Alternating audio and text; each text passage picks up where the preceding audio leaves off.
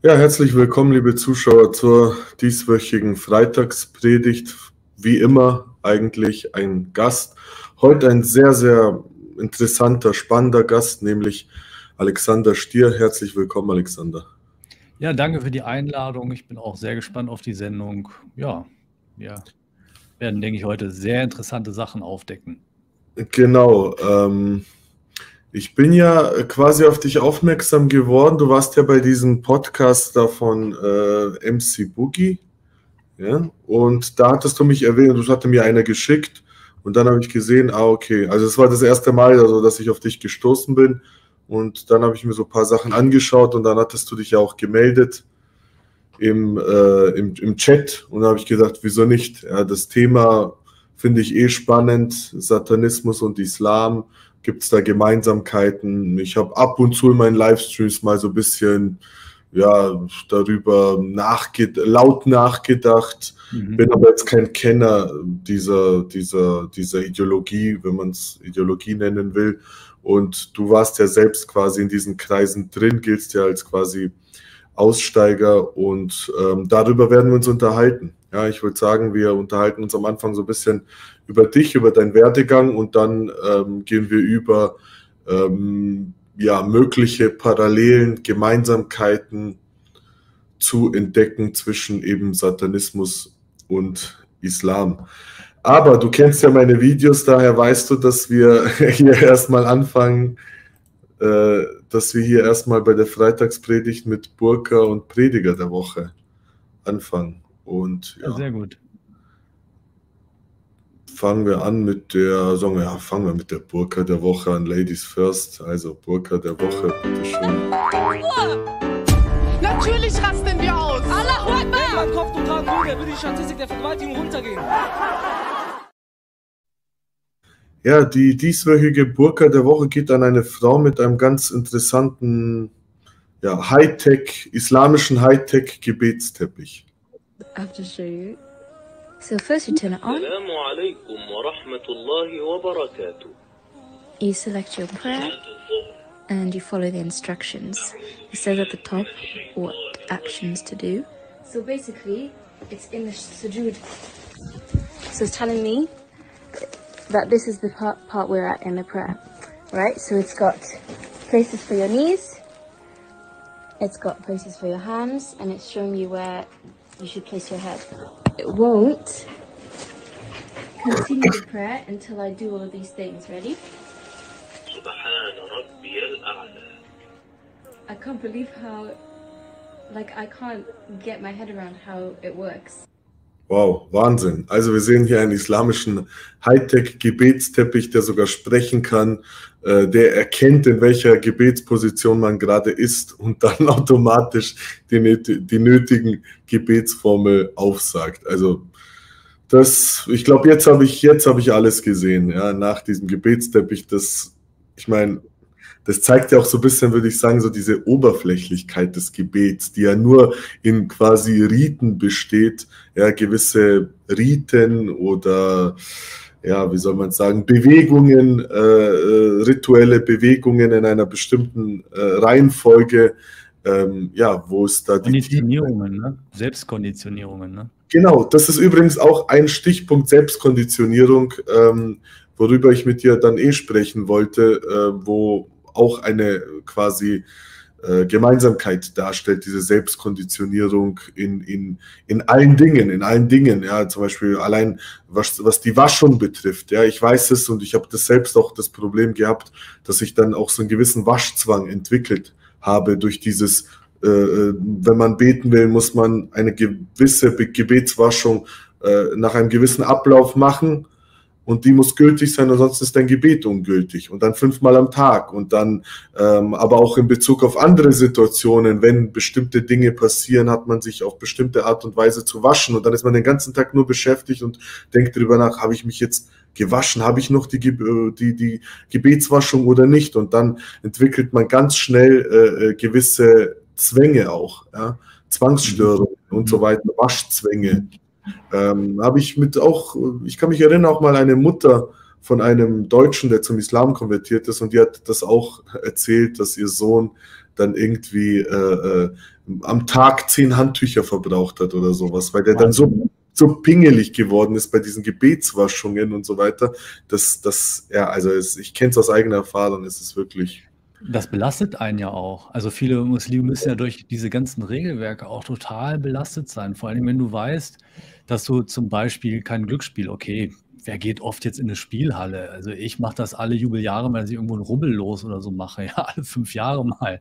Also Glücksspiel ist jetzt nicht das Problem. Aber was ist mit Musik? Ne? Oder was, was äh, äh, mit Musik hören, ja? Das darfst du nicht. Was mit Alkohol trinken? Gut, ich trinke auch selten mal ein Glas Rotwein, aber das sind halt so Sachen, wenn das so zwanghaft ist und äh, gerade Musik kannst du dich ja irgendwie kaum, da müsstest du ja ständig irgendwie dir was in die Ohren stecken, damit du keine Musik hörst.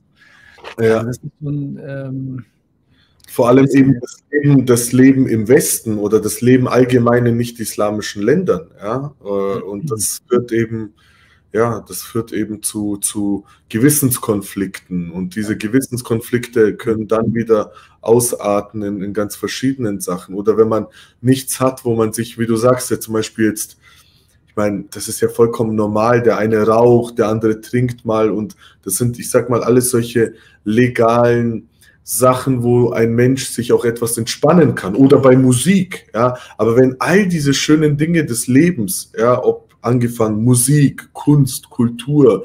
Ich meine, man darf ja auch nicht in die Oper oder ins Theater, man darf nicht ins Kino, man kann keinen Alkohol trinken, man darf nicht rauchen, man darf mit alles, was irgendwie mit Genuss zu tun hat, wo natürlich auch immer eine Gefahr drin steckt, das ist eh klar und das ist immer die Argumentation der Moslems.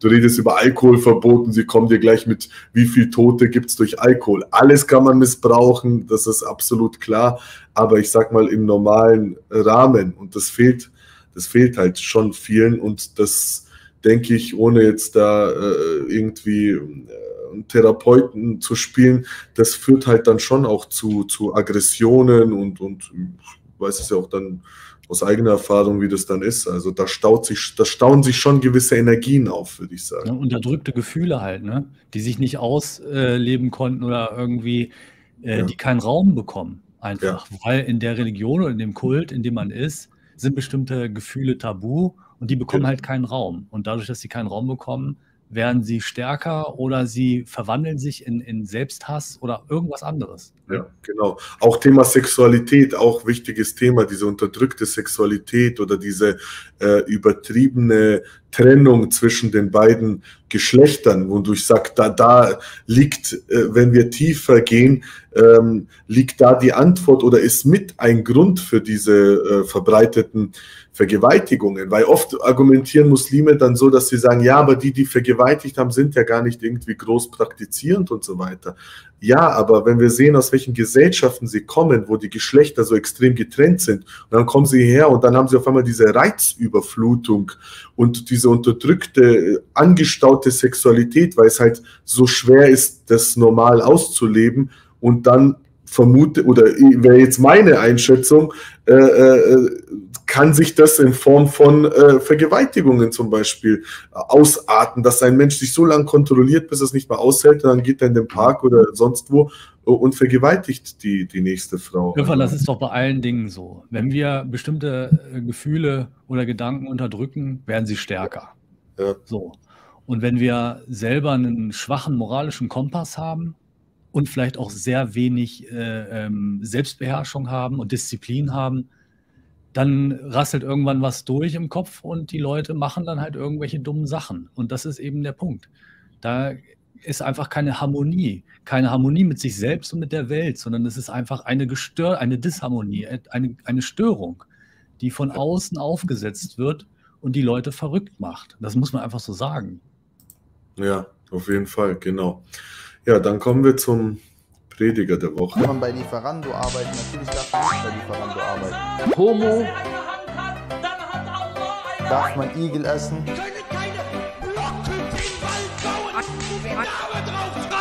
Der Mohammed hat die, die Ehebrecherin gesteinigt und Jesus hat die Ehebrecherin nicht gesteinigt. Sei ruhig, du Verrückter! Ja, Prediger der Woche, ein alter Bekannter äh, mit einem neuen, sehr interessanten Video. Alaikum wa rahmatullahi wa barakatuh. أعوذ بالله الشيطان الرجيم. بسم الله الرحمن الرحيم. والحمد لله رب العالمين. الرحمن الرحيم. مالك يوم الدين. إياك نعبد وإياك نستعين. صراط المستقيم. صراط الذين أنعمت عليهم. غير المغضوب عليهم ولا الضالين. آمين. أشهد أن لا إله إلا الله وأشهد أن محمدا رسول الله الله أكبر Also das hat schon was Satanistisches, oder, Alexander? Er raunt sich da ein zusammen. Ja, ich finde es auch, es wirkt ein bisschen gruselig, wirkt eher wie eine Beschwörung oder sowas. Ja. ja so einer alten, unbekannten, ne, so einer alten Sprache irgendwie. Es, es wirkt sehr beschwörend und bedrohlich irgendwie. Ja, ja, ja. ja ich habe es wo er irgendwie mit seiner Mutter oder sowas, wo seine Mutter bedrängt, äh, Muslimen zu werden und das die Gebets äh, islamische äh, äh, Glauben, das islamische Glaubensbekenntnis vorliest. Und ah, ich glaube, ah ja, genau, der Grund, warum er lange, länger nicht zu sehen ist, war eine Haftstrafe, die er absetzen musste. Ah, ja. Und das ja, jetzt ist er, jetzt ist er wieder aktiv und jetzt meldet er sich, äh, jetzt meldet er sich hier zurück, der, der deutsche Moslem und wie ich ihn nenne, oder auch hier eingespeichert habe in den Einspielern als Vorzeige, Vorzeigekonvertit. Ja. Also der ist auch auf TikTok. Ja. Auf TikTok ja. ist auch und äußert ja. sich auch ziemlich radikal. Ja. Also hier ist der Einspieler. Edu, Edu. Ja, also wollen wir nicht weiter schauen. Ja, seine Mutter äh, sieht nicht ganz so glücklich aus dabei, aber. nee, ja. nee. Nee, er hat, er hat, keine Ahnung, wer weiß, welche Versprechungen er ihr gemacht hat, ähm, dass er sich bessert und so weiter, dass sie ihm zuliebe konvertieren soll. Ja, Alexander, kommen wir zu dir. Also, du warst mal quasi, wie könnte man das sagen? Ich habe öfter gelesen, in einem Satanistenorden. Was ist ja, jetzt der Unterschied zwischen, dass man sagt, ich war mal Satanist oder in einem Satanistenorden? Eine hervorragende Frage, weil ähm, es gibt viele Leute da draußen, die lesen die satanische Bibel, so als Beispiel. Das ist so ein Einstiegsbuch für viele Satanisten. Das Buch wurde von Anton Chandor LaVey geschrieben, der die Church of Satan 1966 gegründet hat in Kalifornien. Und äh, dieser Satanismus, der da vertreten wird, ist ein sogenannter moderner Satan Satanismus, der auch manchmal als atheistischer Satanismus bezeichnet wird. So, jetzt, jetzt kann sich aber jeder Hinz und Kunst da draußen Satanist nennen und ähm, hat aber eigentlich gar nichts mit irgendwelchen satanischen Strukturen zu tun, mit Orden oder mit Netzwerken, mit Terrororganisationen. Also mit diesen Dingen hat der eigentlich gar nichts zu tun. Und wenn man sich dann mal anschaut, was LaVey da so erzählt, sind das eigentlich nur hedonistische Sozialdarwinisten, die quasi so, um ihr Ego so ein bisschen wichtiger zu machen, sich da so eine, Sat so eine, eine Satansymbolik bedienen. Ja? Mhm. Mehr würde ich da gar nicht reininterpretieren. Wobei man auch sagen muss, dass die Church of Satan eigentlich wie so eine, ähm, so eine vordergründige Organisation gegründet wurde, um quasi eine gewisse Art des Satanismus gesellschaftsfähig zu machen, um auch die Gesellschaft immer mehr zu destabilisieren. Und das macht man eben auch im Kleinen. Man sieht das ja auch durch diese LGBTQ-Szene und viele andere Sachen, wird ja schon der Westen destabilisiert und gespalten, weil es gibt immer konservative, liberale und so weiter. Und das versucht natürlich so eine Church of Satan auch in irgendeiner Form zu beeinflussen durch einzelne Leute, die dann eben auch mit Regenbogenflagge und äh, umgedrehten Pentagramm rumlaufen. Das heißt also, diese satanische Symbolik vermischt sich dann auch mit dieser ganzen Symbolik einer gewissen Agenda. Und dadurch wird das in die Mitte der Gesellschaft getragen und äh, somit wird Satanismus immer mehr als etwas Normales wahrgenommen, etwas, ja, jeder kann doch Satanist, ist doch völlig in Ordnung. Nur am Anfang stehen vielleicht so solche Fragen im Raum, gibt es überhaupt Geschlechter? Ach, es ist ja egal.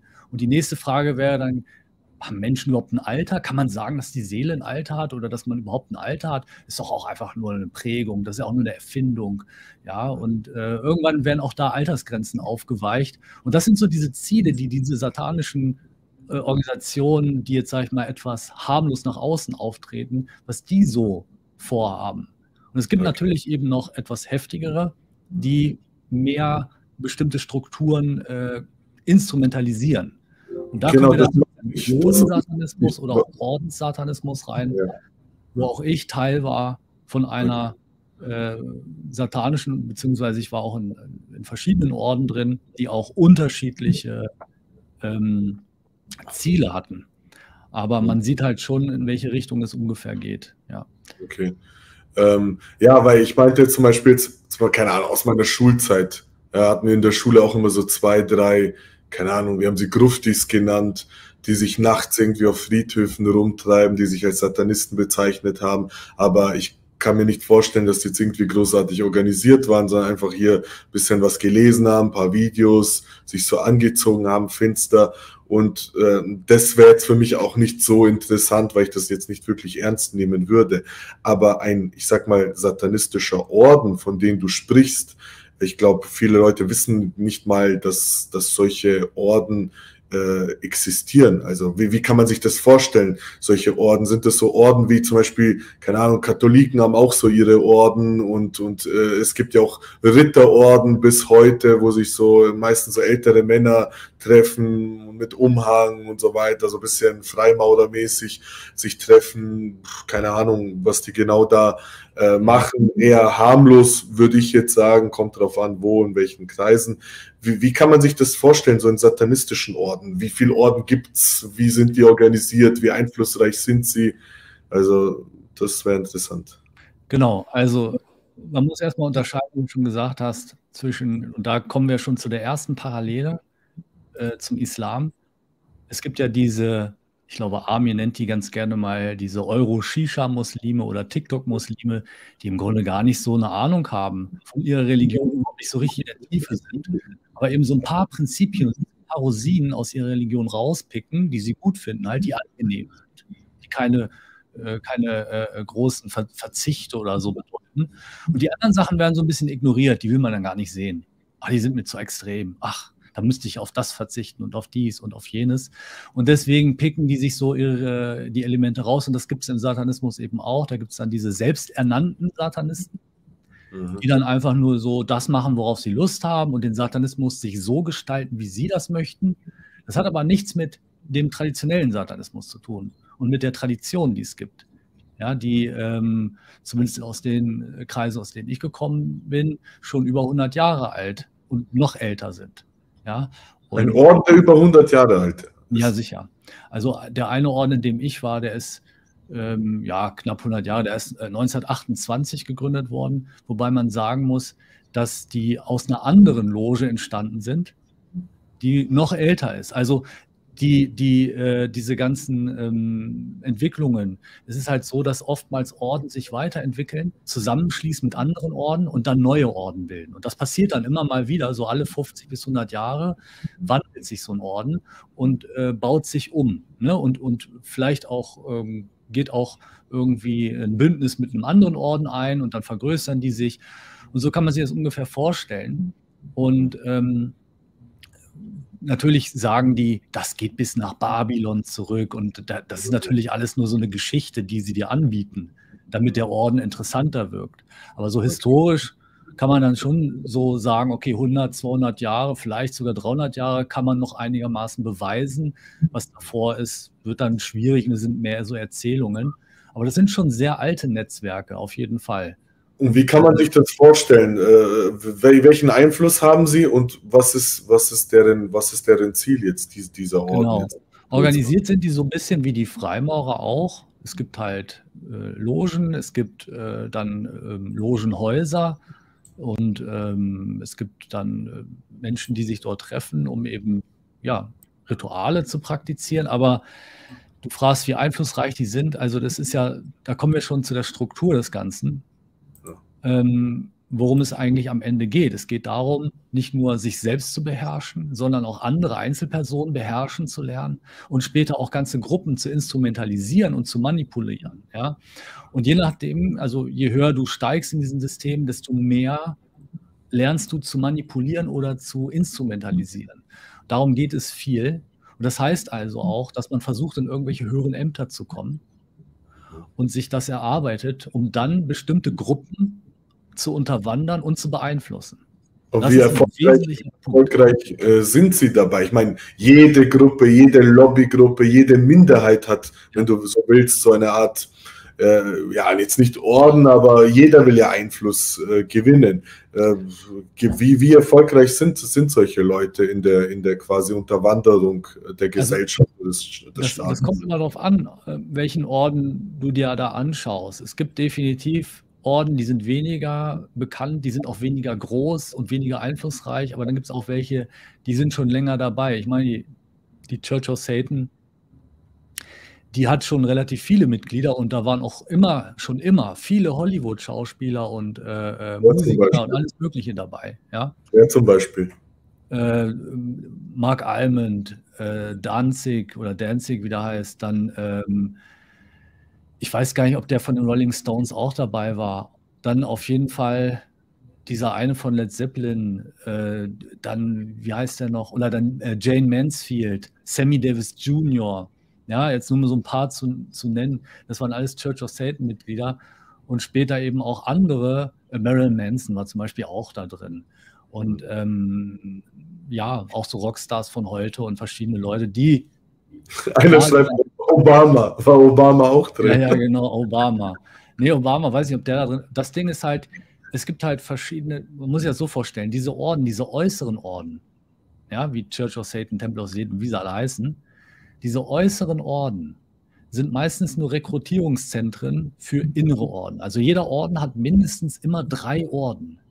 Es gibt einen äußeren, einen inneren und einen innersten. Der innerste ist geheim, keiner weiß, wie der heißt. Mhm. Darüber wird auch nirgendwo im äußeren Orden oder so geredet. Man weiß aber zum Beispiel, die Church of Satan, die hat einen inneren Orden, der heißt Order of the Trapezoid. So, und in dem Orden finden schon wieder ganz andere Sachen statt, als die Sachen, die jetzt in der äußeren, in, dem, in der Church of Satan stattfinden. Da wird das Ganze nochmal konzentrierter, nochmal extremer, nochmal intensiver. Mhm. Ja, und dann gibt es noch einen innersten Orden, der ist aber dann geheim. Da weiß auch keiner, der, sag ich mal, außen ist oder auch in dem äußeren Kreis ist, weiß dann auch gar nicht, gibt es den, ist es ein Mythos, ist der geheim, was auch immer. So, aber es ist so, dass die meisten Orden mindestens diese Dreierstruktur haben. Manche haben sogar mehrere interne Orden in einem Orden.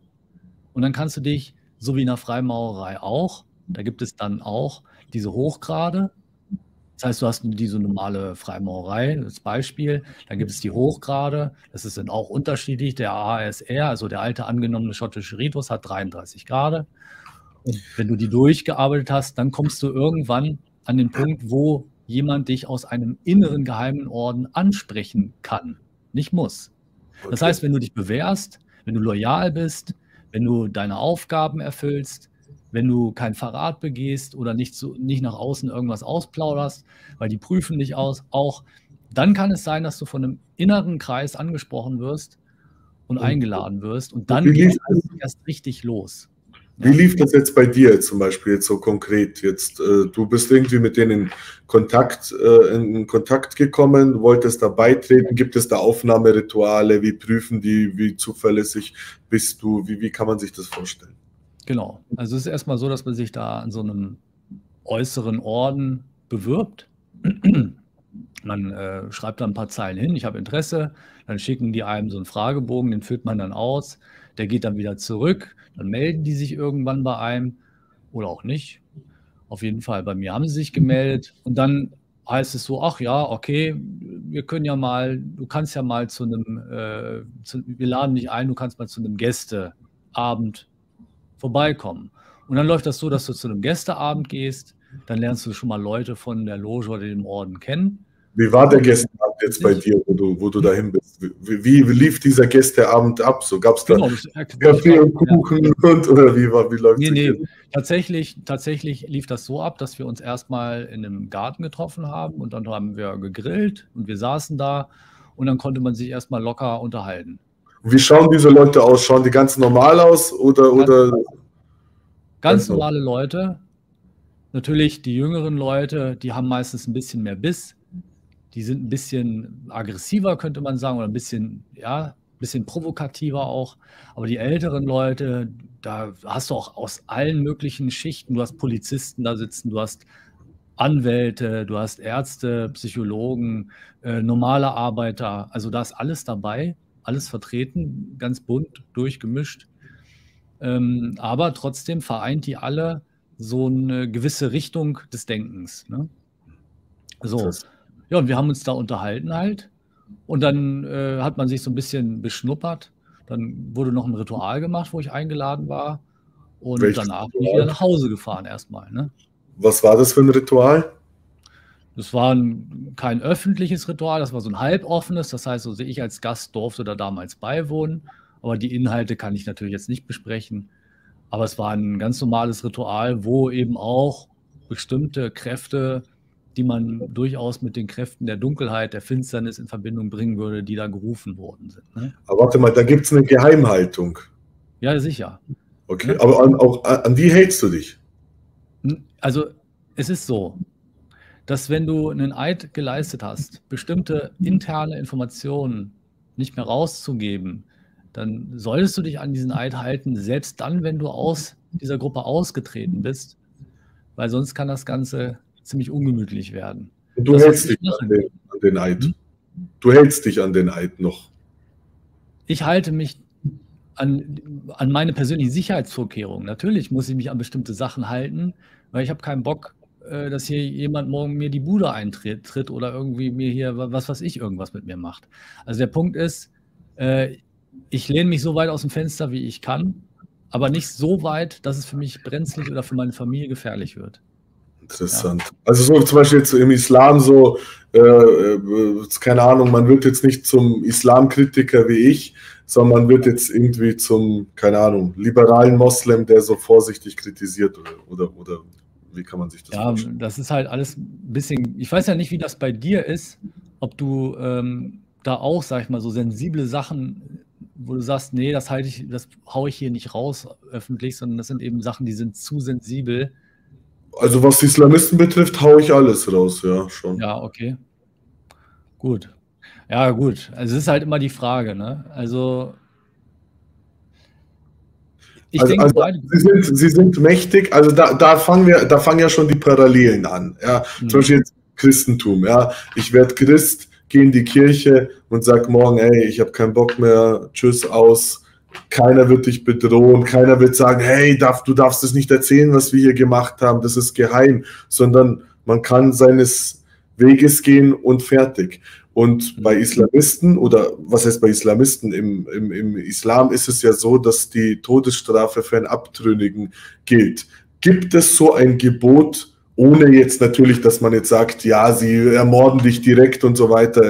Da kommt es ja auf andere Sachen an. Aber ich sag mal, theoretisch wird man dafür vogelfrei erklärt, wenn man so einen Orden verlässt und dann zum Beispiel über Internas ausplaudert. Ja, also es ist schon so, dass du genauso wie im Islam wie so ein Apostat behandelt wirst. Mhm. Und dass eben auch die äh, Brüder und Schwestern aus dem Orden dich meiden sollen. Ja, das ist schon so. Es ist aber tatsächlich so, dass es auch Brüder und Schwestern gibt, die immer noch mit mir in Kontakt stehen, mhm. weil man eben auch über diese vielen Jahre eine persönliche Ebene aufgebaut eine persönliche Freundschaft aufgebaut hat und weil die sich teilweise selbst von ihrem eigenen System immer mehr entfernt haben. Mhm. Und das ist eben so das Ding. Das heißt also, äh, es gibt schon so schleichende, so, so schweigende, schleichende Austritte, die keine echten Austritte sind. Das heißt, es ist mehr so ein Zurückziehen aus dem Ganzen. So machen die meisten das. Wenn man aber so wie ich jetzt äh, sich so ja, aus dem Fenster lehnt und sagt, ja, okay, ich rede jetzt darüber, ich will aufklären über bestimmte Strukturen, ja, dann ist man natürlich im Visier von manchen Leuten. Aber eins darf man nicht vergessen, bei den, beim Satanismus läuft das ein bisschen anders. Da geht es weder, äh, weniger um diese religiösen Strukturen, so von wegen, du hast Satan verraten oder sowas. Nee, es geht eher darum, dass ich keine Sachen über Privatpersonen erzähle, ja, und auch keine Namen öffentlich nenne. Also, wenn ich jetzt zum Beispiel sagen würde, der und der Promi, der ist Satanist, den kenne ich aus der Loge, dann hätte ich ein Problem. Gab es da Promis? Äh, es gab durchaus bekanntere Leute, die dort in den Kreisen unterwegs sind, ja. Okay, also du, du, du klärst quasi auf, ohne aber jetzt alle Internas zu verraten, weil das gefährlich sein. Es könnte. bringt halt auch den meisten Menschen überhaupt nichts, diese Sachen zu wissen. Das sind Sachen, die, die kann auch jemand, der nicht da eingeweiht ist in das System, überhaupt nicht verstehen. Und dann bringt es auch nichts. Das Ritual, jetzt nicht zum Beispiel, welcher Promi war das, sondern so einfach so, was war das für ein Ritual? Was machen die da so? Das würde mich. Ja okay, sowas ja klar, das kann ich erzählen, so grob, was es für Rituale gibt und wie die so, ne, was da so gemacht wird. Das kann ich grob er erklären. Ich kann auch aus den Schriften zitieren. Das heißt, ich sage überhaupt nicht, was äh, die, diese, äh, was ich erlebt habe, sondern ich zitiere dann nur aus den Schriften ja, was, was man machen sollte oder welche Rituale ähm, ja so gang und gäbe sein sollen. Das heißt aber auch, wenn ich das hier sage, dass nicht jeder, jede Loge oder jeder Kreis, jeder Zirkel, jeder Tempel auch alles umsetzt, was in den Logenschriften oder in diesen Ordensschriften drinsteht. Mhm. Ich, nur mal so als Beispiel. Es gibt so ein Ritual, wo alle 17 Jahre jemand enthauptet werden soll, rituell. Alle wie viele Jahre? Alle 17 Jahre. Das ist, wenn, wenn ein bestimmter Sternenzyklus, äh, wenn so eine bestimmte Sternenkonstellation ist, soll nach 17 Jahren jemand, ein, eine männliche Person, enthauptet werden. Und das ist halt. Was machen die? Ist, also ich gehe davon aus, dass es Gruppen gibt, die das machen, aber es machen bei weitem nicht alle. Der IS zum Beispiel. Ja, also, aber nicht alle, nicht alle machen das. Und das ist der, das ist der entscheidende Punkt, glaube ich. Also ich war bei sowas nie dabei und wenn, dann dürfte ich es ja auch nicht sagen, wäre ja auch schwachsinnig. Aber ähm, der Punkt ist, nicht alles, was dort an Extremitäten ver vermittelt wird, wird dann am Ende auch aus, also umgesetzt. Aber es werden sehr extreme Sachen umgesetzt. Und es sterben auch Leute. Und es gab auch äh, hier und da bestimmte Fälle, die dann in der Presse aufgetaucht sind. So. Ich habe ich hab vor, kurzem, hab vor kurzem eine Doku gesehen, die war Wahnsinn. Äh, Höllenleben. Und da haben so äh, äh zwei Teile vom öffentlich-rechtlichen, braucht jetzt keiner sagen, irgendwas Verschwörungstheorie. Ich glaube, vom hessischen Rundfunk war es, glaube ich. Auf jeden Fall öffentlich-rechtliche. Und die haben Opfer begleitet äh, von solchen Ritualen, also von ja quasi Satanisten, äh, die äh, die Frauen, junge Frauen äh, missbraucht haben, vergewaltigt, also übelst, übelst. Also mich, also es ist eigentlich schwer, mich noch mit irgendwas zu schockieren und so weiter, ja. ich auch schon viel gesehen habe.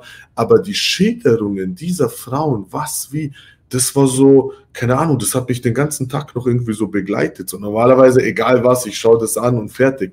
Aber das war so heftig, dass mich das so den ganzen Tag noch begleitet hat, diese, diese, diese Schilderungen. Und das fand ich echt interessant, dass man damals das noch darüber gesprochen hat. Wo bleiben diese Dokus heute? Ja, ich meine, gibt ja auch, wo, wo, was, was passiert mit, wie viele Kinder auch verschwinden oder sonst irgendwas. Da erfährt man gar nichts drüber. Wieso hört man nichts über diese äh, Satanistenorden oder was ist mit diesen Opfern? Und das sind ja alles glaubhafte äh, Opfer und da wurden ja auch Staatsanwälte, Polizisten, Ermittler, ganz verschiedene Leute interviewt, die das teils durch äh, zugegeben haben. Auch hier Wewelsburg, dass das dort auch oft, äh, äh, dass die, dass, dass das ein, einer der, der Orte war, wo sowas stattgefunden hat. Also ich fand das sehr, sehr spannend und interessant und dieses Schweigen darüber ist natürlich, äh, wie man so schön sagt, ohrenbetäubend. Wir, wir wissen, sobald darüber geschwiegen wird, irgendwas ist da seltsam dann.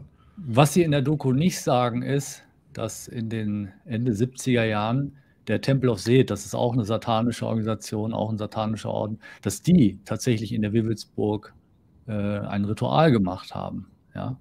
Das sogenannte Wewelsburg-Burg-Working. Das ist sogar dokumentiert und es gibt sogar auch ähm, mehrere, also zahlreiche Anzeigen gegen den Gründer dieses Ordens, nämlich wegen Verdacht auf Pädophilie. Das ist dieser Michael Aquino, ja, der Gründer des Temple of Seth, der eben auch gerade in den 70ern, 80ern, 90ern immer wieder ähm, in Verdacht stand, äh, Kinder sexuell miss misshandelt zu haben bei während satanischen Ritualen. Und die waren, der Tempel auf Seth war tatsächlich auch Ende der 70er Jahre irgendwann ich glaube, es war Ende der 70er Jahre auch in der Wewelsburg, um dort das Wewelsburg-Working durchzuführen. Und deswegen frage ich, äh, äh, der Einfluss, der Einfluss dieser Orden, weil auch in der Doku wird ja ersichtlich, ja, es ist, wird ja ersichtlich, irgendwo hakt's, ja, irgendwo bleibt's immer, bleibt man immer hängen bei den Ermittlungen, ja, und das hat man ja in verschiedenen Bereichen, das ist jetzt nicht nur in diesem Bereich, es ist ja immer so, wenn es was zu vertuschen gibt, ähm, keine Ahnung, wenn man jetzt irgendwie Rotlichtmilieu, dann ermittelt man und dann kommt man aber drauf, uh, da waren ein paar Richter oder Staatsanwälte oder hohe oder Minister oder sowas war dann dort und dann, ja, komm, tun wir unter dem Teppich kehren. Und das merkt man in dieser Doku. Ja, natürlich förmlich leitet man das ein und ermittelt und dann sagt, ja, nichts gefunden, ja, konnten wir nicht weiterverfolgen und so. Und wir wissen ja auch, wie stark die Justiz politisch beeinflusst ist. Staatsanwaltschaften sind weisungsgebunden, das heißt, werden von der Politik quasi gezielt können gezielt eingesetzt werden oder auch wieder äh, äh, zurück, zurückgepfiffen werden. Machen wir ganz kurz ein paar Fragen zwischendurch. Vielen Dank, Jenny.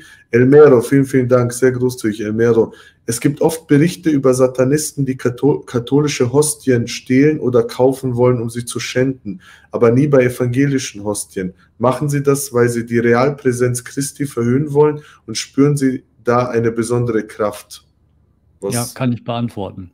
Es ist ja so, dass in der römisch-katholischen Kirche ein ganz anderer Ritus stattfindet als in der evangelischen Kirche. Wir kennen aus der katholischen Kirche die Transsubstantiation. Das heißt, das ist die Verwandlung einer Hostie, einer Brothostie und eines ganz gewöhnlichen ähm, Messweins in den leibhaftigen Leib oder in den, in den echten Leib Christi und das echte Blut Christi. Darauf besteht die römisch-katholische Kirche, dass das theologisch oder liturgisch so zu deuten ist.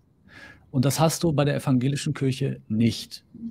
Das heißt also, dieser ganze, um es mal so auszudrücken, wie es im, im, im Okkultismus gesagt wird, dieser ganze ritualmagische Effekt, der dort in der römisch-katholischen Kirche erzielt wird, aus der Sicht eines Okkultisten, der wird bei den Evangelien nicht erzeugt. Die Evangelien sind sowas wie die Atheisten der Christen für, für Satanisten. Also ein Weil sie sagen, das, ist nur, das steht quasi symbolisch und das, das, das, ja, das ist alles symbolisch. Also direkt. Ein, ein Satanist sieht in einem Evangelien eigentlich mehr sowas wie einen symbolischen Christen, der das alles nur so irgendwie auslegt, aber es ist im Grunde gar nichts, also das, da fehlt so das Echte eigentlich. Ne? Und im Katholizismus ist das halt ein bisschen anders. Da werden die Sachen, ähm, wenn man drauf schaut, etwas ernster genommen, im rituellen Sinne vor allen Dingen. Ja. Und das ist eigentlich das Zentrum. Deswegen werden katholische Hostien verwendet bei schwarzen, traditionellen schwarzen Messen, um sie dann eben äh, zu schänden oder dort irgendwelche sexuellen Sachen mitzumachen, um halt eben um Christus zu lästern das ist so die Idee dahinter. Ne? Und das bei einer evangelischen Hostie völlig wertlos, weil da ist nichts drin. Das ist einfach nur ein Stück Brot. Also für die Leute. Interessant, sehr, sehr interessant. Latin Crusader, hallo, eine, eine Frage an Alexander. Was hältst du von den Freimaurern? Weil im Netz liest man entweder die schlimmsten Verschwörungstheorien oder es ist eine ganz normale Organisation, denen Gleichheit und Menschenrechte wichtig sind. Grüße aus dem Erzgebirge. Also ich persönlich halte nichts mehr von den Freimaurern. Das liegt einfach daran, dass viele Freimaurer selber überhaupt nicht wissen, was sie da tun, wen sie da verehren und was ihre Rituale bedeuten. Und das finde ich halt peinlich, wenn man da einem Kult oder irgendeiner Gemeinschaft angehört und selber keine Ahnung hat über die eigenen, über den eigenen Kultus und irgendwelchen Hintergründen. Und ähm, man muss ja einfach mal schauen, dass die Freimaurer eine gnostische Lehre vertreten. Das heißt, sie sind Gnostiker. Und gleichzeitig verehren sie aber den Schöpfer. Und der Schöpfer ist wiederum in der Gnosis, die sie ja vertreten, der Satan. Das heißt, sie sagen nach außen, dass sie den Schöpfer verehren, den großen Bauer aller Welten, den Demiurgen, aber in Wahrheit verehren sie den gnostischen Satan. Und das ist der Punkt. Und das raffen viele Freimaurer selbst nicht, weil die nicht über den Tellerrand sehen können oder einfach, weil sie zu dumm sind. Und das ist so für mich, weiß ich nicht. Ich äh, finde nichts, nichts mehr wirklich spannend an der Freimaurerei. Ich fand die mal ganz interessant, aber es ist mir einfach zu dämlich, Und ähm, ja. ich will jetzt nicht jeden Freimaurer hier beleidigen. Ich, es gibt auch sehr nette Freimaurer, aber für mich ist das alles sehr naiv. Ja, ja ich glaube auch, also ich kenne jetzt auch äh, äh, so ein paar Leute, die sich so ein bisschen so in diesem Umfeld bewegen oder sonst was. Und so wie ich das so verstanden habe, geht es eher darum, so Teil, wo, Teil eines Clubs zu sein, bisschen Einfluss zu haben, sich zu vernetzen. Also es geht eher so um, ich sag mal, Geld, Aufsteigen, Karriere. Das ist aber das Oberflächliche. Schutz, Und dann gibt es noch eine, eine okkulte Schutz, Seite. Genau, Schutz bei wenn die Justiz einen verfolgt, dann ist es gut, wenn man da einen Bruder hat. Also es geht mehr so um Einfluss und jetzt weniger um dieses so äh, dahinter so. Aber gut. Ähm, ja, wo waren wir stehen geblieben? Ähm, wo waren wir stehen geblieben? Ähm, ja, kommen wir, kommen wir zu den Orden zurück. Oder gehen wir, gehen wir nochmal chronologisch von Anfang an, ohne jetzt zu weit zurückzugehen. Ah, ja äh, weil das wird dann zu lang dauern. Wir sind jetzt schon 40 Minuten, wir wollen ja auch auf das Hauptthema. Ähm, äh, ich habe ja auch ein paar Interviews und so weiter gesehen, also dich hat das einfach angezogen. Ähm, und ich fand das interessant, ich fand das interessant, weil ähm, die meisten Menschen oder wir Menschen wollen ja nicht zugeben, dass uns manchmal auch das Böse anzieht oder dass das Böse anziehend wirken kann. Ja, zum Beispiel, keine Ahnung, im Film, ja, klassisch, du siehst einen Film und wie viele Menschen sympathisieren mit dem Bösewicht und, und feuern quasi sogar den Bösewicht heimlich an und der ist ihnen viel sympathischer als der Gute und so weiter. Ja, und ich glaube, das spielt allgemein bei solchen, äh, bei so einem Einstieg in so eine, wie soll man es nennen, Sekte oder sonst was spielt das eine Rolle. Und das habe ich auch bei vielen so, auch, äh, ich sag mal, bei muslimischen Radikalisierungen gesehen. Da gab es, wo ich sage, zwei Kategorien. Die einen, die sich wirklich quasi verirren, die das Gute wollen und beim Bösen landen. Die denken, sie dienen Gott und, und äh, sind halt dann aus einem Fanatismus bereit, alles zu machen, weil sie denken, sie dienen den Guten. Dann aber gab es auch so einen Typ, wo ich sage, so, die ich so, keine Ahnung, so, so Psychos genannt habe, wo man merkt, ähm, er will in den Dschihad nicht nur meine religiöse Pflicht auszuüben, sondern er kann es kaum abwarten zu morden. Er, er, will jemanden den Kopf abschneiden. Ich kann mich erinnern, wo ich in Berlin war, da habe ich schon für den Verfassungsschutz gearbeitet, wo dann einer, ein, ein Moslem, der ausgereist ist, dort nach Waziristan und der dann voller Freude berichtet hat, äh, wie er endlich jemanden enthaupten konnte. Ja, und da hast du das gemerkt. Es war nicht so, ja, ich muss es halt machen, weil es Pflichterfüllung ist, sondern sie haben es zelebriert. Ja, sie lieben das Böse, sie neigen zum Bösen und sie wollen das Böse. Deswegen bringt es auch nichts, diesen Leuten zu sagen, hey, das, was du machst, ist schlecht und böse. Das ist ihnen schon völlig klar, das weiß er, deswegen macht das ja. Und da ist so ein bisschen so eine Naivität auch in der heutigen Gesellschaft, so, ja, ähm, irgendwie, wir können doch alle deradikalisieren und alle können den Ausstieg schaffen, weil man denkt, alle wollen immer nur das Gute und man vergisst, dass in uns Menschen auch etwas, eine Neigung äh, zum, zum Bösen, zum Mächtigen ist. Äh, was, was, heißt zum Mächtigen? Aber mir fällt das ein, weil du mal erzählt hast in einem Gespräch so, äh, äh du wolltest diesen Pakt einfach mit dem Teufel eingehen, weil die Leute dann dich auch gefürchtet haben. Uh, das ist der Satanist. Und genauso kann ich sagen, auch als Islamist, ich kann mich erinnern, wo ich in Haft war zum Beispiel, da waren Mörder, Vergewaltiger, da waren alles Mögliche. Und ich war 24 Stunden eingesperrt. Und wenn sie mich dann einmal durchgelassen haben, ab und zu durch den Gang, dass selbst solche Berufskriminellen Angst hatten und so geschaut haben, so, uff, das ist der Al-Qaida-Typ, das ist der Durchgeknallte und dann weggeschaut haben, also wirklich Kriminelle und so weiter, weil, weil du als, ich sag mal, Terrorist nochmal eine Stufe in der, in der Gewaltanwendung oder in der Psychopathie höher bist, als jetzt irgendwie ein Bankräuber oder ein Vergewaltiger oder ein, äh, was weiß ich, Drogenhändler das oder so. Kenn ich, das, das kenne ich tatsächlich. Im Satanismus ist das teilweise auch so. Wir haben ja auch viel mit der Unterwelt allgemein zu tun gehabt, ja. Echt? Und das heißt, wenn du dann mit, mit irgendwelchen ähm, ausländischen Gruppen oder mit anderen Gruppen, kriminellen Gruppen so äh, ähm, ja, in Verbindung standst, war immer dieses, das sind die Satanisten im Raum.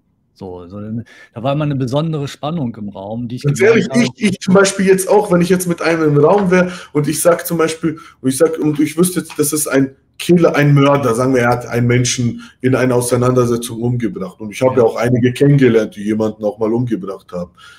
Ja, man spürt schon etwas Dings, aber ich hätte mehr Ehrfurcht, wenn ich mit einem Satanisten äh, im Raum wäre. Ich hätte keine Angst, aber ich sag mal, Ehrfurcht oder Respekt oder ich würde ihn noch besser im Auge behalten als ja, jetzt einen gefährlichen Kriminellen. Das verstehe ich. Weil der ist ideologisch, der ist äh, geistig quasi und ich weiß, wie wirkmächtig das ist. Und deswegen schätze ich einen überzeugten, zu allem bereiten Satanisten gefährlicher ein als jetzt einen Kriminellen oder einen stinknormalen Mörder. Das ist genau der Punkt. Oftmals sind das Intellektuelle, die aber auch gleichzeitig gewaltbereit sind. Und ja. das ist eine ganz gefährliche Mischung. Intellektuell und gewaltbereit. Normalerweise sind ja Intellektuelle immer so, ja, lieber im Hintergrund und heimlich irgendwas, irgendwas hacken oder so, ne? Und dann hast du dann die Stumpfis, die irgendwas ausführen und dann gewalttätig sind.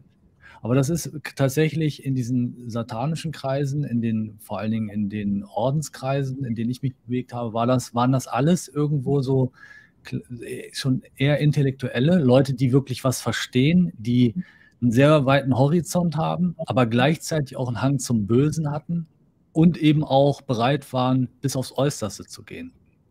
Also schon so ein Sammelbecken für so Psychopathen eigentlich, ja. Genau, genau, ja. Das ist schon, das ist schon ein Unterschied. Und das zieht natürlich auch viele, äh, äh viele an, weil ähm, weil es einfach von der Gewaltbereitschaft, von der Gefährlichkeit und, und wie gesagt, das hat man zum Beispiel auch in Haft gemerkt. Oder es gibt ja auch zum Beispiel auch viele so, ich sag mal, Migranten, die jetzt so im kleinkriminellen Milieu waren oder auch in der organisierten Kriminalität und die dann aber zu Islamisten werden und das für sie in der Gefährlichkeit nochmal eine Steigerung ist. Ja, die Leute haben mehr Angst jetzt vor einem äh, IS-Anhänger als vor einem Hells Angels Rocker oder sowas. Ja, okay, Hells Angels Rocker, der ist auch zu vielen bereit, aber ein IS-Anhänger ist zum Massenmord bereit. Er ist bereit, jemanden zu enthaupten und so weiter. Und das ist halt schon mal eine Stufe höher als jetzt ein gewöhnlicher. Ja, also auf jeden Fall hat bei dir das eine Rolle gespielt, dass du diese äh, dieser Neigung zum Bösen oder zum, zur dunklen Macht oder zur dunklen Seite einfach nachgegeben hast und gesagt hast, warum eigentlich nicht so? Mhm. Genau.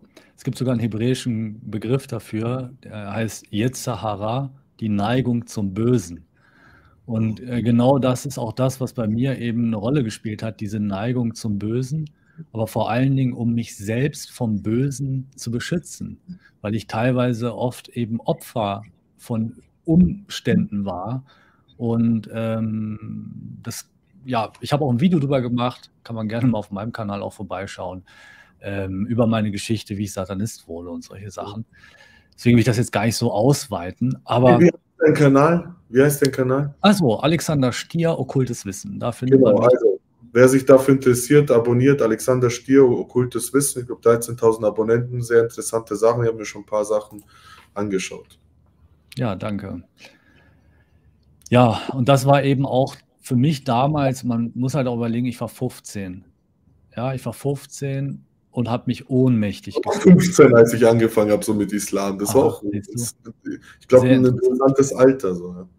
Ja. ja, genau. Ich denke auch, das ist so ein, so ein gewisses spezielles Alter, wo man äh, diese Sturm- und Drangzeit, dieses, dieses man, man will irgendwas Extremes vielleicht machen, man will sich befreien, man will irgendwas anderes, man will anders sein. Ne? all diese Sachen spielen da vielleicht in der Pubertät auch eine gewisse Rolle. Und dann, wenn man älter wird, hat man plötzlich dann auch die Möglichkeit, bestimmte Leute kennenzulernen. Ne? Und dann geht es irgendwann richtig rund. Hm, hm. Okay, dann machen wir weiter. Also du warst dann beim Orden und dann äh, hast du dich da quasi dann angeschlossen. Ne? Genau, ich hatte erzählt, diese Gästeabenden, wo man dann hin, mal hin konnte, um die Leute persönlich kennenzulernen. Und dann hat man erstmal ich glaube, es waren sogar fast zwei Jahre oder so. Da war ich ja auch, man muss ja auch dazu sagen, dass ich ja auch, als ich noch nicht volljährig war, habe ich ja schon telefonischen Kontakt immer gehabt zu diversen Ordensleuten, die ich ja so, also den Kontakt habe ich ja dadurch bekommen, indem ich Bücher von Autoren gelesen habe, die in diesen Orden drin waren. Und das wiederum habe ich erfahren durch sogenannte Aufklärungsbücher, diese Sektenaufklärungsbücher. Mhm. Gesundheit. Und da habe ich das gelesen und dann habe ich die Spur verfolgt und dann irgendwann habe ich den Verlag dieser Bücher, an, den Verleger angeschrieben und da habe hab den Verleger gebeten, ob ich nicht mal in Kontakt treten könne mit einem der Autoren. Und das hat dann irgendwann auch geklappt und so kam ich dann auch an diese Ordensleute dran. Und dann hatte ich erstmal eine längere Zeit Kontakt, telefonisch vor allen Dingen und später dann eben auch physisch. Ja, und dann irgendwann wurde ich eben aufgenommen in den sogenannten äußeren Kreis, in ja, manche sagen das Atrium oder den Vorhof. Das ist so eine Zeit, wo du dann dich noch bewähren musst, wo du in so einer Art, ja, beide Seiten testen für sich aus, ob das wirklich passt. Ne? Und da musst du dich erstmal bewähren. Das heißt, du machst am besten die ganze Zeit das, was dein Meister dir sagt. Ja? Und wenn er sagt, äh, du sollst jetzt, du sollst ihm im Garten helfen, dann hilfst du ihm im Garten. Wenn er sagt, du sollst anfangen, äh, deine Familie zu verlassen, dann machst du auch das. Oder du distanzierst dich von deinen Freunden, dann machst du auch das. Also es fängt natürlich erstmal ganz soft an, aber es steigert sich halt. Ne? Und irgendwann wird klar, es gibt einmal uns und die anderen. Also wir haben die nicht Ungläubige genannt, wir haben die Mundane genannt, weltliche, profane, Uneingeweihte. Ne? Man kann also quasi sagen, die Uneingeweihten sind das in den Orden, was im Islam die Ungläubigen sind. Also man hat so eine Art Exklusivität. Man ist Teil eines Geheimbunds oder eines Orden, einer exklusiven Gruppe und äh, schaut quasi auf alle, äh, äh, die nicht Teil davon sind, schaut, schaut quasi auf die herab. Das ist genau. auch ein, Richtig, eine, genau. eine, eine Parallele quasi. Ja. Ja. Und man ist, man ist quasi nur mit seinesgleichen also nur mit Gleichgesinnten befreundet. Mhm. Und das mit Familie zum Beispiel, das äh, gibt es auch so. Also habe ich auch so diese Erfahrungen gemacht, wo versucht wird von der Gruppe dann dich natürlich zu entfremden aus deinem alten Umfeld, weil ansonsten, du weißt ja selbst zum Beispiel so Leute, die sich jetzt nie ähm, die, die, den Kontakt nicht so richtig gekappt haben, die entgleiten dann auch oft der Kontrolle, weil die dann sagen so, hey, nee, ich bin wieder mit meiner Familie und so, ich habe nicht mehr so viel Zeit dafür.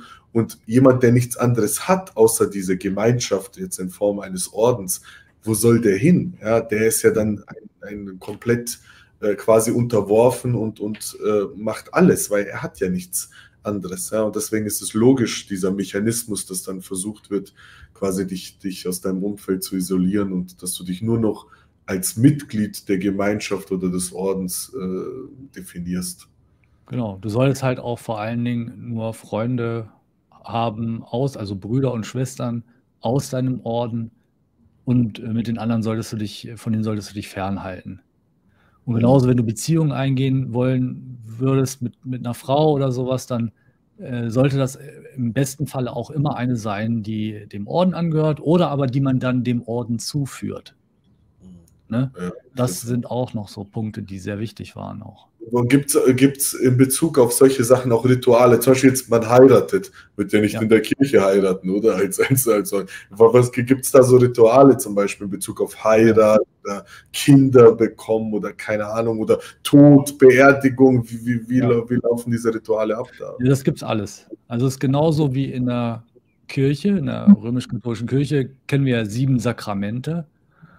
Und auch da gibt es verschiedene Sakramente, ja, Mysterien, die man dann äh, für solche Ereignisse heranzieht, wo es dann auch einen Priester gibt, der dann diese, diese Zeremonien und einen Zeremonienmeister und einen ersten Aufseher, einen zweiten Aufseher und so weiter. Gibt es also verschiedene, ne, je nachdem auf welcher Orden. Manche Orden haben dann den Priester, die Priesterin und dann gibt es noch die Herren der Erde. Also es gibt verschiedene Figuren immer in so einem, in so einem äh, Ritual, die dann immer wieder auftauchen, die dann bestimmte Aufgaben haben. Und dann gibt es natürlich auch die Taufe von Kindern zum Beispiel, ne? eine satanische Taufe von Kindern. Gibt es auch. Genauso gibt es auch dann äh, das, ja, eine Art Hochzeitsritual, Beerdigungsritual, es gibt alles. Also das ist wirklich sehr stark übernommen auch. Und Wie, wie waren die Leute so drauf? So waren das so eher, waren, waren die normal oder wie kann man sich so dieses äh, Leben im Orden vorstellen? Ja, waren das so dunkle, finstere, düstere Typen oder waren das auch lustige Leute, wo man es jetzt nicht anmerken würde? Also eins muss man wissen: Nach außen hin, den anderen gegenüber, waren das die übelsten Psychopathen. Und ich gehörte ja auch dazu. Wir waren bereit, die Menschen da draußen, wir haben die als Abschaum gesehen. Und wir haben auch gesagt, so ja, ey, wenn du wenn du es wenn du's kannst und äh, du keine Angst haben musst, erwischt zu werden, bring jeden um, den du findest da draußen. So, das war so die Einstellung. Ne? Das heißt also auch die Ausbeuten, Vergewaltigen, Umbringen, Ausrauben, das waren alles Sachen, wo, wo man quasi so eine Einstellung dazu hatte, ja, wenn du nicht erwischt wirst und wenn du sicher sein kannst, dass dir, dass du nicht hinterher am Arsch bist, mach's. Aus moralischen Gründen musst Aber du dir da keine Sorgen machen.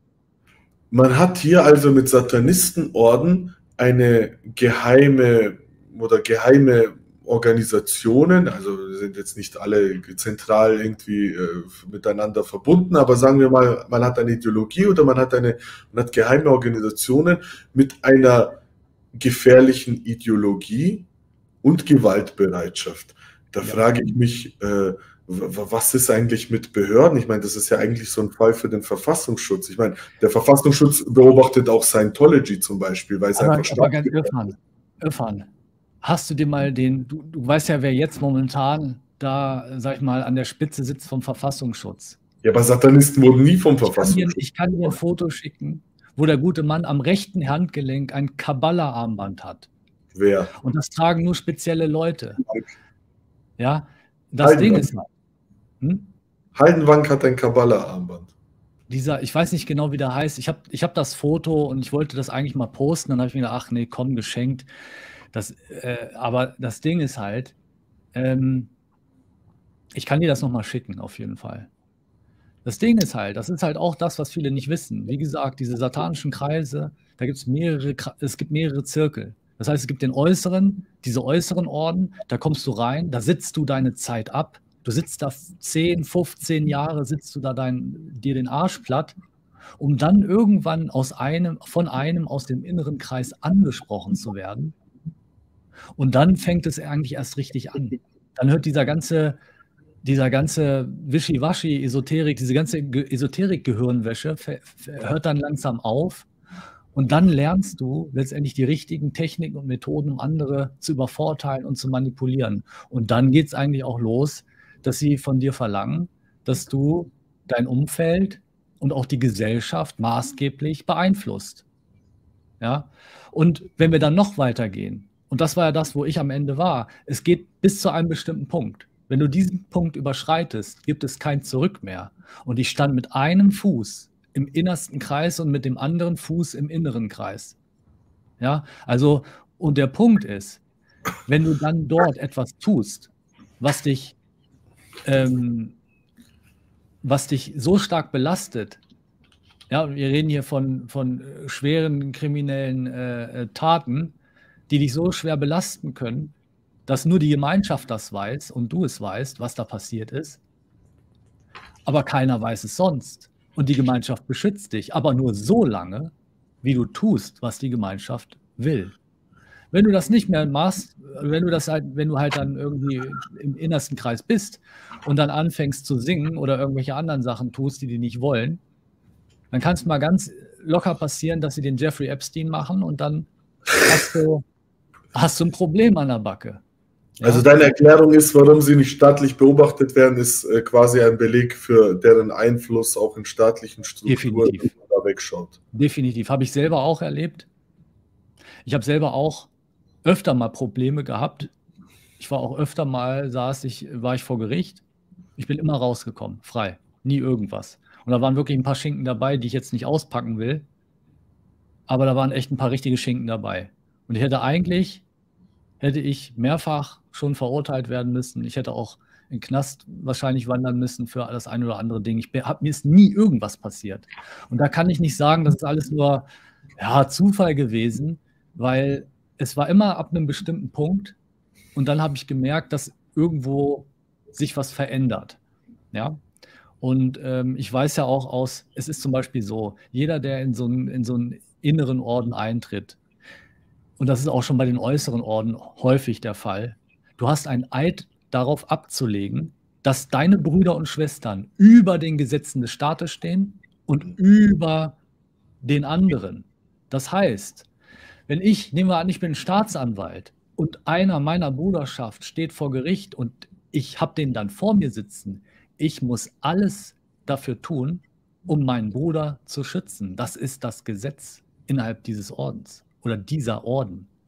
Das heißt, das ist genauso wie im Islam, die Scharia steht über dem normalen ja. Gesetz. Ja. Ich meine ja, deswegen meine ich ja, das erfüllt ja alle Merkmale, dass ein normaler Staat sagt, die sind eine Gefahr für die Gesellschaft.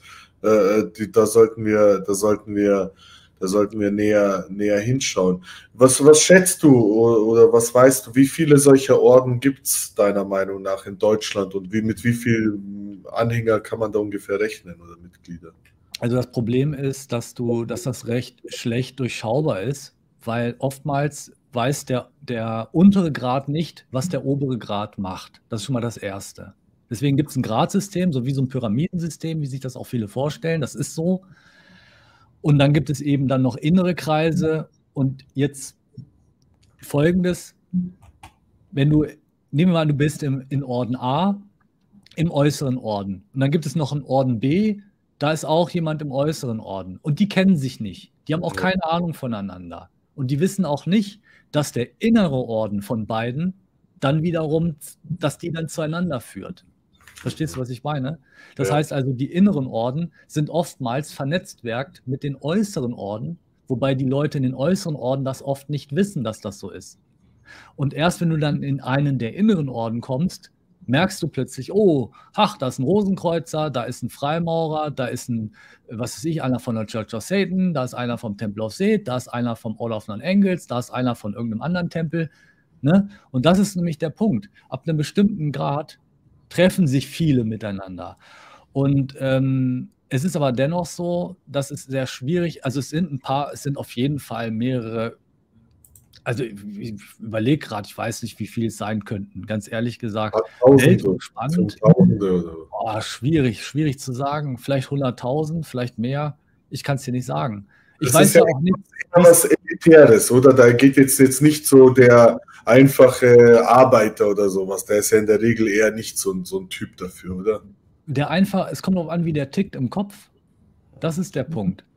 Also da geht es gar nicht darum, was du jetzt für einen Job hast, weil du kannst hinterher sowieso alles machen, was du willst, theoretisch. Ja? Also bei mir war es zum Beispiel so, nur um das mal ganz kurz anzuschneiden. Ich musste die Stadt wechseln. Also als ich dann vorgesehen war für den innersten Kreis, musste ich die Stadt wechseln. Ich habe einen Job bekommen. Ich habe alles Mögliche bezahlt bekommen und hatte dann bestimmte Aufgaben, die ich erledigen musste mit den Leuten aus diesem innersten Kreis. Ich wurde eingeführt in diesen Kreis. Ich habe Leute kennengelernt. Ich habe B-Promis kennengelernt. Ich habe Leute wie, was ich, irgendwem Bürgermeister und noch irgendwen anders, also so Leute, die letztendlich schon in der Gesellschaft fest verankert sind. Solche Leute waren dann irgendwann wichtig im innersten Kreis. Und der Punkt, warum ich dann ausgestiegen bin oder warum ich da zurückgetreten bin, war, dass ich gemerkt habe, Moment mal, also klar, ich war vorher schon gewohnt, dass die alle irgendwie ein bisschen kriminell sind, aber das, was hier abgeht, ist, ist nochmal 10, 20, 30, 40, 100 Nummern weiter. Das heißt, es ist nicht mehr nur so Pillepalle, sondern es macht den Anschein, als ob das ein krasses, großes, weltumspannendes Netzwerk ist von sehr vielen Menschen, die sehr weit und sehr weit oben in der Gesellschaft sich da irgendwo ihren Platz genommen haben. Und dadurch, dass du eben auch viele bekannte Leute kennst oder beziehungsweise, dass du Leute den eine, der eine ist in irgendeinem Tonstudio, der andere macht irgendwas beim ZDF. Verstehst du, was ich meine? Die haben überall ihre Leute drin sitzen. Das heißt, du kann, kannst dann am Ende auch überall rein und alles über, irgendwie machen. Also du, wenn du sagst, du willst jetzt ein bekannter Sänger werden, dann machen die das aus dir. Ne? Aber den Pakt, den du mit denen eingehst, der ist halt nicht mehr rückgängig zu machen. Du gehörst dann denen. Und ist dann das hast du deine so, Agenda nach außen zu vertreten. wie man sich das vorstellt, also wie man so schön sagt, auch die äh, seine Seele an den Teufel zu verkaufen. Kann man sich Hundertprozentig. Das, so das ist damit gemeint. Man verkauft nicht wirklich die Seele an den Teufel, man verkauft an den Stellvertreter des Teufels, nämlich der Priester. An den verkauft man seine Seele, beziehungsweise an diesen inneren, an diesen inneren Kreis, an die Priesterschaft des innersten Kreises, an die verkauft man seine Seele, weil man dadurch, dass man letztendlich etwas tut, was eine Grenze überschreitet, die nicht mehr rückgängig zu machen ist. Wenn man das getan hat, dann hat man letztendlich den, den Pakt mit dem Teufel eingegangen und nur die wissen letztendlich davon, dass du das gemacht hast. Und ich bin mir hundertprozentig sicher, dass sie das auch filmen ja, damit sie was. Warum ist da noch nie irgendwas rausgekommen? Mit so, so ein richtig, so ein hundertprozentiger. Klar, es gibt Bücher drüber und jetzt auch so Aussteiger wie du, die darüber berichten, aber so richtig so schwarz auf weiß, so, so richtig so, so Ibiza-Videomäßig. Verstehst du, was ich meine? So richtig. Solche Sachen. Ja, wenn du so ein Video hast, dann lebst du nicht lange. Das ist der Punkt. Gut, aber man kann ja alles veröffentlichen heutzutage. Und danach, wenn es öffentlich ist, ist es öffentlich. Ja, aber da, da kommst du ja gar nicht dran. Also ich hätte nicht gewusst, wo ich jetzt hätte irgendwo an, an, an solche Sachen drankommen können. Ja. Du filmst jetzt heimlich so ein Ritual und haust das bei YouTube raus. Das geht nicht so einfach. Handys werden vorher abgegeben. Du wirst vorher durchgescannt. Sind also, auch Experten dabei, die so eine professionelle Sicherheitsstruktur. Ja, aber so, ja, aber pass auf. Es ist ganz einfach. Es fängt, es ist ganz einfach. Man trifft sich in irgendeiner alten Ruine, als Beispiel, ja wo irgendein Ritual gemacht wird, wo Sachen passieren, die keiner mitkriegen soll.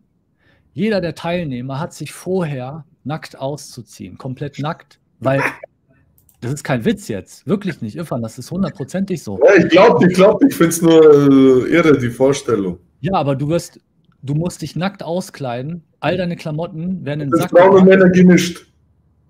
Es ist Frauen und Männer gemischt, es interessiert keinen. So, das Ding ist, alle ziehen sich nackt aus und dann ziehen sie dann darüber ihre magischen und okkulten Roben an. Ja? Es gibt halt so eine Kleidung, so magische Roben. Ich meine, es gibt es im Islam auch, die haben doch auch ihre Klamotten, ihre rituellen. Ja? Da gibt es doch auch diese Dinger. Ja. So, ich weiß nicht, wie die da heißen. Aber das ja. ist, es ist halt insofern ja, du wirst nackt ausge. Das heißt, du kannst schon mal gar keine Kameras oder irgendeine Scheiße da haben. Du wirst halt komplett durchgescannt, bevor da irgendwas ist. Das heißt also, die müssen, also das ist einfach nicht, vergiss es. Und dann ist es ja auch so, dass du nicht sofort an so einem Treffen teilnehmen kannst. Du musst ja, bevor du bestimmte Treffen an Treffen teilnehmen kannst, musst du ja bereits deine Loyalität bewiesen haben. Und jetzt kommt der Knaller. Du und genauso wie alle anderen auch, sind immer dazu verpflichtet, ihre Brüder und Schwestern zu beobachten. Das heißt, wenn du herausfinden würdest, wenn du heraus genau kontrollieren und du hast auch in diesen Organisationen hast du Hacker, du hast Leute, die, die, äh, was weiß ich, die, die haben ihre Möglichkeiten. Das sind ja keine Idioten, die sind super organisiert. Das heißt, die können nicht den ganzen Tag letztendlich abhören, wenn die das wollten. Mit ihr, mit, wenn das Geheimdienste können, können die das auch, weil die genau diese Technologien auch nutzen. Satanisten sind so, dass sie sagen, wir benutzen das, was funktioniert. Und wir versuchen uns die Technologie zu organisieren, an die wir drankommen. Egal wie und egal wo, egal wann, wir benutzen das. Das heißt, wenn die an Atomwaffen kommen würden, würden die auch die Atomwaffen benutzen. Das ist das Ding. Und finanziell sind sie auch stark. Gibt es da so eine Zentrale, so wie so eine Art Kasse oder was, wie die sich so finanzieren oder, oder wie kann man sich das vorstellen? Ja, das ist so der Punkt.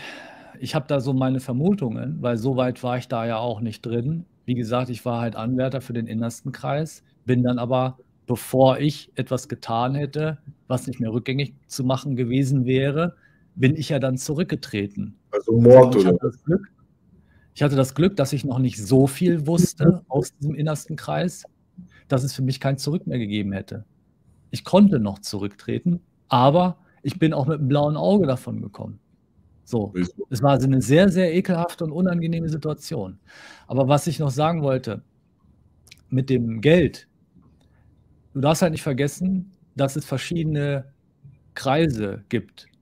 Und es gibt eben diese äußeren Kreise, wo dann zum Beispiel eben auch Geschäfte gemacht wird mit anderen Kriminellen, ob das nun Rockerclubs sind, ob das nun äh, Familienclans sind. Das heißt, Satanisten machen Geschäfte mit anderen Kriminellen. Ja, aber da würden sie doch dann auftauchen in Ermittlungsverfahren, wenn sie da so äh, eng verbunden sind. Naja, die outen sich ja nach außen nicht unbedingt als Satanisten. Ja, das ist ja der nächste Punkt. Zum Beispiel, ich habe heute gelesen einen Artikel, äh, irgendwo im Osten, so eine deutsche Familie, Vater Ralf, Ralle mit Sohn, was weiß ich, Jens, was weiß ich was, Familie bekannt, ähm, haben Crystal in großen Mengen verkauft, hatten sieben Lamborghini drumstehen und so weiter. Ja. Du meinst quasi, okay, man weiß jetzt nicht, das sind jetzt, ich sage jetzt nicht, das waren Satanisten, aber eine normale deutsche Familie, aber du meinst, das könnte auch so sein, dass selbst wenn sie jetzt in irgendein Verfahren kommen und man das jetzt nicht mehr verheimlichen kann, dass es halt dann nur heißt, ja, äh, Jens B. Punkt hat so und so viel gemacht und nicht die Organisation. Richtig, dahin. genau. Weil der Punkt ist ja auch, dass du in der Regel niemandem erzählst, dass du in diesem Orden drin bist. Ja, das ist so die Regel. Natürlich gibt es auch Leute, die machen das, die erzählen das die sagen dann auch, das, ist, das machen vor allem auch viele Leute, die jetzt im äußeren Orden drin sind. Ne? Die sagen, boah, ich bin jetzt Mitglied geworden, dem und dem Orden und bla bla bla. Aber sobald sie in diese inneren Kreise kommen, da gibt es auch gar keine Namen mehr, die du für einen Orden benutzt nach außen. Du sagst niemanden, letztendlich ist es egal, weil die Namen haben auch alle nur irgendwelche mystischen Titel. Aber trotzdem erzählst du niemanden, wie die heißen. Und das Ding ist, darauf, darum geht es auch dann gar nicht mehr. In diesen inneren Kreisen geht es überhaupt nicht mehr darum, wie der Orden heißt und was und wie. Es geht nur noch darum, dass du quasi die Ziele des Ordens voranbringst durch das nach außen tragen einer gewissen Agenda, durch das Manipulieren bestimmter Gruppen und Strukturen und vor allen Dingen das Instrumentalisieren von Gruppen. Das sind so die wichtigen Teile, Anteile und das Geld, was die machen, das machen die genau wie alle anderen Kriminellen auch. Drogen, Waffen, Nutten, also alles, was du dir vorstellen kannst. So. Ähm, wie ist es vom Ton? Bin ich manche sagen, ich bin zu laut? Ich weiß nicht, irgendwie in letzter Zeit übersteuert das Mikrofon. Ist es besser, wenn ich jetzt so? Ist es besser, wenn ich so nah bin oder soll ich das also weiter? Ich höre dich super. Ich höre dich auch super, aber manche schreiben und ich habe es nachher auch gemerkt im Livestream, dass es manchmal ein bisschen übersteuert. Bei dir oder bei mir? Ja, nee, bei mir. Bei dir ist es, bei dir ist alles okay. Ich, okay. Ja, ich lasse es mal, ich glaube, so nah ist besser, glaube ich. Schreibt mir mal, wie der Ton ist. Machen wir ein paar Fragen. Ähm, Herbert Buchwald, vielen Dank. Hallo Irfan, es gibt in der Reihe Erfahrungen das Buch Lukas, wo ein Aussteiger schon vor längerer Zeit über seine Erfahrungen berichtet. Er berichtet auch von Menschenopfern, besonders in, den, besonders in den USA. Frag bitte deinen Gast, was er davon hält. Kennst du das? Ja, ich kenne das Buch. Ich habe das tatsächlich gelesen, als ich 15 war. Und nachdem ich das Buch dann auch mehrfach gelesen hatte, war mein Wunsch, genau so einen satanischen Orden zu finden. Das klingt natürlich ein bisschen krass. Das denken viele nicht. Ich habe auch als Islamist immer alle diese Berichte gelesen über Attentäter und 9-11 und Mohammed Atta und die, die, und die ganzen Dokus angeschaut und die Leute denken so, boah, das schreckt ab und so weiter und du schaust es fasziniert und denkst, ja, noch ein Buch, noch eine Doku. Genau, deswegen habe ich ja auch alle äh, satanistischen Mörder und Leute, die irgendwen umgebracht haben, habe ich dann auch immer total interessiert verfolgt und habe mir die Geschichte. Der eine ist, der eine ist äh, da habe ich mal eine Doku-Reihe geschaut. Boah, das hat mich auch geschockt, der Typ. Äh, äh, wie heißt der? Ramirez. Ramirez. Ja, ja. Richard, Richard Ramirez irgendwie sowas. Richard ne? Ramirez, der war doch ein Satanist und ein Serienkiller, gell? Der, genau. der, war, der Typ war heftig, Mann. Ja, genau. Ich habe mir viele solche Dokus angeschaut, aber der, der sticht hervor. Also der ist ab, Es gab tatsächlich auch bei uns, in unserem, also in dem Orden, wo ich war, gab es auch einen sehr bekannten Serienkiller, der dann auch im Knast war. Ja, es gab, ja, ja, also das ist halt auch so ein Ding, wo ich das dann selber erfahren habe, dachte ich mir so, krass, der war bei uns dabei, der, das war so ein Kannibale aus Paris. Mhm. Interessant. Ja, und das ist halt dann schon krass, ne, wenn du das dann so mitkriegst. Aber ja, welche, so. welche Rolle spielen eigentlich hier so Pädophilie, äh, Entführungen von Mädchen und so weiter. Ich habe ja das Buch äh, äh, über Natascha Kampusch gelesen. Das fand ich sehr interessant, den Fall Natascha Kampusch, weil man merkt, dass die offizielle Version vorne und hinten nicht stimmt. Absoluter Schwachsinn. Und dann habe ich auch gesehen, Tillmann hat auch ein gutes Video gemacht, ich glaube voll lang, fast zwei Stunden oder sowas, wo er nur über den Fall redet. Und ähm, da stoßt man ja auch auf solche gewisse Netzwerke, die einflussreich sind. Äh, der Chefvermittler stirbt plötzlich, Selbstmord mit links, obwohl er Rechtshänder war. Äh, sein Bruder packt aus und sagt, er war nicht mal selbstmordgefährdet, gar nichts. Also die üblichen Muster, du hast ja auch Epstein angesprochen, so lauter, so ganz, ganz komische Zufälle. Welche Verbindungen gibt es da zwischen diesen ich sag mal, Entführungen ja. von Kindern oder Fall Dutroux kennen ja auch viele. Diesen Bericht auch von den Öffentlich-Rechtlichen, wo, lass mich nicht lügen, 17 äh, Zeugen plötzlich irgendwie um ganz komisch durchs Leben, äh, ums Leben kommen. Der eine Autounfall, der eine Herzinfarkt, der andere äh, bringt sich um, wo du sagst so, die Wahrscheinlichkeit, dass 17 oder ich weiß nicht wie viele oder vielleicht sogar noch mehr Zeugen plötzlich in diesem kurzen Zeitraum. Ums Leben kommen ist ausgeschlossen. Das heißt, da muss irgendwas. Schau, ich sehe das nicht so. Ich bin ja kein so, äh, äh ich meine, was heißt Verschwörungstheoretiker? Auch Verschwörungstheoretiker, kein Verschwörungstheoretiker sagt, dass er Verschwörungstheoretiker ist. Aber ich sag mal so, ich bin bei vielen solchen Thesen skeptisch. Ja? Ich, ich sehe das so, dass es verschiedene einflussreiche Zirkel gibt. Ja, äh, das ist vollkommen normal. So.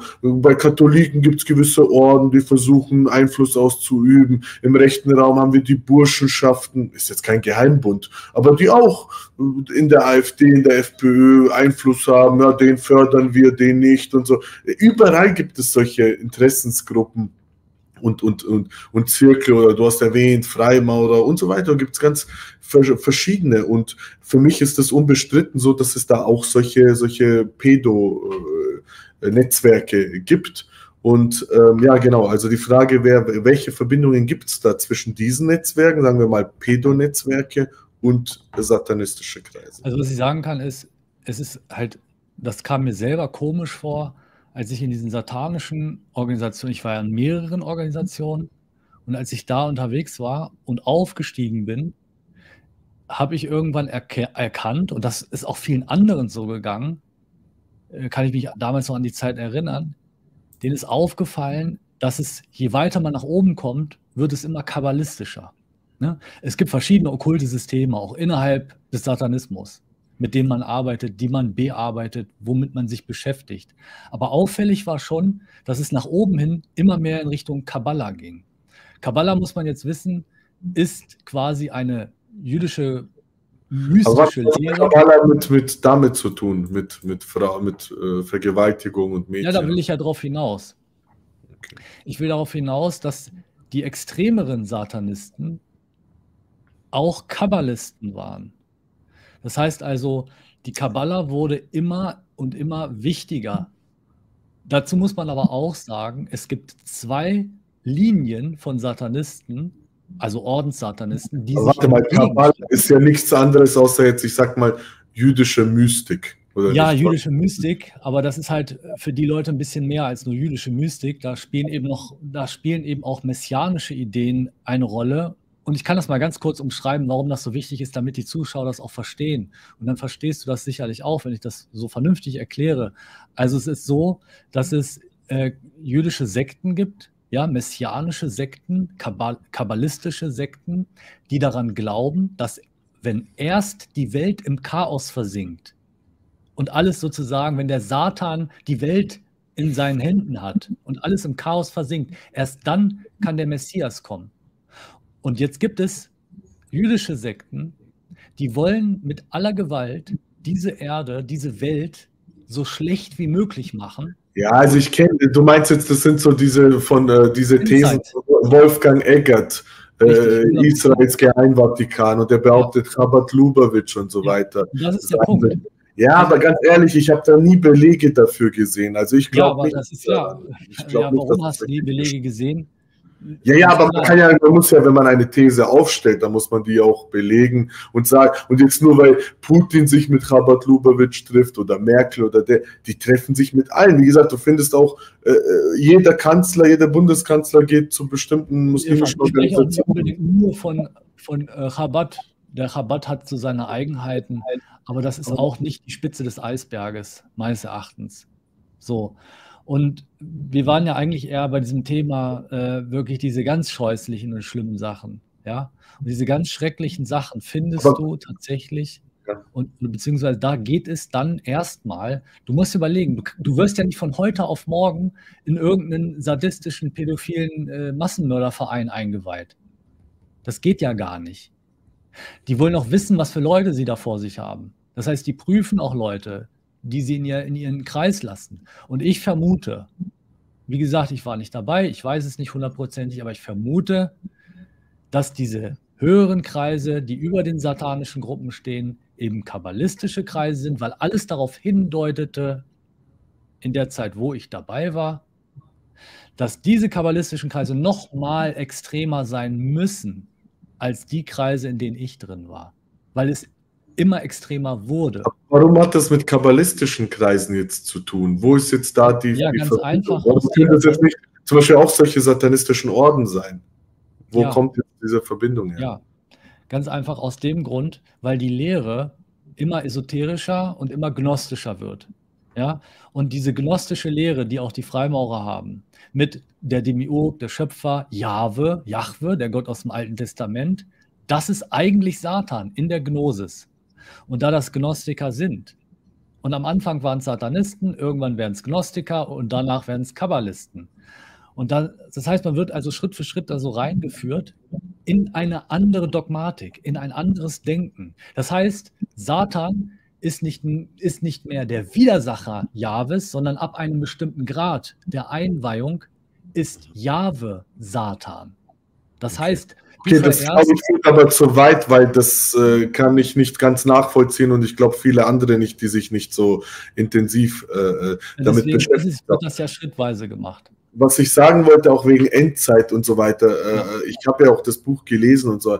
Schau, äh, solche Endzeitmythen, das, das gibt es in jeder Religion, auch, auch im Islam, zum Beispiel der IS war ganz stark davon beeinflusst, dass sie zum Beispiel Gebiete, äh, zum Beispiel deren Magazin hieß Dabik.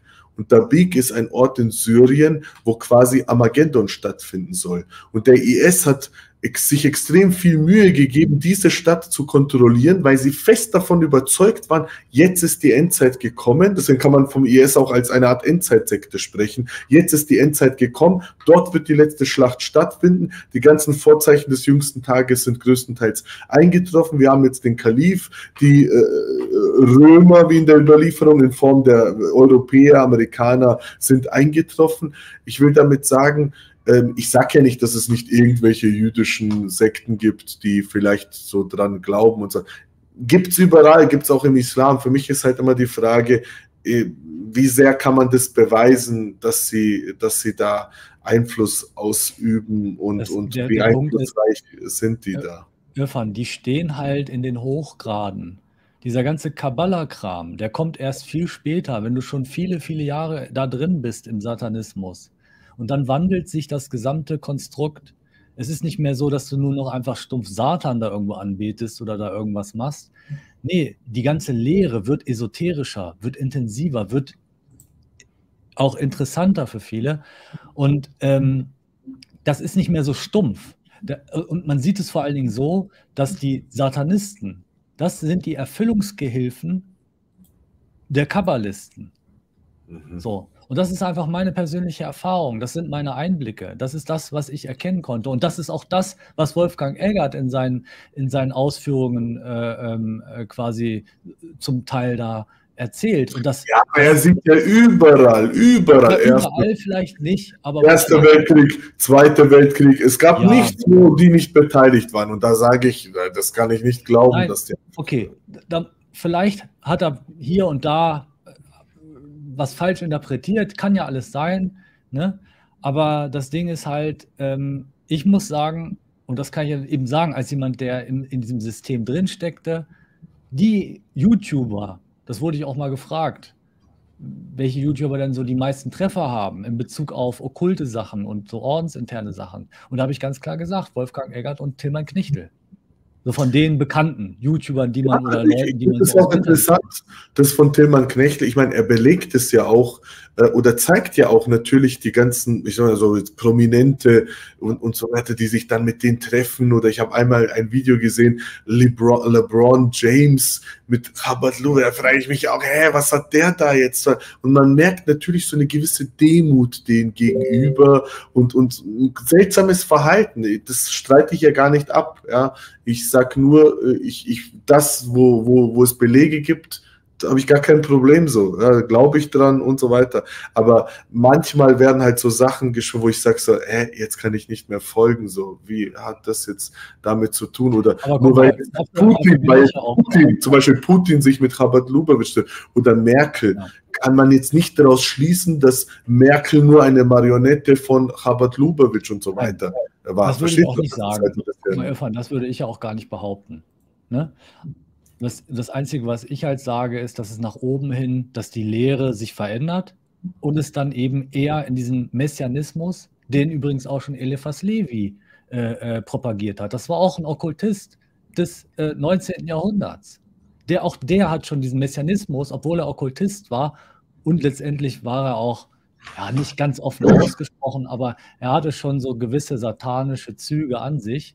Und es gab auch viele andere des 19. Jahrhunderts, Okkultisten, die sich diesem Messia, dieser messianischen Idee angebiedert haben und die auch Kabbalisten waren. Die ersten richtigen äh, äh, Teufelsanbeter, von denen man auch wusste, dass sie oh, Kinder opfern und all diese Sachen machen, ja, das waren ja diese, das war der Hellsfire Club.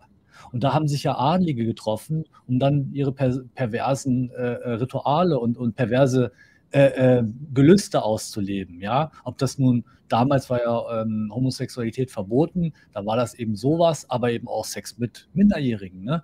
Und das konnten die halt in, innerhalb dieser, dieser Zirkel, da konnten die das eben ausüben, weil sie eine eingeschworene Gemeinschaft waren, weil viele aus dem Adel da waren, die sich gegenseitig gedeckt haben. Und das hat sich natürlich weiterentwickelt, diese Gruppen. Und die gab es im 19. Jahrhundert. Da gab es die schwarzen Rosenkreuzer von Paris, wo Stanislas de Guaita, bekennender Teufelsanbeter, und auch Papot, die sich dort getroffen haben, um dort schwarze Messen zu praktizieren. Das ist alles dokumentiert. Das ist nicht irgendwas, was ich aus der Nase ziehe. Und die Nachkommen davon, die sind dann in den Orden aufgegangen, die es heute gibt, okay. zum Teil. Ja, das ist äh, das sind, ziemlich. Das waren alles Kabbalisten der damaligen Zeit. Ja, also das wird jetzt dann ziemlich komplex und das erfordert ja. dann, denke ich, auch einiges äh, an Vorkenntnissen, um das jetzt auch alles so ja, nachvollziehen. Ja, ich gehe mal auf ein paar Fragen ein, weil sich da schon die Fragen ziemlich äh, sammeln hier. Äh, Leo, gelobt sei Jesus Christus, danke für eure Arbeit. Die erste Kundgebung war super, mir haben auch die Parolen gefallen. Abschieben. Frage an Alex, hast du die Schriften von Irenäus von Lyon gegen die Gnostiker gelesen? Ich kenne Teile davon. Und bei Irenäus geht es ja auch um die sogenannten Luziferianer. Ja, da schreibt er ja auch so ein bisschen darüber und so. Ja, also zum Teil kenne ich die Schriften, aber ich habe mir tatsächlich nicht jede Kirchenväter-Schrift reingezogen, wo es um irgendwelche Anklagen ging, weil auch da ist halt schwierig zu sagen, was sind jetzt authentische Anklagen gewesen, was ist wirklich passiert und was war nur Politik durch die Inquisition. Ja, genau, genau. Das und deswegen ist schwierig zu unterscheiden. Schwierig auch bei den Templern und so weiter. Das ist schwierig. Genau. Hier war eine Frage, war Karl Marx Satanist? Äh, ich musste, ich erinnere mich da an ein Buch, äh, ich glaube, das war ja von einem katholischen Theologen, der, äh, wie heißt der, Wurmbrand? Ich glaube Wurmbrand, der, der die ähm, ja, Gedichte, die Karl Marx als, als jünger, junger Mann geschrieben hat und die schon, die man so verstehen kann. Also, weiß nicht, was, wie siehst du das? Ja, auf jeden Fall. Also bei Marx sieht man auf jeden Fall eine, eine Ablehnung der ja, westlichen oder christlichen äh, äh, Moral oder eben ja dieser Ideen, wobei man aber auch sagen muss, dass auch Marx wiederum, der letztendlich auch den Kommunismus mitgeprägt hat, der Kommunismus eigentlich viel älter, ja, der geht ja. eigentlich auf, ja. auf die Jesuiten zurück aber das ist nochmal ein anderes Thema. Das wäre eine andere Sendung vielleicht mhm. mal. Aber auf jeden Fall ähm, ist auch der Urkommunismus identisch mit eben diesem Messianismus wieder. Dieser, also dieser, man kann schon sagen, dieser kabbalistische Messianismus. Da gibt es so viele Spuren darauf. Ich denke, ich muss definitiv noch mal eine Sendung machen. Wahrscheinlich mache ich das mit dem Janusz, mit dem ich schon öfter solche Korrespondenzen ja, hatte. Ähm, dass wir darüber noch mal ganz, ganz detailliert sprechen, weil ich glaube, dass echt großes, großer Bedarf an, an Wissen, der, was einfach fehlt bei den meisten. Dann Trust No Mail, vielen Dank. Wieso hassen Dämonen und Satanisten das Rosenkranzgebet? Ja. Das ist erstmal ein Angebot der katholischen Kirche, dass das so ist. Ja, ja eben, das sage ich ja. Das, muss, das, das ist ein Glaubensangebot. Ob das so ist, das muss jeder für sich selber entscheiden. Also du wenn, kannst wenn es dir das, wenn, du, wenn, wenn dir das Rosenkranzgebet was gibt und du sagst, ich fühle mich da super mit und äh, das gibt mir Kraft und ich habe das Gefühl, dadurch kann ich alle Dämonen äh, abwehren, dann mach das. Und dann behalte diesen Glauben auch, weil das ist ja was Positives. Ja, ganz klar. Homosexuelle Imam, danke. Frage an Alexander. Ich bin christlich erzogen, aber höre zu über 90% Deathcore. Death Metal und Black Metal, weil mir die Musik einfach am besten gefällt. Wie viel Einfluss hat die 666-Szene in die Musik? Denkst du, die ganzen Künstler glauben dran? Ja, finde ich interessant. Äh, die, ja. die, die, also es gibt, es gibt natürlich verschiedene, beim Death Metal, okay, das ist eine andere Thematik. Äh, da geht es auch manchmal um Satanismus, aber meines Erachtens geht es da mehr so um Frauen vergewaltigen und zerstückeln und irgendwelche anderen perversen Sachen. Ich, das passt jetzt auch nicht unbedingt zum Christentum, würde ich sagen. Es sind halt mehr so perverse, kranke Fantasien, die dort Musiker dann in ihren, in ihren Stücken da äh, ja, verarbeiten. Aber im Black Metal ist es schon so. Black Metal ist im Grunde genommen von, von seinen Ursprüngen her satanisch. Und es ging auch immer darum, satanisch, satanische Messages oder eben satanisch, satanische Ideen und Ideale durch die Musik zu transportieren. Ja. Das heißt ich habe also, hab auch immer so eine Abneigung dagegen. Ich habe immer so eine Abneigung so Das war mir immer so zu düster in der Hinsicht so. Ja, ich habe auch selber viel Black Metal gehört. Ich höre tatsächlich auch heute noch Black Metal, aber ich höre eher so den heidnischen Black Metal oder klar, ich höre auch manchmal heute noch die Lieder von früher, aber das nicht mehr so aus, ide aus ideologischen Gründen, sondern einfach nur, weil mich, weil der Sound irgendwie ganz geil ist oder weil ich Bock drauf habe, aber auch nicht, ich höre jetzt auch nicht von morgens bis abends irgendeinen äh, Black Metal-Kram oder sowas. Aber ähm, es ist schon so, dass es viele Bands gibt, zum Beispiel Watain, die das sehr ernst nehmen, die den Satanismus auch sehr ernst nehmen und auch Beschwörungen in ihre Lieder mit einbauen. Das heißt, du hast dann ein Refrain und dann singt er da plötzlich eine Beschwörung. Das heißt also für Menschen, die daran glauben und die sich auch in dieses Kraftfeld des Glaubens begeben, kann das durchaus, sag ich mal, beeinflussend sein. Und dann musst du das selber entscheiden. Wenn du als Christ damit klarkommst, dass du da irgendwelche Platten hörst, wo die ganze Zeit satanische Beschwörungen abgefeiert werden. Dann mach das. Wenn ja, rate ich rate ganz klar von ab. Hm? Rate ich ganz klar von ab. Es ja, hat ja das, das muss jeder für sich selber entscheiden am Ende, finde ja, ich. Klar. Aber äh, klar, das muss man halt überlegen. Aber wenn ich Christ wäre, dann würde ich wahrscheinlich so eine Musik nicht hören. Dann Jürgen Losensky, ähnliche Frage. Was für Verbindungen gibt es zur Black Metal-Szene? Diese Satansmorde, Misanthropic Luciferin Order. Dachte ja, immer, ja. das sind nur rebellische, verwahrloste Jugendliche, die sich da reingesteigert haben. Nee, so ganz so ist das nicht. Definitiv nicht.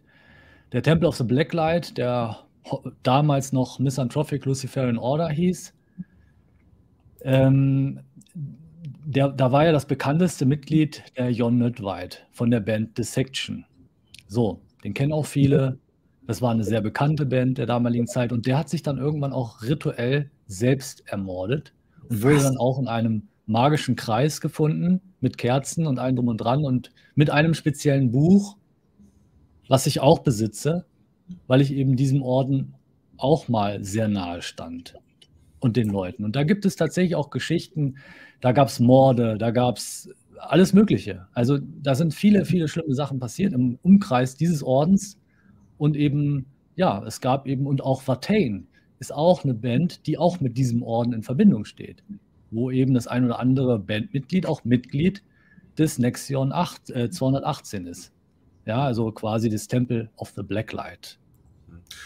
Sekundus, der erste Alter, ist das spannend. Könnt ihr bitte jetzt schon ein Teil 2 ankündigen? Ja, wir können natürlich das wieder äh, weitermachen, beziehungsweise äh, über andere interessante Aspekte. Mango, vielen Dank. Kennt Alex die Doku von Alex Jones, in der sich 2000er in die Bohemian Grove einschleicht und dort heimlich ein Ritual reichern Robben vor der Moloch-Statue filmt? Sind diese Leute dort Satanisten? Was geht da ab? Was ist diese Eule der Minerva? Also hier sprechen wir ja von einer besonderen Gruppe. Ja? Äh, Bohemian Club ist ja ein Elite-Club, wo auch viele Politiker drin waren, sind, wie auch immer. Man muss sich da einkaufen. Es ist also ein Club, der unglaublich teuer ist. Und das heißt, man muss schon bewiesen haben, dass man weltlich sehr viel Macht erlangt hat. Und wenn man dann in diesem Club auch aufgenommen wird, dann äh, darf man eben an diesem Bohemian Groove teilnehmen. Und diese Eule, die dort steht, ja, die wird oftmals eben mit der Eule der Minerva in Verbindung gebracht. Minerva war eine Göttin der Weisheit, aber auch des Kriegsgeschicks, also des, der, der Kriegsstrategien. Und es war die Eule der Minerva war auch die, das Symbol, was die Illuminaten als Hauptsymbol benutzt haben. Also wir reden hier von den bayerischen Illuminaten, in, wo auch Goethe und auch der Knigge Mitglied waren und die den Illuminatenorden unter der Führung von Adam Weishaupt auch erst so groß gemacht haben. Naja, und man munkelt eben, dass dieser Bohemian Club so eine Art Nachfolgeorganisation sein könnte der damaligen bayerischen Illuminaten. Das heißt, man hat letztendlich eine Freimaurer-ähnliche Organisation, in der man aber auch metapolitische Ziele verfolgt, um die Gesellschaft zu verändern und eine neue Ordnung zu erschaffen. So, das ist das, was ich darüber sagen kann, was ich darüber weiß und ja, genau. Interessant. Dann machen wir noch ein paar Fragen.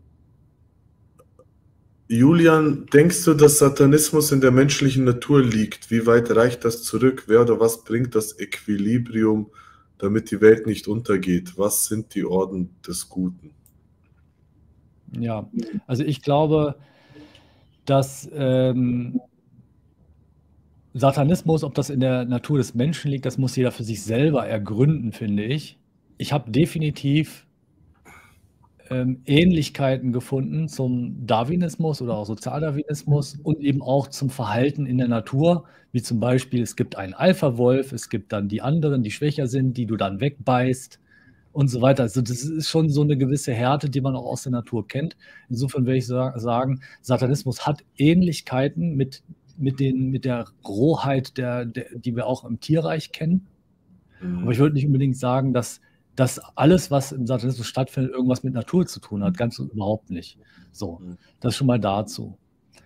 Ähm, die anderen Fragen habe ich jetzt nicht mehr im, im, im, Kopf. Ich weiß nur noch am Ende so von wegen, ähm, was sind die Orden des Guten? Das Problem ist tatsächlich, es gibt sehr, sehr viele Orden. Einige davon sind einfach nur okkulte Schwurbelorden und die anderen sind halt irgendwelche Orden, die eben Macht wollen und andere übervorteilen wollen. Und so richtig produktive, ähm, vernünftige Orden, die, sag ich mal, irgendwas Gutes in der Welt erreichen wollen, die sind mir leider noch nicht begegnet. Mhm. Ja. Antikonformist, Manu, danke. Hallo, jetzt man kann als Satanist, wenn man OTES, was? OT5? OT5 ist, und die Voraussetzungen erfüllt bei den Freimaurer in den ersten äußeren Ring einsteigen. Bei einer Freimaurerloge, das müsste der Ex-Satanist wissen. Frag ihn. Schöne Grüße aus Wien. Also ich bin kein Freimaurer gewesen. Ich kannte viele Freimaurer, weil eben es auch Doppelmitgliedschaften gab und auch immer gibt. Das heißt, man trifft immer viele Menschen aus vielen verschiedenen Orden. Aber ich kenne mich nicht aus mit der genauen Ordensstruktur der Freimaurer. Ich nehme aber an, dass die so ähnlich sind. Ich habe ja auch durch Erzählungen mitbekommen, dass bestimmte Strukturen sehr ähnlich sind. Aber genaue Sachen über die Freimaurerei, da würde ich einfach mal den Charles Fleischhauer fragen, weil der war nämlich Freimaurer und ist auch ziemlich weit äh, in den Hochgraden gewesen. Und Ja. der hat auch ein Buch geschrieben darüber. Vielleicht kontaktierst du den einfach mal. Ja, das ist ja, ey, ist jetzt nicht direkt Thema, Thema des Streams. Leo, Irenäus von Lyon hat 130 nach Christus gelebt, 1000 Jahre vor der Gründung der Inquisition. Liebe Grüße. Ja, gut, aber es gab ja vorher schon äh, Maßnahmen der, der katholischen Kirche, um andere Andersgläubige anzugreifen. Ob es nun 400 nach Christus in Alexandrien die Katabalani waren, unter Kyrill, dem, dem Bischof, die eben Ungläubige abgemetzelt haben, oder äh, also mir ist das völlig egal, ob die Inquisition waren oder wie die vorher hießen. Sowas gab es schon immer in diesem Apparat, in diesem Machtapparat. Also, ja. Trust No Mail, wieso wird die heilige Eucharistie von den Satanisten begehrt? Das hatten wir schon beantwortet am Anfang. Das hast du ja schon gesagt. Julian, ich habe keinen Bock auf Satanisten und keinen Bock auf Gutmenschen. Was nun? Ich will Freiheit. Ich kann damit umgehen. Warum muss man ständig Rücksicht auf Idioten nehmen? Dann wird man notfalls Satanist. Das ist wohl der Plan der Linksversifften. Ja, also du kannst ja auch einfach nur dein eigenes Ding machen. Ja, du kannst ja. ja trotzdem mit dir und Gott eine Beziehung eingehen und die ist so individuell, dass dir niemand da reinquatscht. Ganz einfach. Du brauchst ja, ja keine Buchreligion oder keinen Satanismus, der dir erzählt, wie du sein musst. Du kannst doch einfach dein eigenes Ding machen. So mache ich das auch. Ich habe eine Beziehung zu Gott, aber das ist meine persönlich private Beziehung, die geht niemandem was an. Du bist kein und, Christ, du bist heute kein Christ oder als was würdest du dich heute bezeichnen?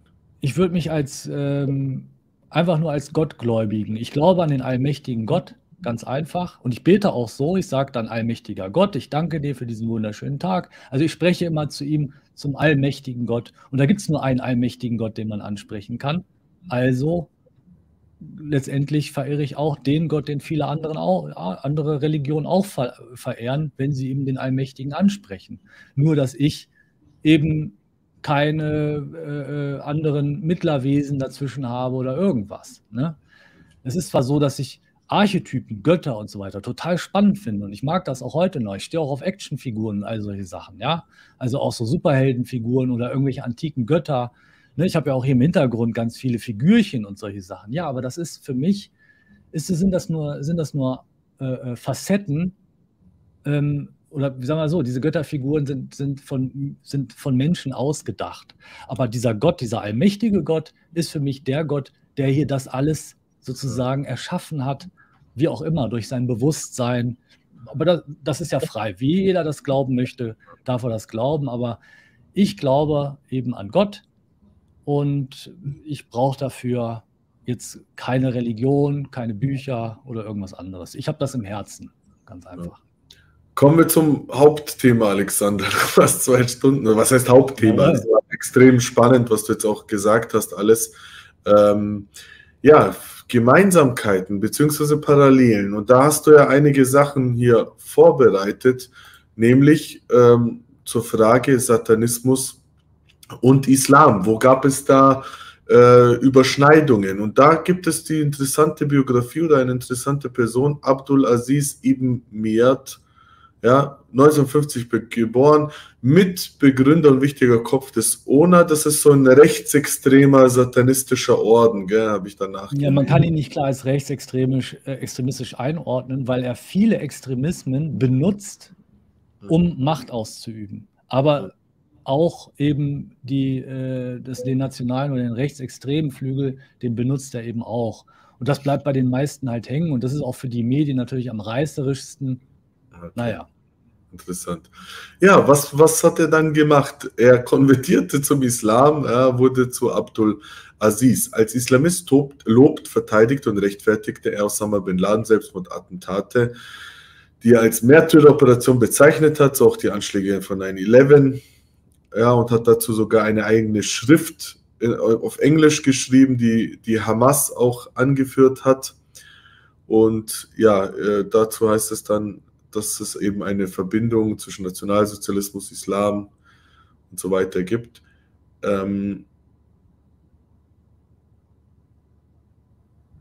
dann zeigt sich ein Bündnis mit Islamisten. Ja, also er war auf jeden Fall dafür, dass eben die Neonazi-Szene damals in England, wo er halt Teil oder aktiv war, sich verbündet mit den, mit den Islamisten. Und was interessant ist dann, dieser Orden da, dieser ONA-Orden. Order of Nine Angles, genau. Also Orden der neuen Winkel. Ja, dann habe ich geschaut und am Ende heißt es dazu, am Ende heißt es, äh, über den Orden der US-Soldat Ethan Melzer, Melzer, wird beschuldigt, bis Juni 2020 dem ONA interne Sicherheitsinformationen über seine US Army-Einheit bereitgestellt zu haben, damit diese diese an islamistische Dschihadisten zur Durchführung eines Terroranschlags auf die Einheit weitergebe. Also sie, er war ein, ein, amerikanischer Soldat, sie waren in der Türkei stationiert und er wollte dann internas weitergeben, damit es da zu einem Anschlag, Anschlag und zu, zu einem Konflikt äh, kommt. Finde ich interessant, ja, sehr, sehr interessant, sehr, sehr spannend hier. Äh, ich muss noch was erwähnen, bevor wir wirklich weitermachen. Ich hatte ja. ja. jetzt viel geredet und vieles war auch ein bisschen durcheinander geraten im Sinne von, ich war ja Mitglied in mehreren Orden. Das heißt, ich habe mal ein bisschen von dem gequatscht, ein bisschen von dem. Aber wir müssen tatsächlich unterscheiden zwischen zwei Linien. Einmal denjenigen, die diese Agenda unterstützen, die hier läuft. Also quasi, die sagen, wir wollen eine neue Weltordnung. Da gibt es, das sind 99 Prozent aller satanischen Organisationen wollen diese neue Weltordnung, von denen alle reden. Was auch immer das sein mag. Das stellen wir jetzt mal hier in den Raum, muss sich jeder selber beschäftigen. Und ein Prozent von Satanisten kämpfen gegen diese neue Weltordnung. Und das, dazu gehört eben dieser Order of Non Angels, der gegen die neue Weltordnung kämpft. Und die haben auch keine Kabbalisten in ihren Gruppen. Ja, das ist ganz wichtig, weil die bekämpfen dieses System, das kabbalistische System. Und die bekämpfen auch, genau wie der äh, äh, Islam oder der radikale Islam, politisch nennst wie du willst, auch der bekämpft ja letztendlich diese neue Weltordnung, die durch die Juden und wie auch immer, das kennt man ja. Ne? Ja, was hat das mit diesem Bild auf sich? Genau, wir sehen ja hier auf der linken Seite, ein bisschen unkenntlich gemacht, eine Schrift von Mayet, von David Mayet, wo er quasi, ja, äh, eine, eine Schrift, die Signifikanz äh, äh, der Taliban für die Musl äh, Muslime der Umma. Ja? Mhm. Das hat er geschrieben. Das ist eine, eine, eine, Leitschrift. Die kann man sich auch im Internet runterladen. Die gibt es auf der Seite vom CIA. Mhm. Da kann man die sich runterladen und dann kann man sich durchlesen. Ich habe mir das mal an, angeguckt. Es ist jetzt nicht so krass, was da steht, aber immerhin, dass der Gründer oder der Mitbegründer eines, eines sehr mächtigen, satanischen, weltumspannenden Netzwerkes gleichzeitig aber auch wiederum diese Taliban-Schriften verfasst mhm. oder verfasst hat. Das ja. ist halt schon interessant.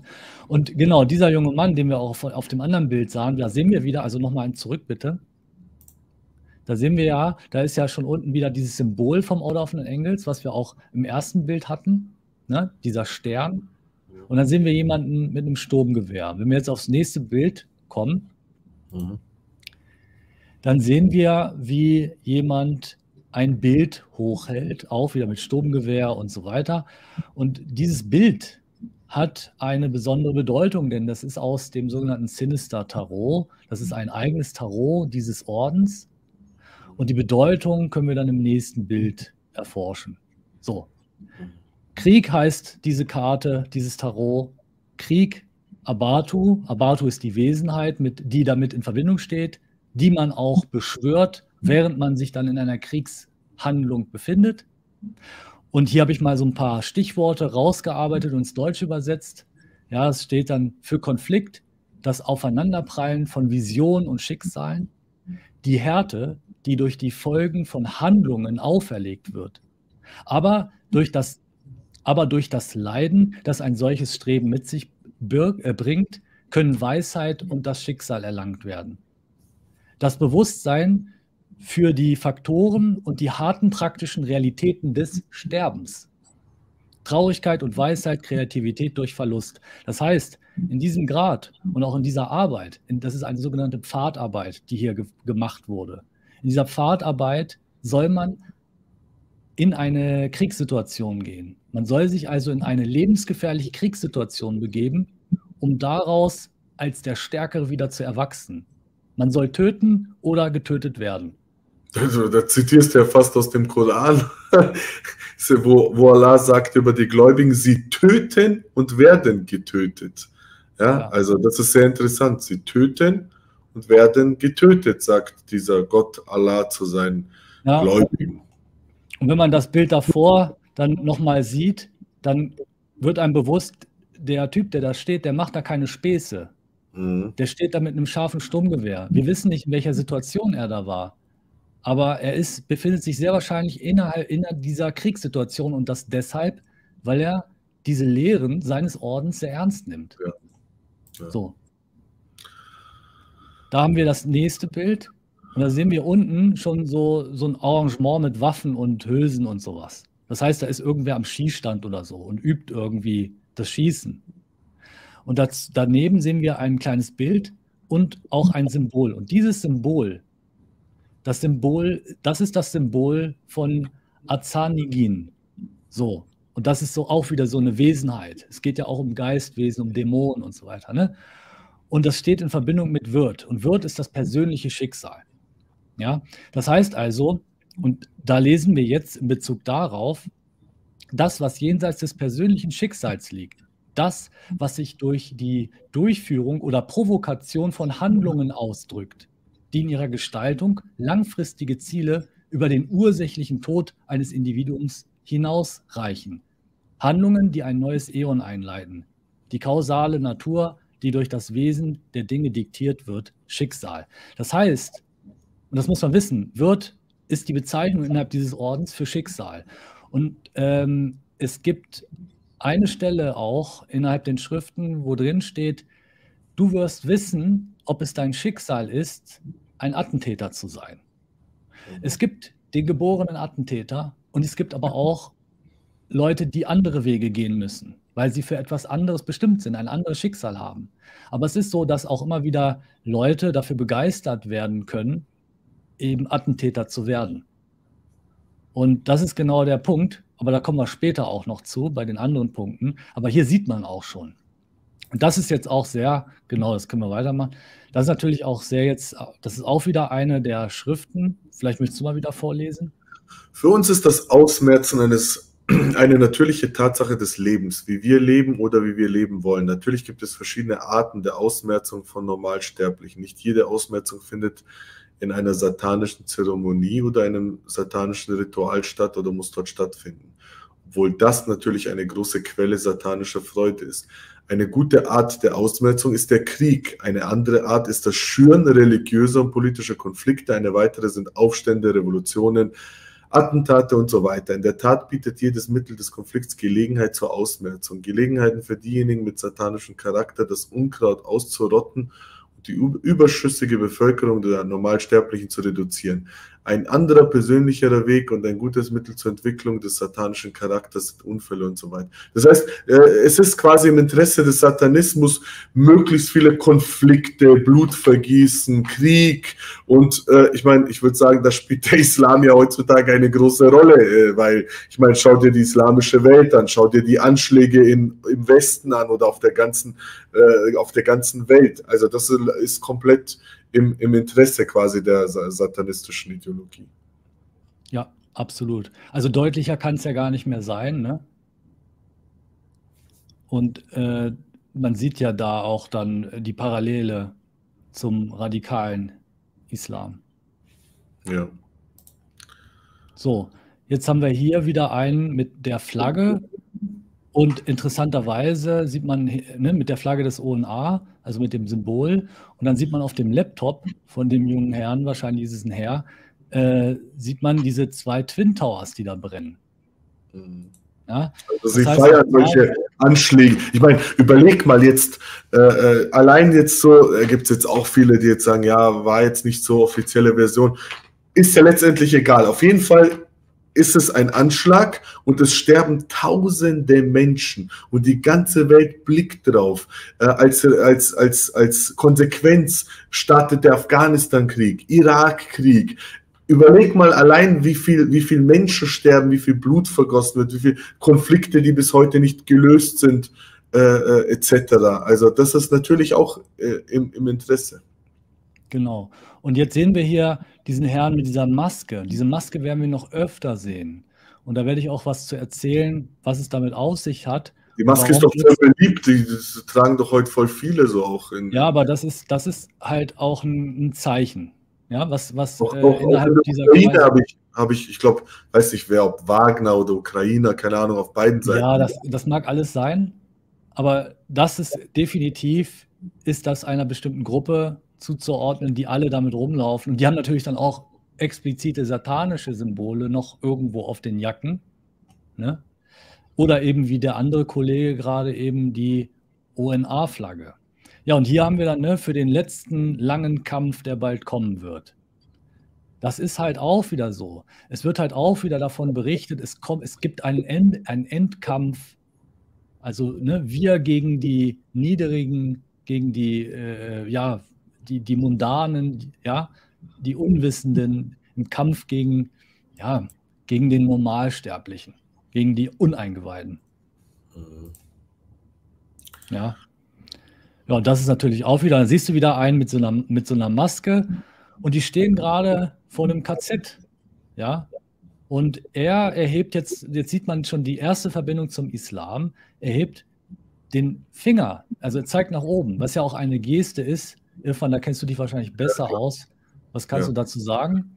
Ja, also ganz klar, das ist ja, das äh, sehen wir auf so vielen, da gab es ja auch äh, zum Beispiel Nancy Faeser mit den Verfassungsschülern, ja, die dann auch diese Geste machen. So richtig bekannt wurde die Geste ja auch äh, sehr stark durch den IS, wo die Leute sich dann gewundert haben oder gefragt haben, auch in den Mainstream-Medien, warte mal, warum machen die immer so? Und das ist auch natürlich ein, äh, das wird auch immer so versucht zu relativieren, dass man sagt, ja, das symbolisiert den einen Gott, Allah und im Gebet äh, in einer bestimmten Position hebt man auch den Zeit. Das mag ja alles sein, aber für was steht dieses Symbol Je heute? Das ist so, wie wenn du jetzt sagst, ja, ich benutze das Hakenkreuz, weil ursprünglich hatte das ja eine ganz andere Bedeutung. Ja, die Bedeutung heute ist ganz klar und äh, es ist quasi ein Erkennung, ich würde sagen, als Erkennungsmerkmal oder Erkennungsgruß unter, unter, unter radikalen Moslems.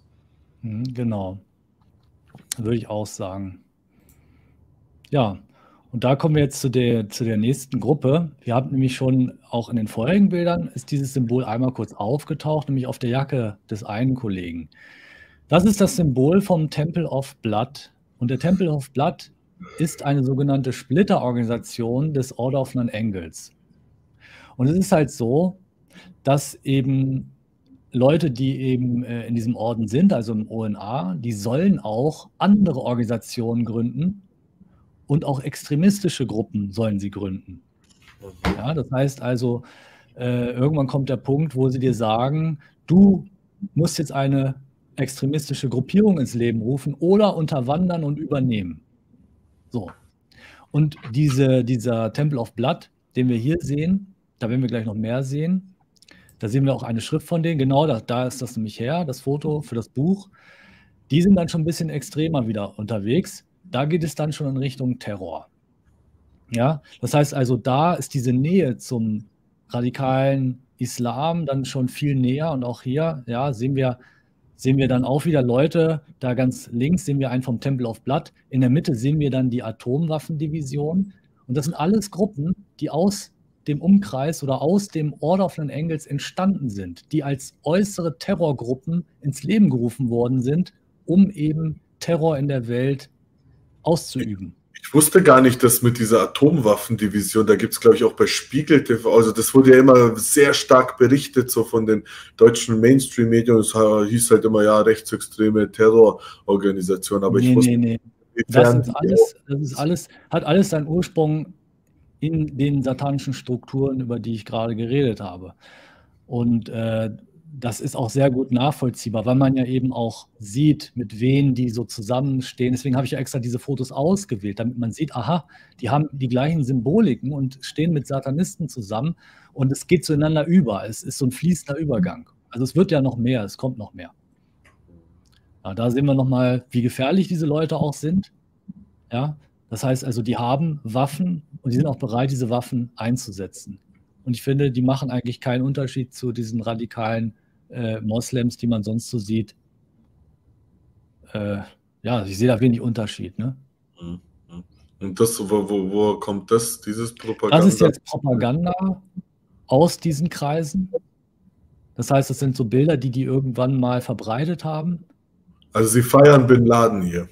Sie feiern zum Beispiel Bin Laden, aber das ist teilweise auch alles ein bisschen, äh, wird wild gemixt miteinander. Man sieht ja auch, Bin Laden hat so ein Hakenkreuz im Auge. Also es wird, viele Extremismen werden miteinander verbunden. Und das wollte ich einfach mal zeigen nur, dass das eben, wie das so aussieht. Da sieht man wieder ne, die Maske, da oben Atomwaffenvideo und dann dieser Finger. Da hast es dann noch mal noch deutlicher mit der mit IS-Flagge.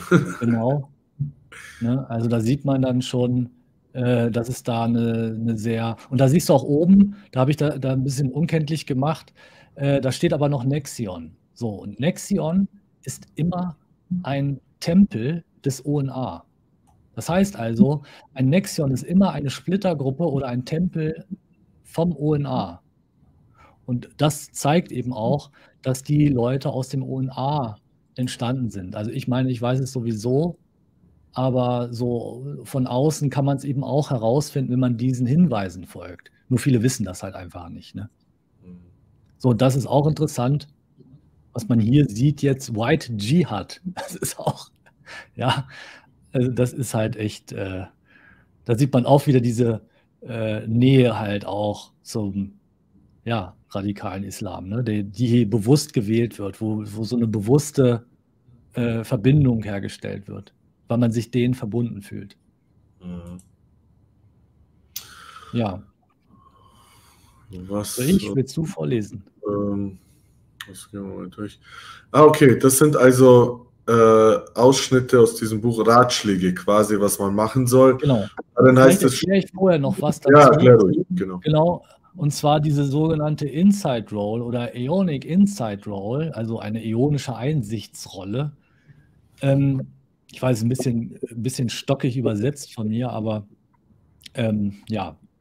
Es geht halt darum, dass du ab einem bestimmten Zeitpunkt eine Rolle annimmst, also eine Inside Role, in irgendeiner extremistischen Gruppe. Und hier sind jetzt so ein paar Vorschläge. Das ist quasi für eine Gradarbeit. Das heißt, wenn du in diesem Orden bist, musst du das tun, damit du weiterkommst. Ja, das heißt, es ist also äh, etwas, dem du dich nicht entziehen kannst, wenn du in diesem Orden aufsteigen willst. So, und das sind sozusagen die Instruktionen, das sind die internen Instruktionen, die man so bekommt. Ja, klar, solche Sachen kannst du dir auch von irgendwelchen Seiten runterziehen oder aus dem Darknet ziehen und so weiter. Aber äh, wir machen das jetzt hier mal öffentlich. Und genau, im Folgenden finden Sie einige Vorschläge für ionische Einsichtsrollen, die auf der Kenntnis der unheilvollen Dialektik und der Situation zum Zeitpunkt des, der Abfassung des Textes beruhen. Einige dieser vorgeschlagenen Inside Roles sind relativ einfach. Andere sind besonders schwierig und gefährlich und daher nur für die mutigsten und finstersten Personen geeignet. So, jetzt gibt es Nummer eins. Schließen Sie sich einer verdeckten, aufständischen politischen Organisation an oder gründen Sie eine solche, entweder der sogenannten extremen Linken oder der extremen Rechten, deren erklärtes Ziel es ist, den derzeitigen westlichen Status quo mit praktischen, revolutionären Mitteln zu untergraben. Oder zweitens, Übernehmen Sie die Rolle eines Attentäters und wählen Sie diejenigen als Ihre Opfer aus, welche die ZOC, damit sind diese zionistischen Organisationen gemeint, ne? also man geht ja, äh, da ginge man von aus, dass der Zionismus sozusagen eine geheime Regierung hat, die alle anderen Regierungen beherrscht. Ne? Also mhm. welche die ZOC, die NWO, also die New World Order und das System öffentlich unterstützen oder ihnen helfen. Oder drittens, Konvertieren Sie zum Islam. Herzlichen Glückwunsch. Und unterstützen Sie diejenigen, die den Dschihad gegen den Zionismus und die NWO führen. Durch Worte Ta oder Taten oder beides. So, dann gibt es natürlich noch andere Sachen, aber so weit wollte ich nicht gehen, weil es geht ja hier nur um den Islam und Satanismus. Aber daran sieht man schon, es ist also Teil eines Grades, einer Arbeit, eine Rolle anzunehmen. Und eben, ja, man kann eben auch dann zum Islamisten werden, zum Moslem, der dann eben in den Dschihad zieht. Ja, das ist auf jeden Fall schon mal sehr, sehr interessant. Ich frage mich halt, wie viele von denen setzen sowas um? Ja, wie viele machen das dann? Ich meine, wir haben ja wirklich, wir haben ja Tausende, die zum Islam konvertieren. Und man muss schon sagen, ohne jetzt, ohne diesen bekannten Leuten jetzt vorzuwerfen, Satanisten zu sein, aber wir haben schon auch führende Köpfe in der, in der islamistischen Szene in Deutschland, die Konvertiten sind. Ja, jeder kennt einen Pierre Vogel, ein äh, Marcel Krass, und, und, und viele, viele andere. Und was mir, als ich das gelesen habe, automatisch äh, ähm, äh, eingefallen ist, ist so ein, so ein, so ein IS-Typ, ja, so ein IS-Typ und äh, wo der Jürgen Todenhöfer da war, ich habe das Video rausgesucht, wo der Jürgen Todenhöfer da war bei ihm und das ist mir so automatisch in den Kopf gekommen, weil der Totenhöfer fragt ihn, ja, was passiert mit den Nicht-Muslimen? Und er sagt, ja, die Juden und Christen können bei uns leben. Und dann sagt der Totenhöfer, ja, aber was passiert jetzt zum Beispiel mit Schiiten oder Hindus oder Buddhisten? Ja, die bringen wir um. Und dann sagt er irgendwie, sagt er, sagt irgendwie, ja, aber das sind 150 Millionen Menschen. Sagt er, ja, dann bringen wir halt 150 Millionen. Schauen wir uns das mal an. Someday. It is not a question of us one äh, die reden auf Deutsch, ich habe es jetzt nur auf Englisch gefunden. Aber auf jeden Fall. We will. That's certain. What if the 150 million Shiites that there are in the world refuse to convert? Ja, also was, wenn die 150 Millionen Schiiten, die es gibt, äh, äh, sich verweigern, quasi zum, zu konvertieren? Will they get killed? Weigern zu konvertieren, dann heißt es, sie werden getötet. Ja. We'll kill 150 million, 200 million, 500 million ja, wir töten 150 Millionen, 200 Millionen, 500 Millionen. Uns interessiert die Nummer nicht. Uns ist die Anzahl egal, sagt der Jordan.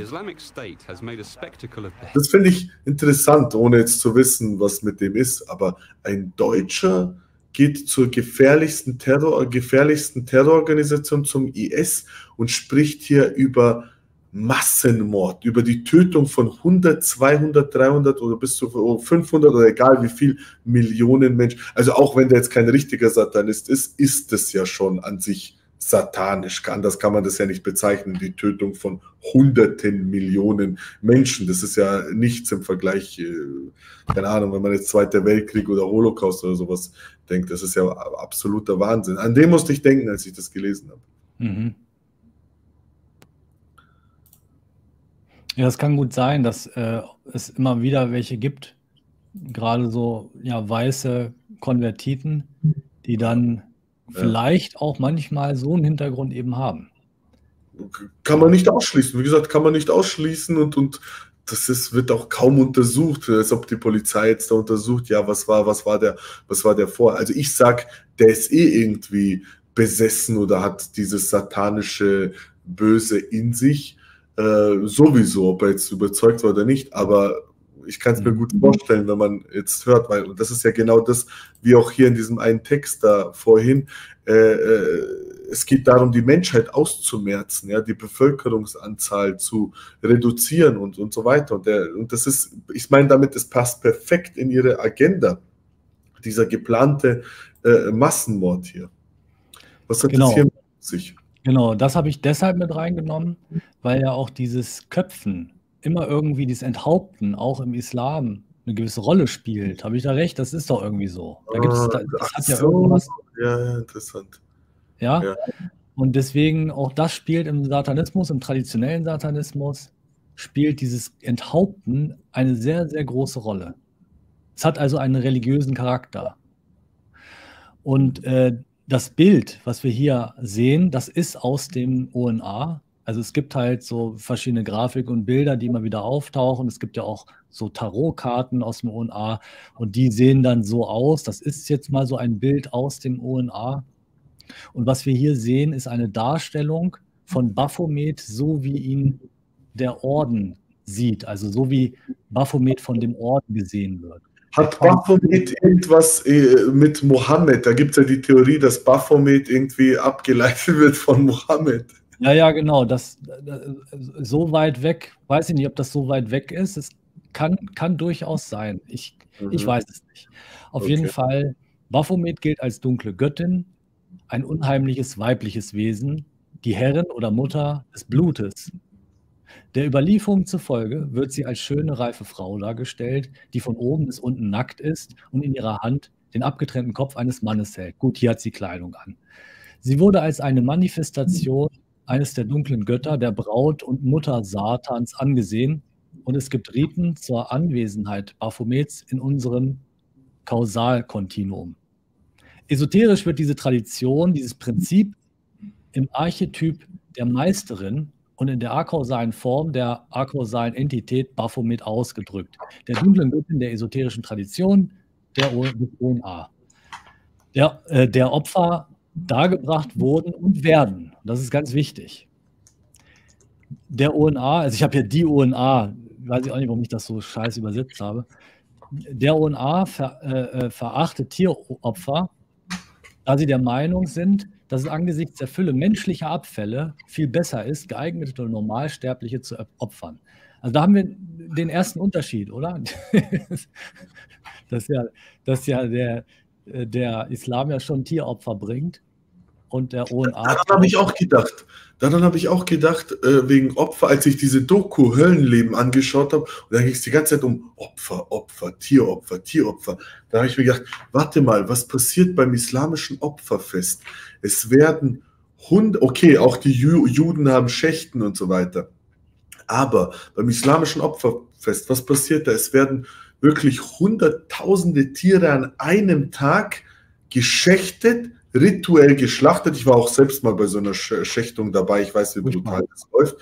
Äh, ihnen wird die Kehle durchgeschlitzt, das Blut, sie, sie werden quasi aus, die Tiere bluten dann aus, ja, und äh, es, ist, es hat was Rituelles. Ja? Es geht nicht darum, äh, die Leute brauchen Fleisch, sondern es ist ein Ritual. Und das ist für mich ein großer Unterschied. Menschen haben immer schon Fleisch gegessen und so weiter. Ich, hab, ich esse auch Fleisch. Darum geht es nicht, sondern es geht darum, die Art und Weise. Man feiert. Oh, es gibt heute was zum Feiern. Opferfest. Die ganze Familie. Man geht äh, zusammen, auch die Jungs, Kinder mit dabei. Und dann gehen sie in diese Schlachthöfe. Und dann kommt der Vater warm, schlitzt hier im Namen Allahs dem Tier die Kehle durch und es zappelt rum, verblutet und so weiter.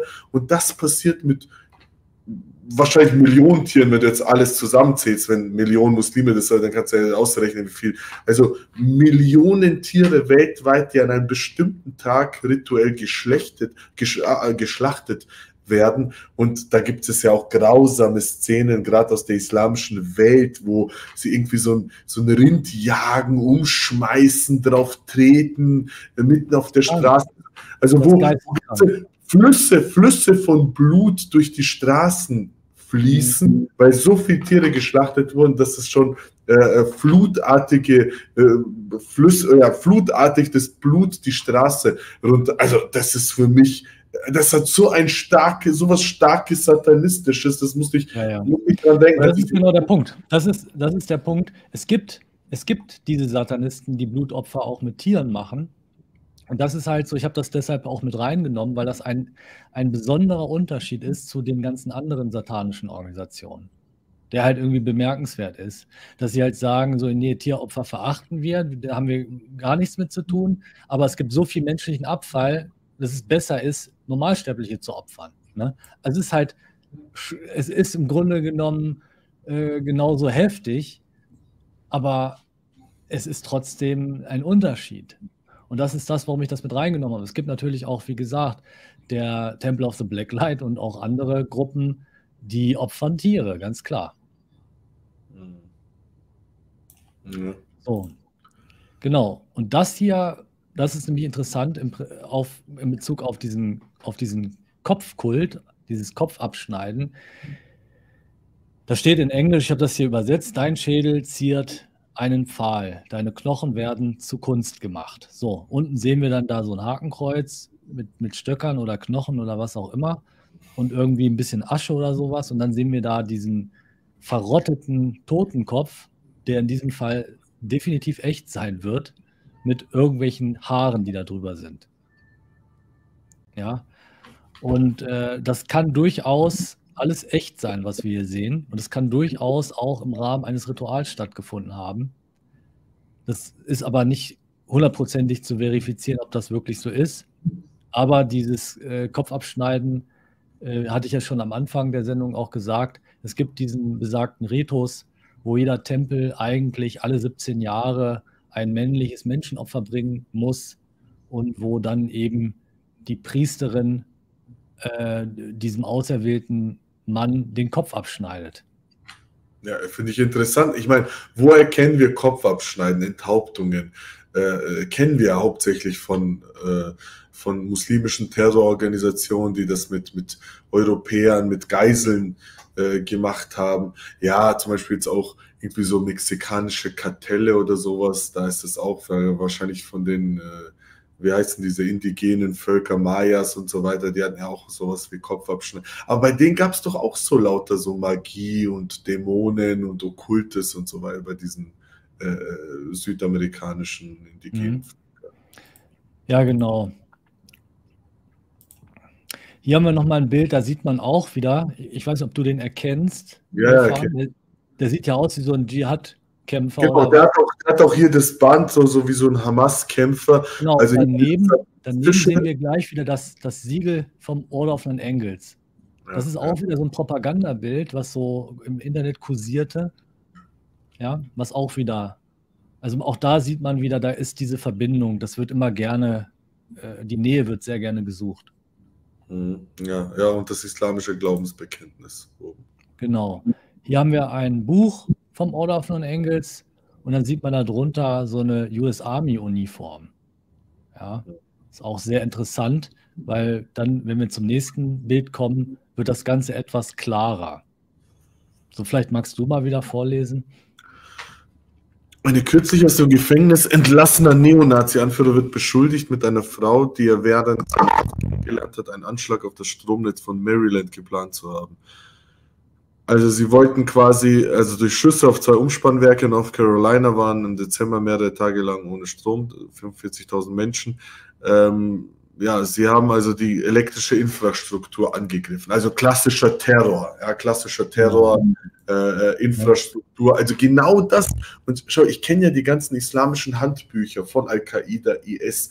Und genau das ist das Ziel. Chaos stiften, Chaos, um aus der, das, damit aus dem Chaos wieder eine neue Ordnung oder Ordnung entsteht. So heißt es sogar wörtlich. Und auch das haben wir ja auch äh, genau in, in, in äh, diese, dieses Prinzip sehen wir ja auch da, äh, dass man eben dieses Chaos, dass man Unschuldige tötet, dass man die Infrastruktur angreift, dass man einfach die Welt ins Chaos stürzt und auf diesen Trümmern soll dann eine neue islamische Weltordnung in Form des Kalifats quasi äh, entstehen. Also es ist natürlich eine andere Ideologie, aber die Mechanismen, die Art und Weise, dieses Befürworten von Chaos und Tod und Zerstörung und so weiter, sind eindeutige, eindeutige Parallelen auch. Genau, und die Satanisten oder die traditionellen Satanisten wollen eben ein satanisches Reich errichten, nachdem sie alles ins Chaos gestürzt haben. Also es ist halt auch wieder total identisch. Ne? Ja, und da ist halt die Frage, ist so ein islamisches Kalifat wo nur Juden, wo, wo, wo Juden und nur Juden und Christen, aber auch als, als Bürger zweiter Klasse leben können und alle anderen Menschen ausgerottet werden, ausgerottet. Ist das nicht ein satanisches Reich, ja, wo, wo quasi der Massenmord an hunderten Millionen von Menschen oder Milliarden von Menschen, wenn jetzt weltweit dieses Kalifat sich ausbreiten würde, kann man, das kann man ja guten Gewissens auch als ein satanisches Reich. Eine andere mit anderer Facette, eine religiöse Tarnung, oder was heißt Tarnung? Ja, der Islam ist Wirklichkeit, aber mit dieser Begründung und so weiter. Aber da kommen wir auch auf die, auf, auf den Ursprung zurück, was ich ja auch schon öfters erwähnt habe. Von wem be bekam Mohammed die Offenbarung? Und die Art und Weise, wie er sie bekam, dass er gewürgt wurde vom Engel, dass er Todesangst hatte, dass er Selbstmord begehen, begehen wollte und so weiter, sind für mich und für viele logisch denkende Menschen ja auch schon so Anzeichen, wo man sagt, ja, es kann gut sein, dass es was Übernatürliches war, aber vielleicht war es halt nicht der, der Gott oder Allah oder wie er gedacht hat, sondern es war eine, eine, eine dämonische oder sonstige äh, äh, Kraft, die ihm das äh, eingeflüstert hat. Ich meine, wenn man das liest, natürlich sieht man, es ist etwas Übermenschliches da passiert mit, mit Mohammed. Ja? Ich würde Mohammed auch nicht als so äh, klassischen Hochstapler abstimmen, weil überleg mal, Mohammed, und das ist ja ein Argument der Muslime, die sagen, uns gibt es über eine Milliarde. Wir wurden zum Weltreich. Welcher Hochstapler hat es geschafft, so eine Macht quasi anzu, anzuhäufen, beziehungsweise sowas, eine, eine ganze Religion äh, zu stiften, die heute als äh, ja, eine der drei monotheistischen Religionen gilt. Und, und deswegen würde ich Mohammed da nicht unterschätzen, einfach sagen, ja, er war ein Hochstapler, nee, das ist ja was da gehört. Aber das ist eine logische Erklärung.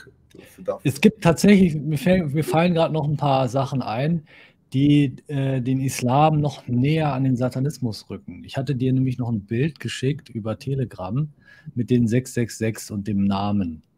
Vielleicht krieg, kannst du das ah, ja, einblenden. Ja, genau, genau, genau. Äh, weil das ist auch eigentlich sehr interessant. Das ist natürlich wieder so eine Sache, das kann man da reininterpretieren.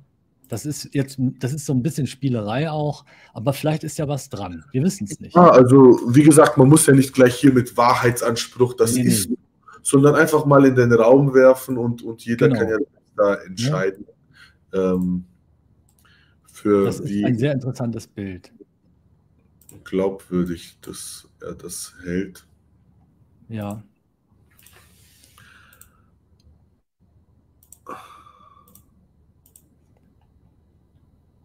So. Ich gucke so lange mal in den Chat. Ja, ich blende es jetzt ein, ich bin schon fertig. Nur man muss ah, das ja. immer in, als PDF. Ja, okay. So, jetzt.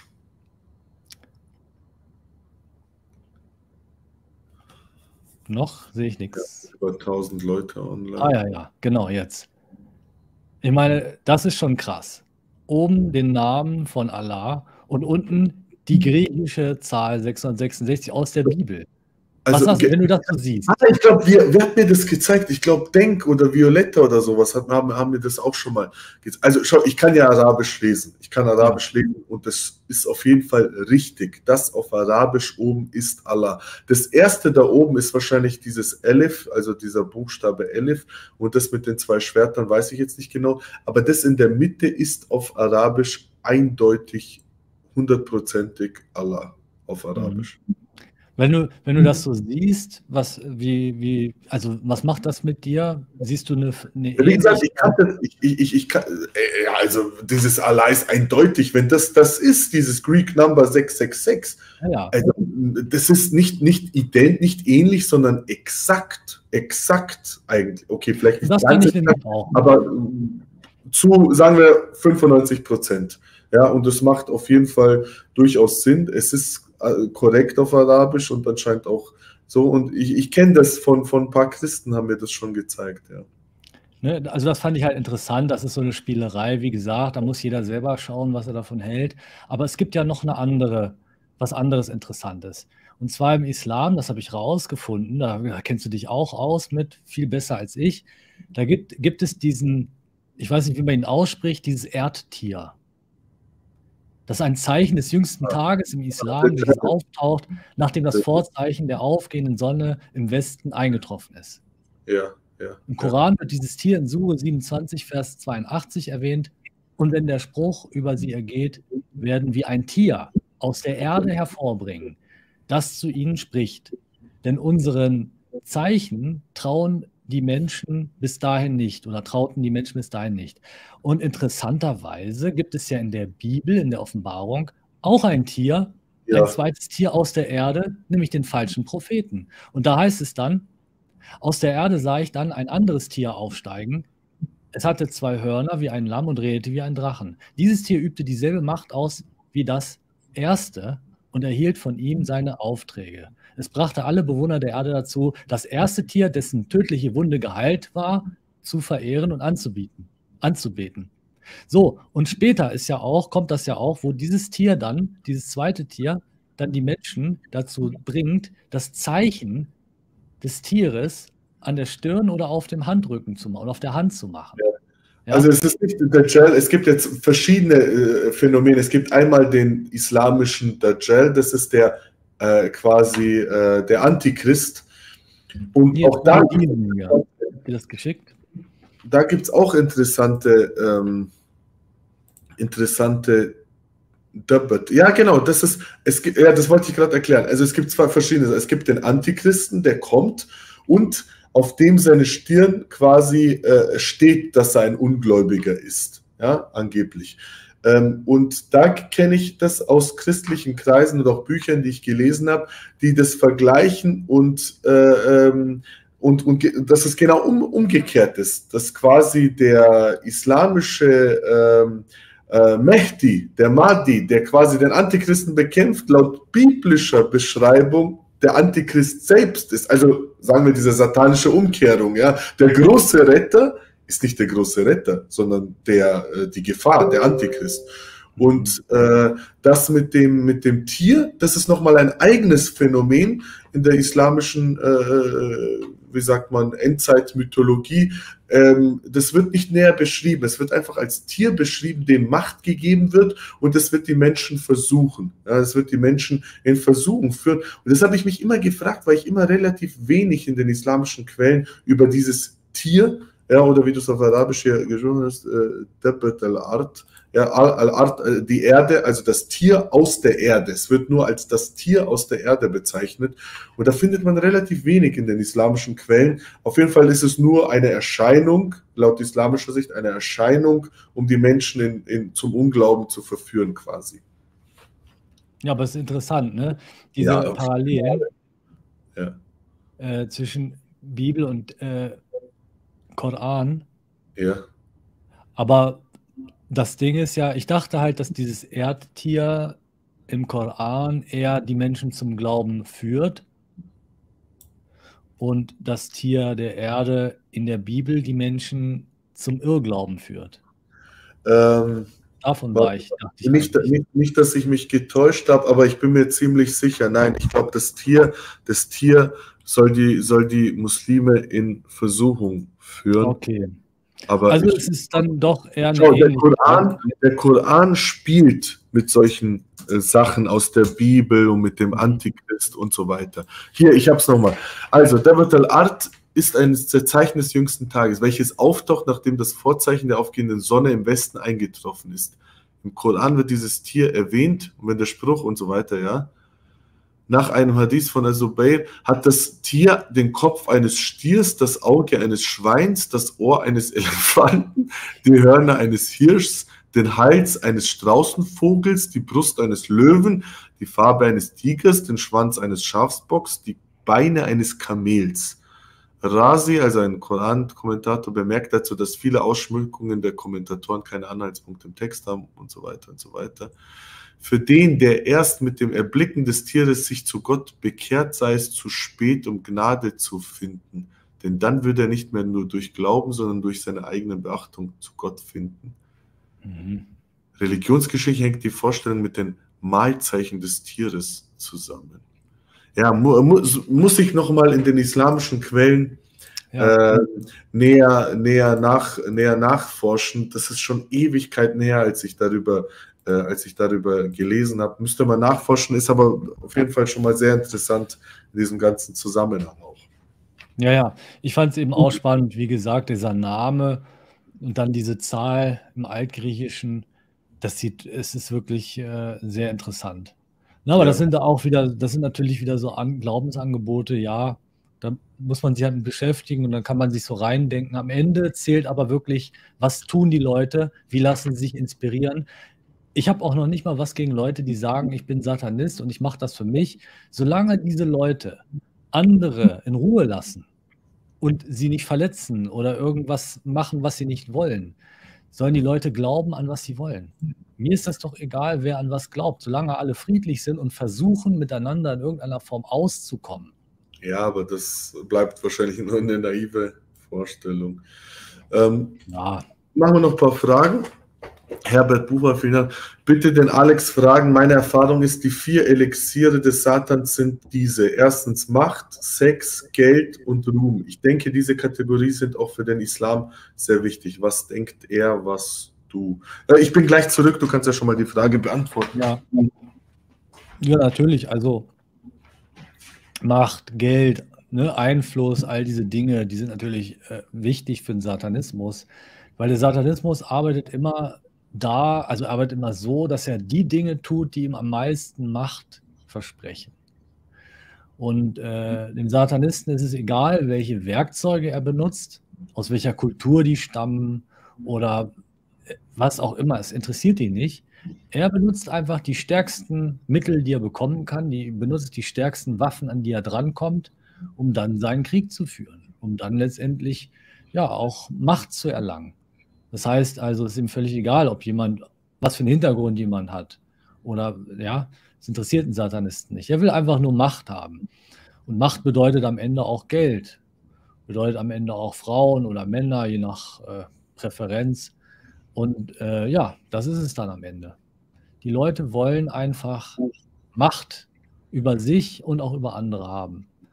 Und äh, alles andere ist dann Beiwerk. Ne? Genau. Okay. Ja. Dann nächste Frage, homosexueller Imam. Frage an Alexander. Kennst du die deutsche Band Mental Cru Cru Cruelty? Cruelty? Die Musik an sich ist top. Frage an beide. Die Band hat Merchandise mit brennenden Kirchen drauf. Dürften wir ein Pseudoband aufmachen und Merch mit brennenden Moscheen verkaufen? Nee, ich kenne die Band nicht. Aber dass jetzt brennende Kirchen irgendwo auf irgendwelchen Covern auftauchen, ist jetzt auch nichts Neues.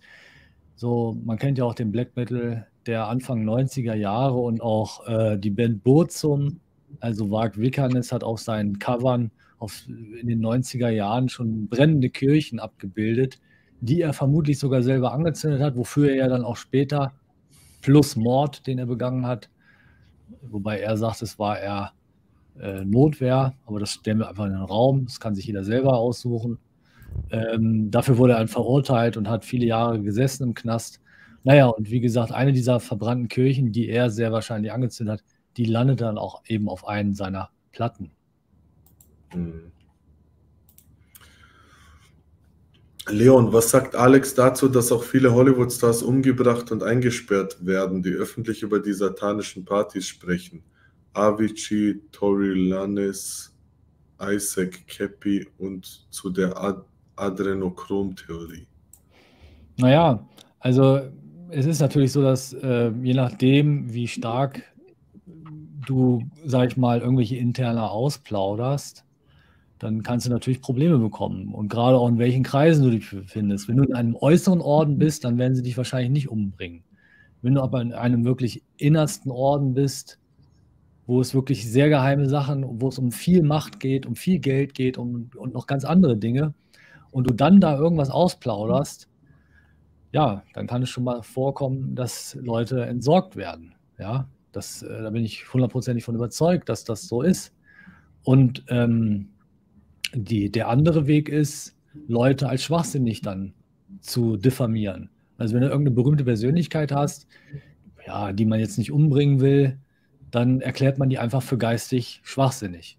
Ja, ach, so ein Verschwörungsschwurbler, was auch immer. Und dann wird er gesellschaftlich durch die Medien eben als schwachsinnig erklärt. Und damit haben sie den dann auch außer Gefecht gesetzt, weil ihm keiner mehr glaubt, außer irgendwelche Weltverschwörungstheoretiker. So einfach ist das. Jürgen Losensky nochmal, könnte der norddeutsche Pferderipper 1993 bis 2003 ein Satanist gewesen sein? Extrem verstörender Fall, nie aufgeklärt. Danke für die Arbeit. Habe ich gehört von dem Fall.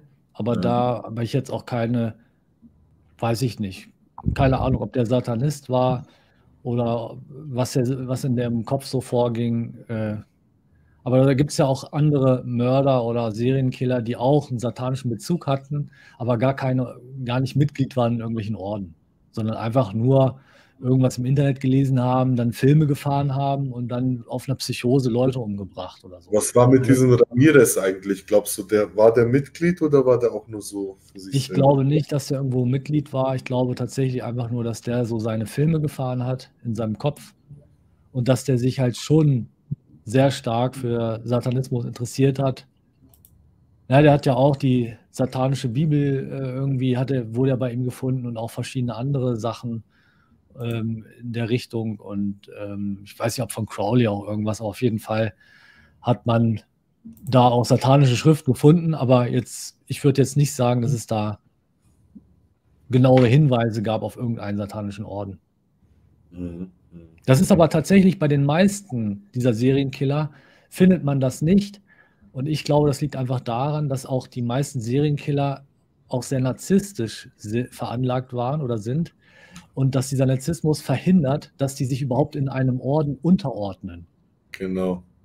Ja. Das glaube ich auch, ja, ja, das stimmt. Ja. Und was, was machst du so in nächster Zeit so? Was machst du? Machst YouTube-Videos, Aufklärung, was, was machst du noch so? Genau. Ja, also hauptsächlich jetzt so nach außen mache ich eben diese Videos. Ähm, ja, privat arbeite ich halt, habe äh, verschiedene Sachen, an denen ich äh, arbeite halt. Das sind mehr so Internet-Business-Geschichten, ne? Und ähm, ja, da rede ich jetzt offen eigentlich nie so drüber, so beruflich, äh, das trenne ich halt einfach. Ich habe so mein okkultes ja, Ding, dann habe ich mein Privatleben und was ich privat mache oder was ich arbeite, da. da Warst du mal in den Mainstream, Mainstream-Medien so? Wie, wie ist da? Gab es da mal Interesse irgendwie? Es gab mal, das war aber noch zu Zeiten, wo ich Satanist war. Da war ich relativ, äh, da siehst du, das hätten wir auch mal einblenden können. Ich gucke mal eben, ob ich das noch finde, weil das wäre vielleicht auch nochmal interessant für die Menschen hier. Es gab mal einen Zeitungsbericht über mich. Da bin ich als Satanist in einen Konflikt geraten, wo es auch um einen bewaffneten Konflikt ging, wo ich ein Messer dabei hatte. Moment. Und äh, da wurde ein Zeitungsartikel über mich verfasst. Ich schaue mal eben, ob ich können das wir ja nächstes Mal, können wir ja nächstes Mal behandeln. Ist jetzt nicht so. Ja, ja, ich gucke. Aber ich meine, seit du ausgestiegen ist, dass die Medien da irgendwie Interesse haben oder sowas, ist nicht so der Fall. Nee, das tatsächlich nicht. Es ist vielleicht, es ist denen vielleicht zu weit weg oder vielleicht haben die auch keine Ahnung, äh, können das schlecht einschätzen oder finden das zu unglaubwürdig oder zu fantastisch. Ich, ich kann es dir nicht sagen. Ja.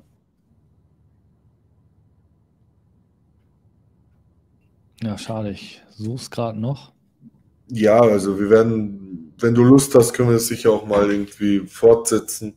Ja, Klar. mit einem anderen Schwerpunkt oder sowas. Vielleicht sind da noch irgendwelche Fragen im Chat. Ja, also wenn ihr Fragen habt, dann stellt sie jetzt. Dann würden wir ansonsten auch gleich beenden. Genau. Ich gehe dann noch ein bisschen live auf TikTok. TikTok ist nicht so deine Plattform. Ja? Tatsächlich habe ich immer mehr darüber nachgedacht, auch mal auf TikTok zu gehen. Aber glaub mir, solche Kurzclips so mit Satanismus, boah, das, das könnte schon gut viral gehen. Aber genau, eine Sache, die wollte ich noch sagen, die finde ich auch so lustig. Da hatten wir ja auch kurz drüber geredet ne, dieses Ding mit den Euro-Shisha-Muslimen und es gibt, es gibt ja auch diese TikTok-Satanisten. Das ist, das ist richtig.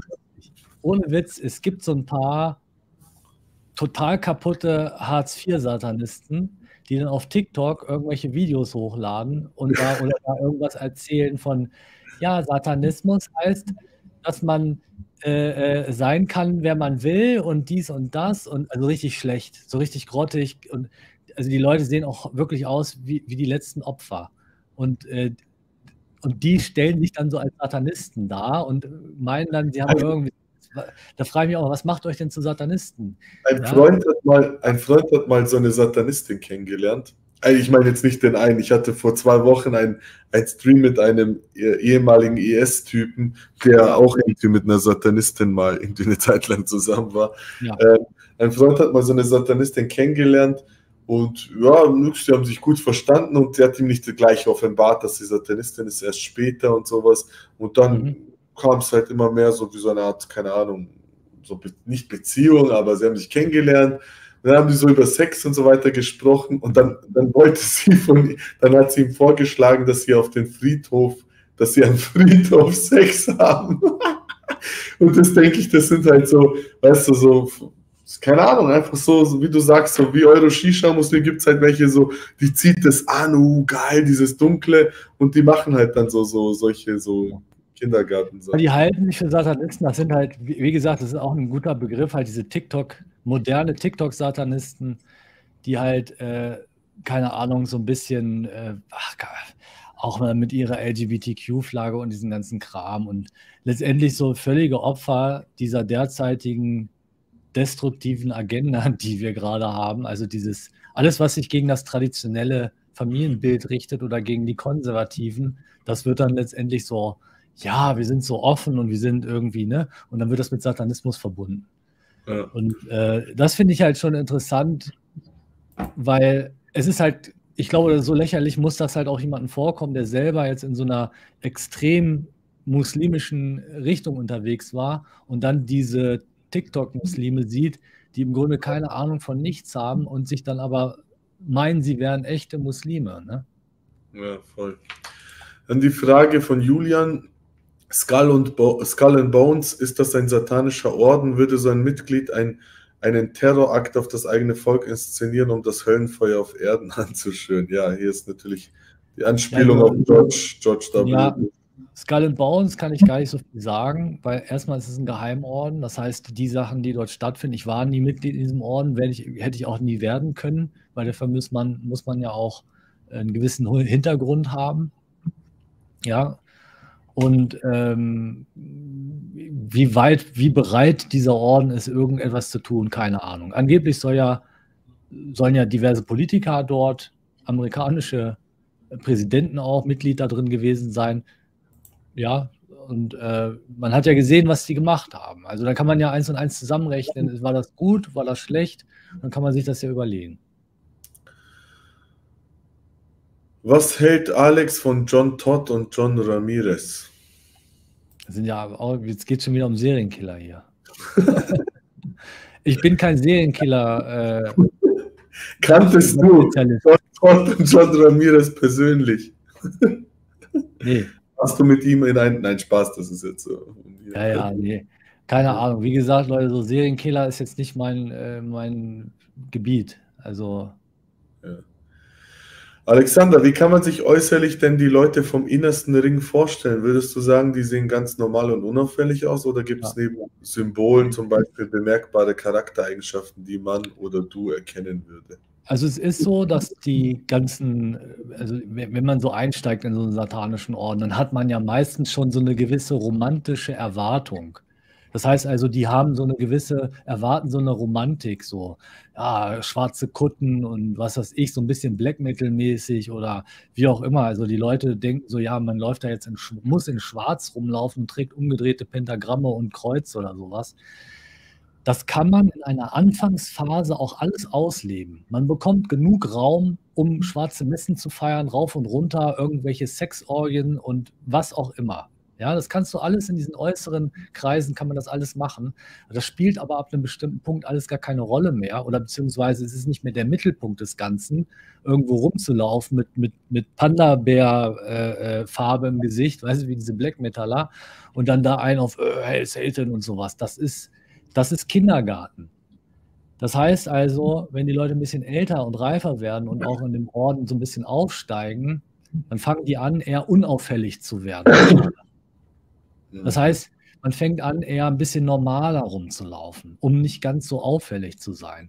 Weil es ist völlig kontraproduktiv, wie so ein, wie so ein Metaller da, wie so ein Rocker durch die Gegend zu laufen und die ganze Zeit mit irgendwelchen Pentagrammen und Heil Satan schreiend durch die Gegend zu hüpfen, das ist affig, das macht keiner von denen. Das heißt also, in den inneren Kreisen ist es eher so, dass die Leute versuchen, unauffällig zu sein und nach außen sehr normal aus, also zu wirken. Und es ist auch so, dass viele, die in diesen äußeren Kreisen sind und eben eher so ja, diese, diese romantischen Black Metal-Allüren haben, dass die auch gar nicht mehr weitermachen irgendwann, sondern dass sie einfach im äußeren Kreis hängen bleiben und dann da so rumdümpeln und manchmal treten dann Leute auch wieder aus. Und das ist in den äußeren Kreisen ja auch überhaupt gar kein Problem. Ja, und insofern, ja. Ja. Ja, ich würde an der Sa Stelle sagen, belassen wir es dabei. Wir haben dich genug mit Fragen gelöchert. Ja, Alexander, hat auf jeden Fall echt Spaß gemacht. War sehr, sehr interessant, sehr, sehr spannend, was du, was du, was du erzählt hast.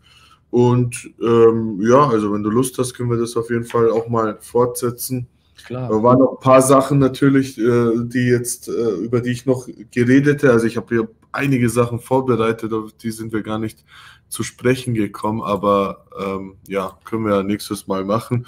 Ja, ja wenn das zu lange ist, dann können wir das gerne machen. Also ja, wer sich für, für, für deine Sachen interessiert, äh, Alexander Stier, okkultes, okkultes Wissen, ja, so mhm. heißt der Kanal.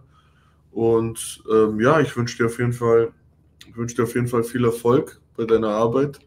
Ja, Dito, wünsche ich dir auch, Irfan. Ich finde deine Arbeit ja auch super klasse. Ich gucke mir deine Videos ja auch schon sehr lange an und äh, bin immer wieder gerne bei den Livestreams dabei gewesen, auch manchmal bis spät in die Nacht. Ich habe auch mal wieder gut gelacht, weil da kam ja auch, es ist ja auch teilweise auch echt absurd und witzig, was da so abgeht im Islam. Teilweise sind das ja richtig absurde Sachen. Und äh, ja, ist immer wieder unterhaltsam.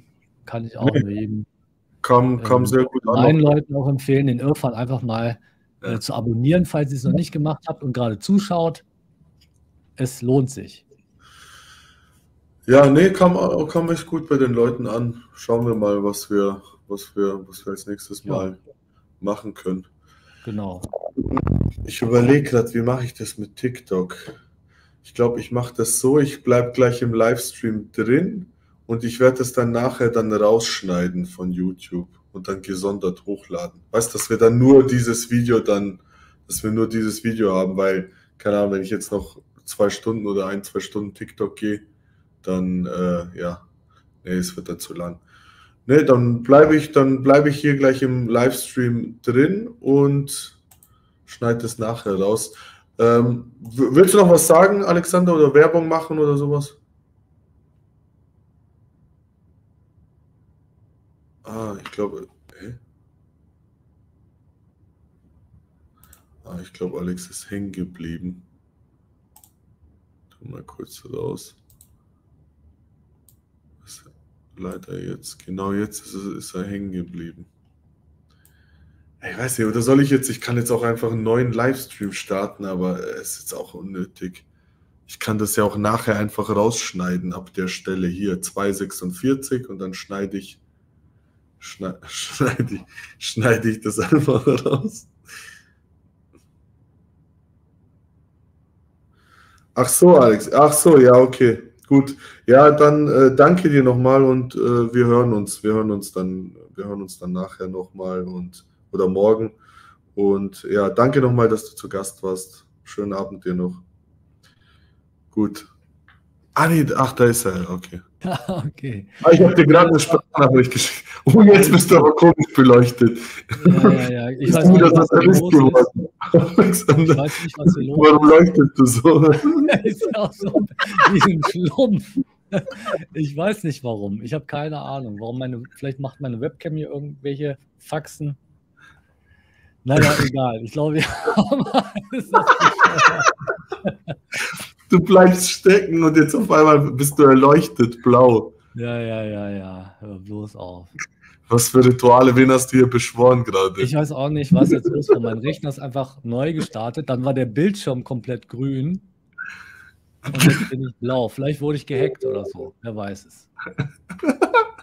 ja, nee, ich hatte eh gesagt. Ja, gut, Alex, dann wie gesagt, äh, hören wir uns einfach. Ja, wenn du wieder Zeit hast oder so, schauen wir genau. spontan, genau. machen wir noch eine Fortsetzung, Teil 2. Es kommen ja auch, können ja auch Sachen immer wieder dazukommen, ja, die man dann analysieren kann, quasi aus dieser Perspektive. Klar. Und ja, dir noch einen schönen Abend. Falls du noch was sagen willst, bitteschön. Ja, danke auf jeden Fall, dass ich hier sein durfte ja, ja. und äh, hat echt Spaß gemacht. War auch äh, super spannend abzugleichen mit dem Islam und Satanismus ja. und alle anderen da draußen, lasst die Finger davon, von diesen ganzen Extremismen. Ihr braucht das nicht, um ein glückliches, erfülltes und Leben mit Wohlstand und Liebe zu haben. Dafür braucht man diese ganzen Orden und, und extremen Richtungen braucht man nicht. Ganz im Gegenteil, die führen eher dazu, dass ihr ein sehr trauriges und vielleicht irgendwann auch ja, gar kein Leben mehr habt. In ja. diesem Sinne.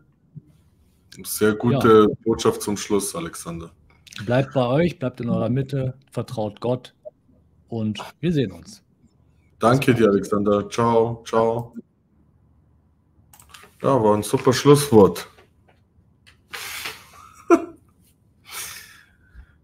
nee, war echt, war echt interessant. War echt, war echt sehr, sehr gut. Also war echt sehr, sehr gut, sehr, sehr interessant. Ja, wie gesagt, ich kann jetzt den Livestream beenden und dann einen neuen mit TikTok starten oder ich kann gleich drin bleiben, weitermachen, dann könnt ihr auch gleich drin bleiben. Und dann, und dann, ähm, ähm, und dann kann ich das nachher bei YouTube, dann kann ich das nachher bei YouTube einfach rausschneiden.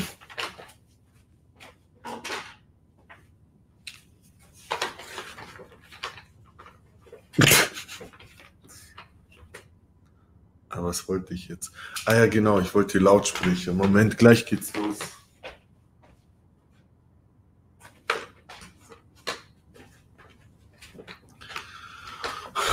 Sollen wir überhaupt noch live auf TikTok?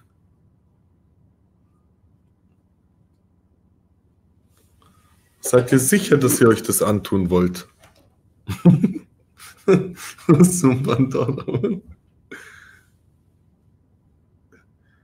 Seid ihr euch sicher, dass ihr euch das antun wollt auf TikTok? Was ist das, Mann?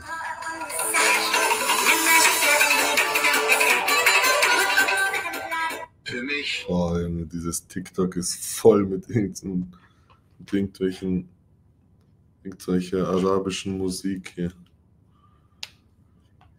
Gut, dann gehen wir nochmal TikTok-Zerfetzungen machen. Moment.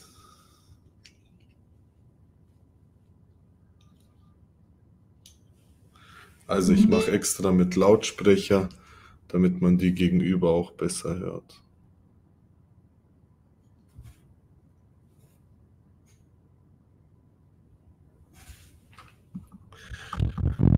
Wie ist der Ton übersteuert gerade?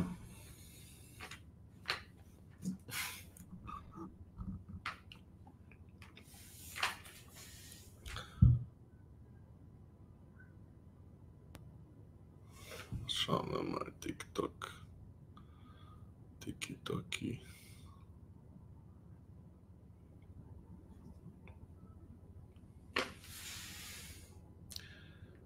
Sag mir mal Bescheid in TikTok, ob ihr, ob ihr, ob der Ton gut ist.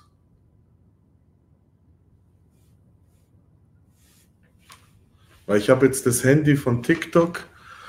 Das Handy von TikTok habe ich verbunden mit Lautsprecher, damit man die gegenüber besser hört.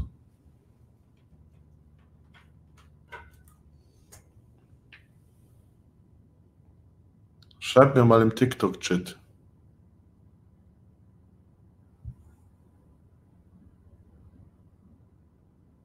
Hört man mich auf TikTok?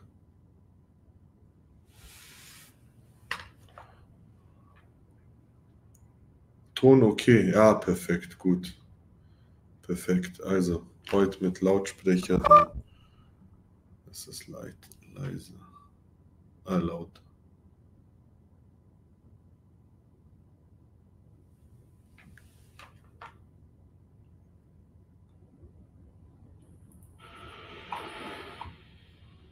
Irfan, hallo, hörst du mich? Hi, ja. Alles klar. Ja, ich wollte einfach mal äh, reden, so was ich so hier ge gehört habe, wenn es geht, ja? Ja, ja. So, so einfach, ein, einfach meine Gedanken, ne? So, ähm, ich bin erstmal froh, dass ich jetzt dabei bin am Anfang, weil ich habe ein bisschen Angst bekommen. Ähm, letztes Mal, da hattest du Leute drin, keine Ahnung, die machen mir halt Angst, so. Und ich wollte aber trotzdem mal mit dir reden und einfach sagen, weil es wurde gesagt, äh, wegen Blut und Herkunft und so weiter, äh, du würdest nie ein richtiger Deutscher sein und so ein Quatsch halt, kann ich halt absolut nicht äh, nachvollziehen. Ich finde diese Argumentation Quatsch. Danke. Und das sage ich als äh, richtige Bio-Kartoffel, also hat mein Wort Gewicht. Ähm, ja. Vielen Dank, danke dir. Warte ganz kurz, Test, äh, ja. der Ton ist gut jetzt mit den Lautsprechern, auch auf YouTube, weil vor letztem Mal war es ein bisschen leise. So sollte es optimal sein, glaube ich. Gut. Ähm, und äh, es wurde zum Beispiel gesagt, warum verhältst du dich wie Jürgen und Klaus? Also so abwertend, als wenn man ja. halt komisch ist, wenn man ja, so genau. ist wie du.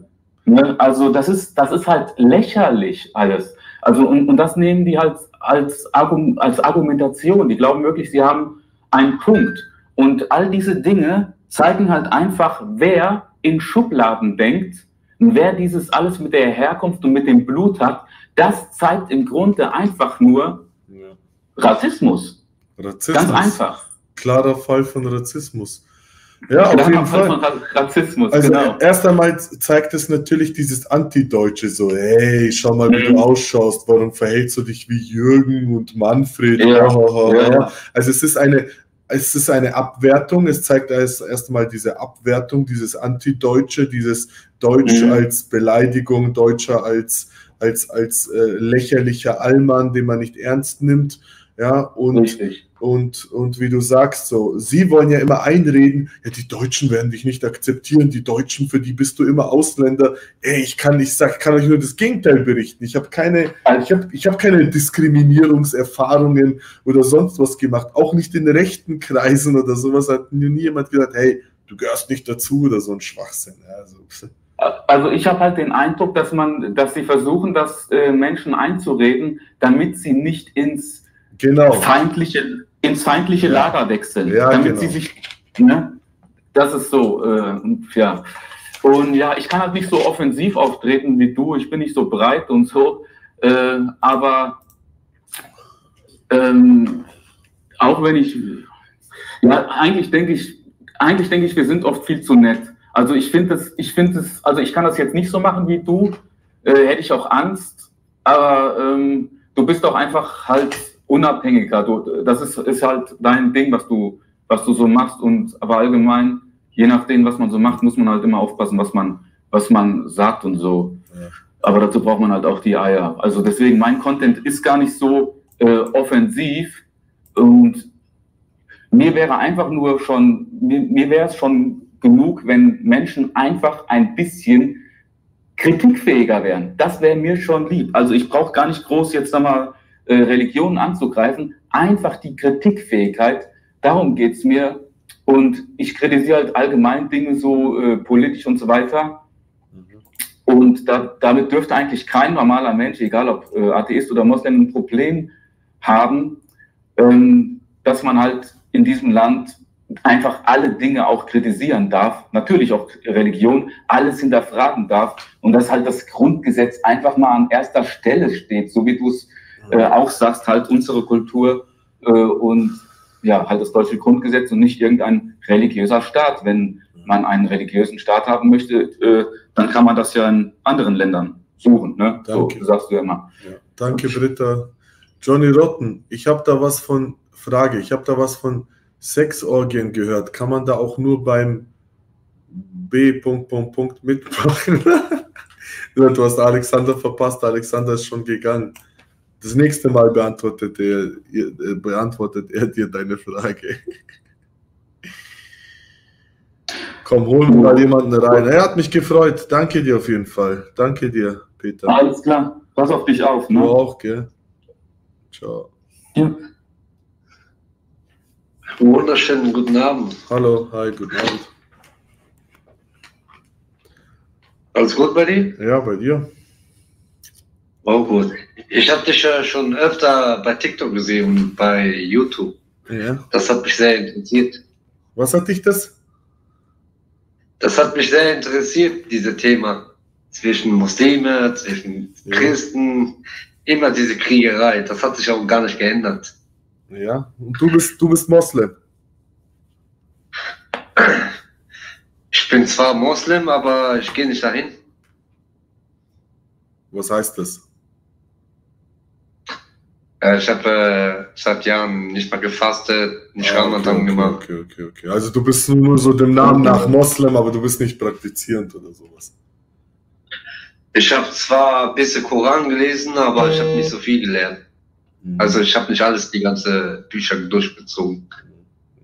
Und, und, und warum so, hast du kein Interesse so für Islam? Das interessiert dich nicht so sehr, oder?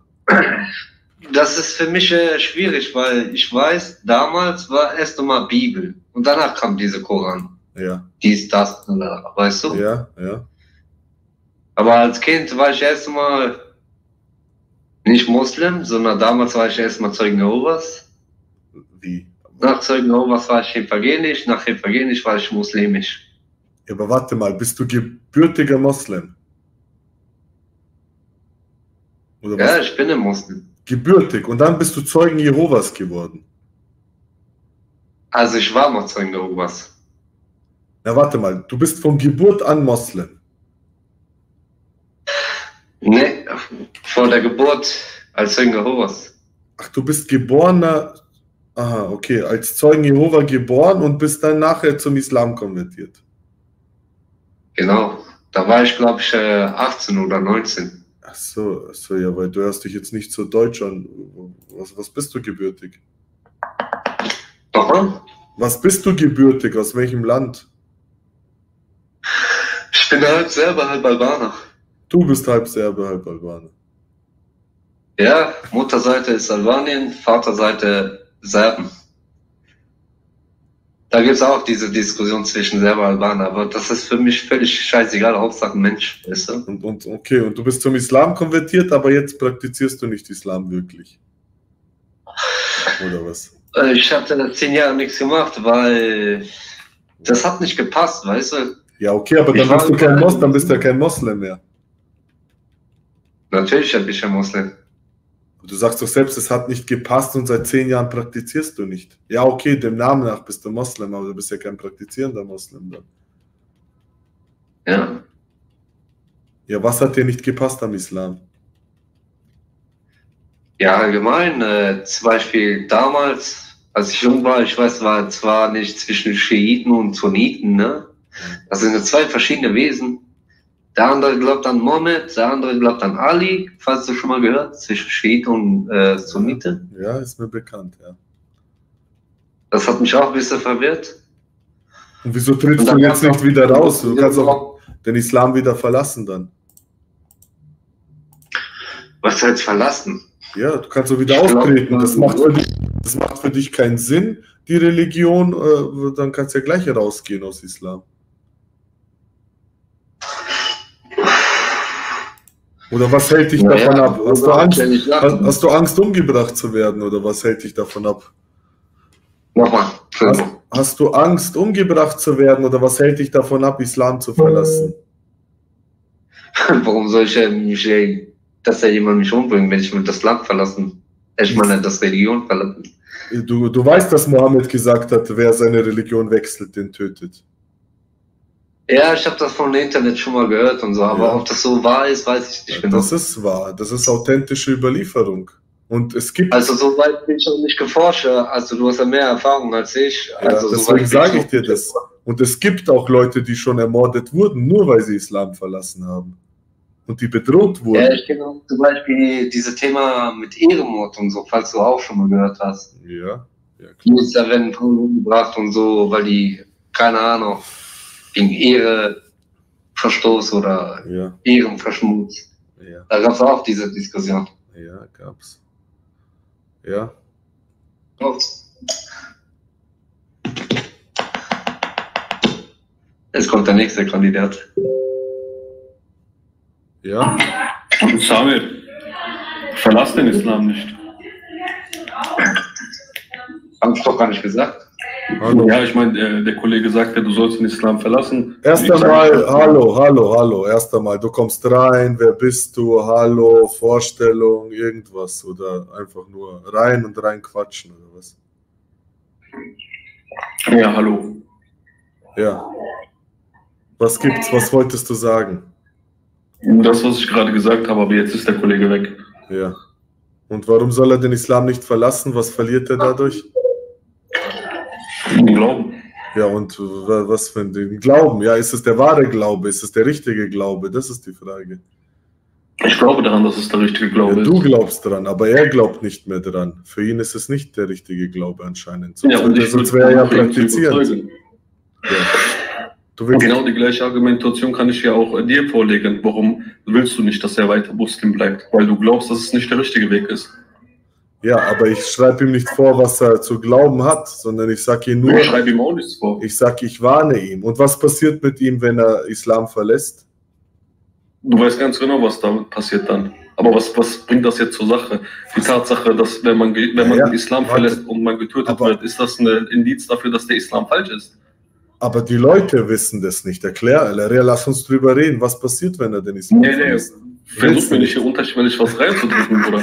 Willst du nicht drüber reden, oder was mit passiert, wenn man Islam Ja, weil wir in TikTok sind, über gewisse Themen kann man hier nicht reden. Genau wie ich jetzt nicht über also, einige Fakten über den Christentum nicht reden darf, wo auch sehr heftige Sachen drin steht und du weißt das. erst einmal das Christentum äh, und äh, du kannst, man kann über alles reden. Schau mal, du sagst einerseits, Islam ist wahrer Glauben und jetzt machst du so eine geheime Religion draus. Auf TikTok darf man nicht drüber reden. Warum darf man auf TikTok nicht drüber reden? Red doch offen über deinen wahren Glauben. Was gibt es da? Gibt es da Dinge, die man verstecken muss oder was ist da?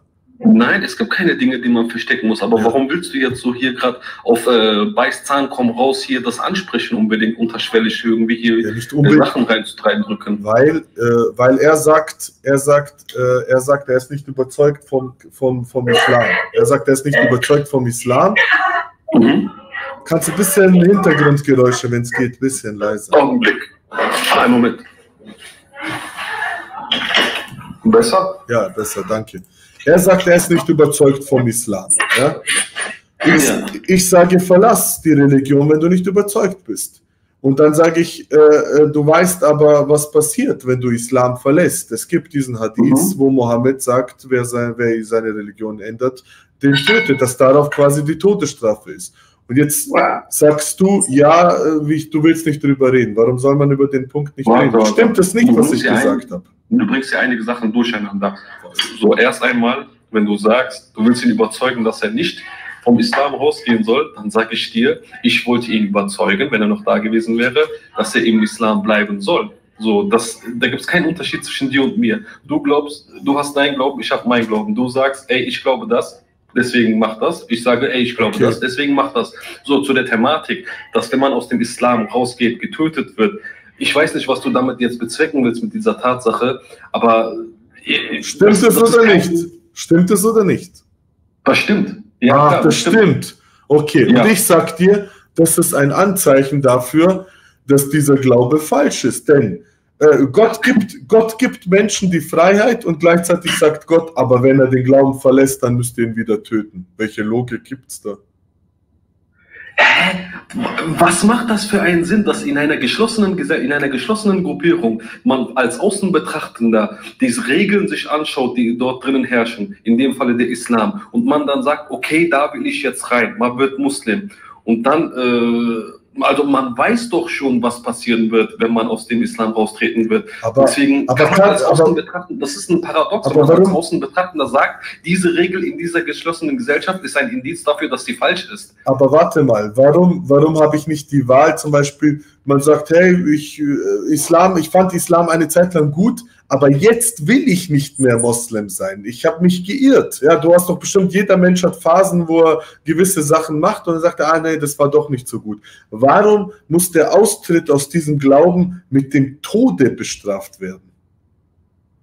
Da bin ich ehrlich gesagt, ich gebe das auch zu mit meinem Wissen jetzt über, äh, das Wissen habe ich nicht. Warum? Da geht es nicht um äh, Wissen, da geht es um Menschlichkeit. Jetzt überleg mal, jetzt er kommt und er wird Moslem, du befreundest dich mit ihm und so weiter, ihr seid Brüder und dann sagt er, schau, ich mag dich, du bist mein bester Freund und so weiter, aber Islam ist nichts für mich, ich will Atheist werden oder Christ oder sonst irgendwas.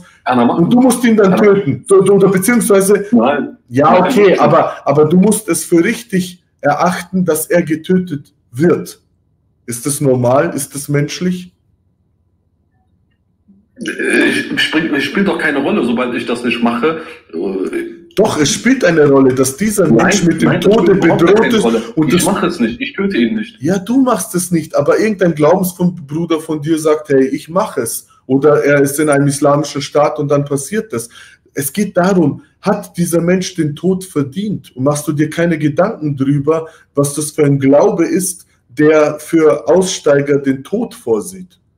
Ist das nicht ein seltsames für Gottesverständnis? Für mich, für mich als Gläubiger, äh, das Credo, woran ich glaube, sagt sowieso, derjenige, der aus dem Islam raustretet, wird für, für immer und ewig in die Hölle landen. Für immer so. ewig in die Hölle landen. Genau, genau.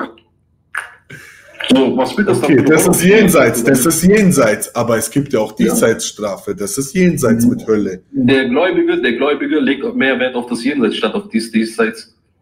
Ja, okay, ewige Hölle ist ja noch schlimmer als Diesseitstod. Absolut, ne? Aber ich meine, du redest gerade nur über den Islam. Jede Religion äh, ist genau dieser. Jede Religion, jede Religion sieht den Tod vor für Leute, die aussteigen, willst du behaupten?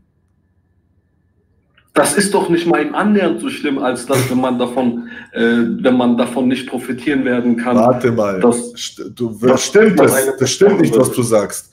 Im Christentum gibt es keine Todesstrafe für Aussteiger. Im Judentum gibt es keine Todesstrafe. Im Hinduismus, im Buddhismus, in allen gibt es nicht. Gibt es diese Strafe nicht. Nur im Islam, nur im Islam und in, äh, was weiß ich, wir hatten jetzt Thema äh, äh Satanismus. Ja, Satanismus gibt es auch die Todes Todesstrafe für Aussteiger. Ja, aber genau das meine ich doch. Das was ist nicht mal annähernd so schlimm, äh, im Gegensatz zu dem, was diese Leute im Jenseits erwartet. Ja, aber es ist doch, wir reden jetzt, schau, jenseits, jenseits, du sagst, du sagst, er kommt ewig in die Hölle, deine Vorstellung, ein anderer sagt, Nein, das ist nicht so. Weißt du, du kannst behaupten, was du willst, ich kann behaupten, was ich will. Keiner, ja. von, keiner von uns kann das jetzt im Diesseits beweisen, was im Jenseits passiert. Deswegen müssen wir nur über dies, deswegen sprechen wir über Diesseits jetzt. Ich kann dir aber sagen, Diesseits hat das diese Konsequenz. Was sehr schlimm ist, dass Leute sterben müssen, Angst haben müssen, wenn sie aussteigen. Christe? Bist du Christ oder Christe? Ich weiß nicht, wie das ausgesprochen wird. Sorry. Christe. Christ bin ich, ja. Okay.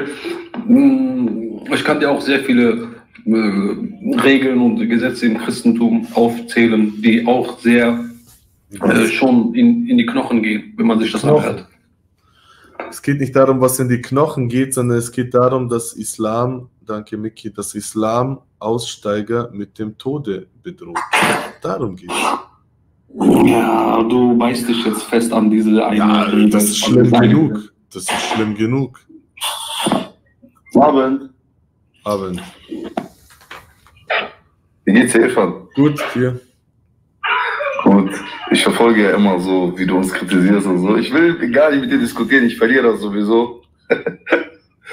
Aber ich würde dir ans Herz legen, einfach mal bei einer schönen islamischen Familie essen zu gehen und mal mit Leuten zu sprechen, die ein bisschen was im Kopf haben, weißt du, weil immer diese Leute auf den Demos, äh, da sucht ihr euch immer die richtigen raus, du, weißt du? Du weißt, schon, mal, du weißt schon, dass ich gebürtiger Moslem bin und bei ich was weiß ich, wie viel islamischen Familien gegessen habe.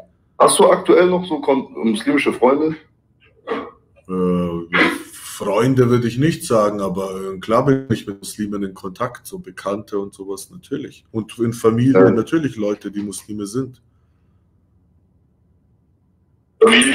Aber jetzt höre ich mich ja. doppelt. Aber was, was Schau bitte, dass du das ausmachst. Ja. Die Frage ist halt, was ändert es jetzt daran? Ich gehe jetzt zu einer muslimischen Familie essen, Essen schmeckt gut, Familie ist nett. Was ändert es dann? Ändert gar nichts, weil meine Kritik ist nicht an irgendeiner einzelnen muslimischen Familie, sondern äh, meine Kritik ist am Islam als Ideologie, als in der Theorie ja, und die Taten der Moslems, dass es nette islamische Familien gibt, ja, die gut kochen können und wo man schön und gut essen kann. Das weiß ich, ja, das habe ich ja selbst schon äh, erfahren auch. Ja, also das war ja nicht so. Weiß ich, ja, das habe ich ja selbst schon. Äh, Aber äh, Abo Ali, man hört dich, man hört das leider doppelt die ganze Zeit. Deswegen, ich weiß nicht, irgendwas musst du da machen.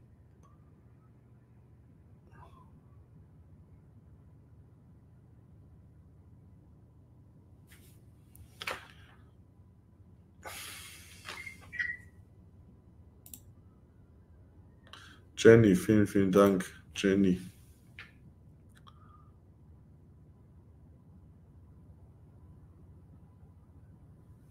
Danke, Miki.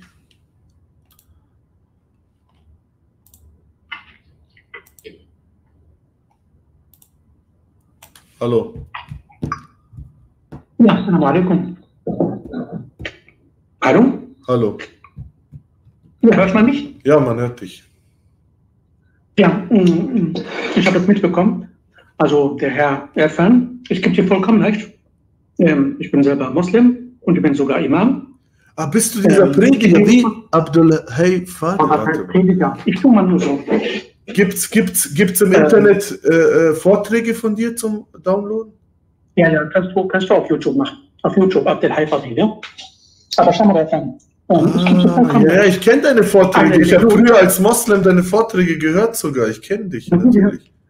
Ja. Ich hoffe, ich war nicht der Grund, warum du aus dem Islam ausgetreten bist. Nein, nein, deine Vorträge waren gut. Ich kann mich erinnern, so Vorträge so über das Wesen von Engel, glaube ich, und so Schicksal ja, und so waren interessante Vorträge. Waren Aber schau mal, Erfan, ähm, ich möchte dir sagen, ich gebe dir vollkommen recht, ja.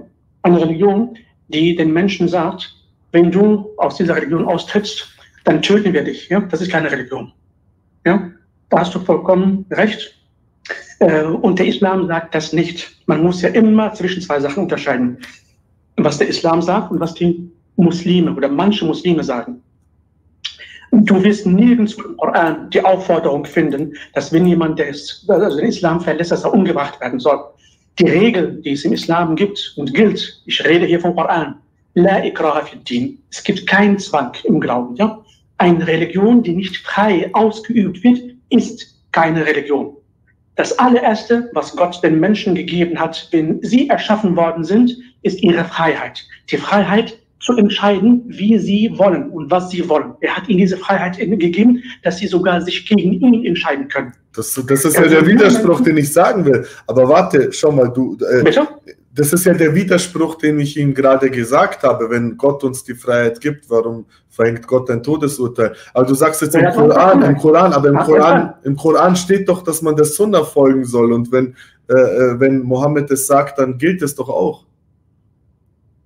Nein, also wir haben, schau mal, mein Lieber, schau mal, lieber. Also ich gucke hier, was, was Mohammed äh, gesagt hat und getan hat. In der Geschichte wirst du nirgendwo was finden, dass Mohammed irgendjemanden getötet hat, weil er nicht gläubig ist oder vom Islam abgefangen ist. Ja?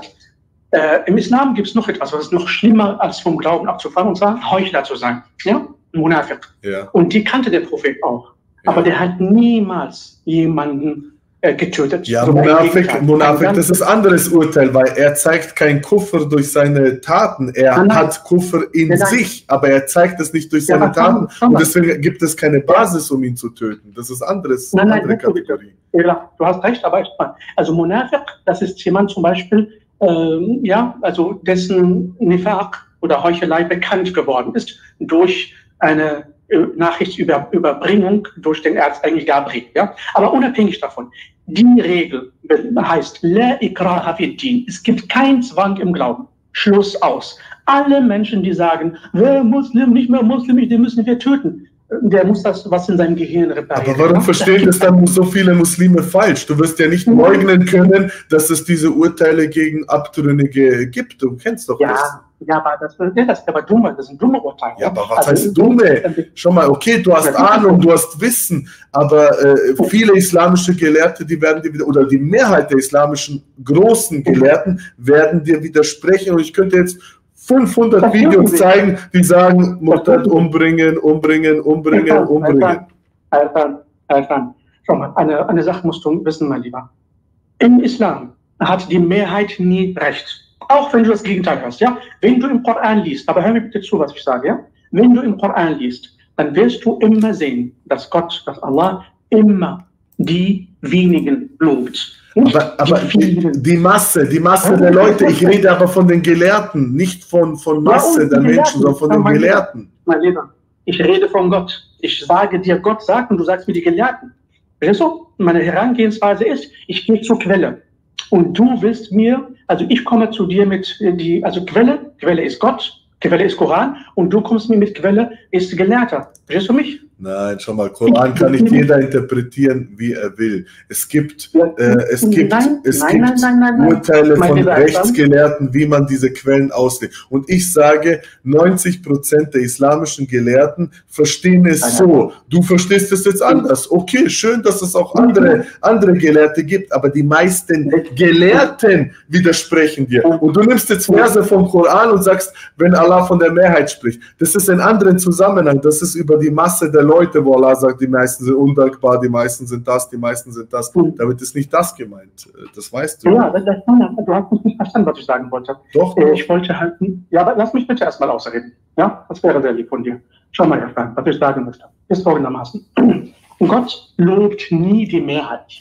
Ja, das ist keine, keine, ja, das ist keine, kein Grund zu sagen. Wenn die Mehrheit ist dafür und dafür, da können wir auch sagen, in der Zeit von Hitler war die Mehrheit dafür, dass die Juden vergast werden sollten. Ist das richtig? Nein. Das stimmt nicht, würde ich nicht sagen, dass die Mehrheit dafür waren. Du weißt, dass das geheim ja, gehalten nur als wurde. Beispiel, ja, ich mal nur ein Beispiel, ja.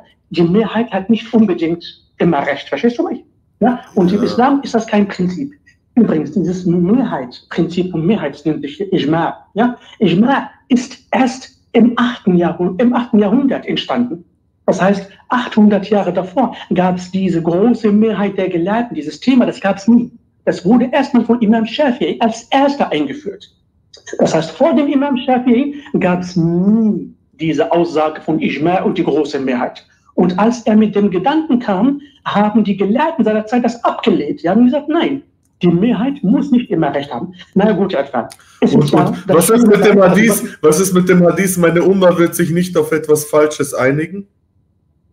Ja, ja er hat aber nicht gesagt, äh, mit meiner Oma äh, hat nicht gesagt, äh, alle, alle Muslime, ja, hat er nicht gesagt. Und das bestätigt ja, was ich gesagt habe. Man ist sich ja nicht einig. Es gibt ja immer eine Gruppe, die sagt Nein. Ja, das Aber wenn ein Ijma, ein Ijma, eine ein Übereinkunft herrscht, dass der Murtad getötet wurde und Mohammed sagt, meine Oma Nein. wird sich nie auf etwas Falsches einigen, dann widerspricht sie. Ja, das ist es ja, das ist es ja. Ich sag's dir ja, Ijma ist etwas Erfundenes von Imam Shafi. Also das, ist, kam weder vom Propheten noch von Gott. Ja, aber wenn Imam Shafi das, das abgeleitet hat von Koran und Sunna, dann hat er ja, trotzdem Gültigkeit. Imam Shafi'i hat persönlich gesagt, der das abgeleitet hat, persönlich gesagt, es gibt zwei, von denen man ohne Diskussion nimmt. Das ist Gott und der da. Und der zeigte auf dem Grab des Propheten. Das heißt, ja. Imam Shafi'i sagt selber, man kann nicht von ihm was nehmen. Und was und ist mit dem Hadith, dass man töten soll, der ist nicht authentisch. Welcher Hadith? Welcher Hadith? Bitte. Welcher, ja, wer, wer, wer, meine, wer, seine Religion wechselt, den, den tötet. Ich, ich, weiß jetzt nicht mehr auf Arabisch. Nein, nein, äh, den gibt es also, den gibt's nicht, den kenne ich nicht mehr, Bruder. Den wir, wissen, wir wissen nirgendwo, also nirgendwo hat niemals der Prophet jemanden getötet. Wir haben Fälle, wir haben Situationen, wir haben einen sogenannten Sahabi.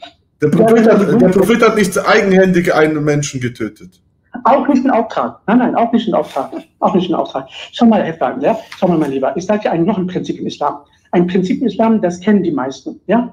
Äh, die meisten kennen diesen Prinzip nicht. Im Koran steht geschrieben, Al-Hukmu illa lillah. Ja. Urteilen darf nur einer. Nur einer darf urteilen. Wer ist das? Gott. Wir Menschen, wir Menschen oder wir Muslime, wir haben nichts zu tun. Und deswegen mischen wir uns in den Angelegenheiten anderer Menschen ein. Oder das ist aber eine sehr komische, komische Interpretation ja? dieses Vers. In diesem ja, Vers, wenn du im Tefsir schaust, geht es, geht es um Hukum äh, Allah als Gesetzgeber. Als Gesetzgeber, da geht es doch nicht. Nein, nein, Urteile. Meine, du, man muss sich mit, mit, mit Arabisch Ja, was heißt Hukum? Ja? Was heißt ja? Hukum? Ein Hukum urteilen. Ja, Hakama, das kommt von Hakama, ja, Hukman. Hakama, urteilen. Und Hukum ist, also Hakama, urteilen. Yahkumu, er urteilt. Ja. Nein, nein, das ist auch schon drin. Ähm, ähm, ich will damit sagen, also im Islam, ja, im Islam, also eigentlich gebe ich dir recht, außer du willst nicht, ich gebe dir vollkommen recht, was du sagst, äh, weil du gehst ja mit Vernunft an die Sache rein, ja, und Allah subhanahu wa ta'ala, wie es aussieht, hat dir ein vernünftiges, ja, ein Vernunft gegeben, ja, da sieht man das manchmal, dass du einfach die Sachen äh, kritisierst, ja, und äh, sie auch in Frage stellst. Und ich finde, das ist richtig, wie du es machst. Und diejenigen, die halt diese Aussagen ja von irgendwoher ableiten, die werden die Verantwortung dafür übernehmen, dass du, dass so, so jemand wie du da steht und sagt, das kann doch nicht gehen. Das kann, das geht doch nicht. Ich wechsle meine, auf, meine, meine, meine Religion, dann werde ich getötet. Ja? Wir, jeder muss sich um sich selbst kümmern und um seine eigenen Angelegenheiten.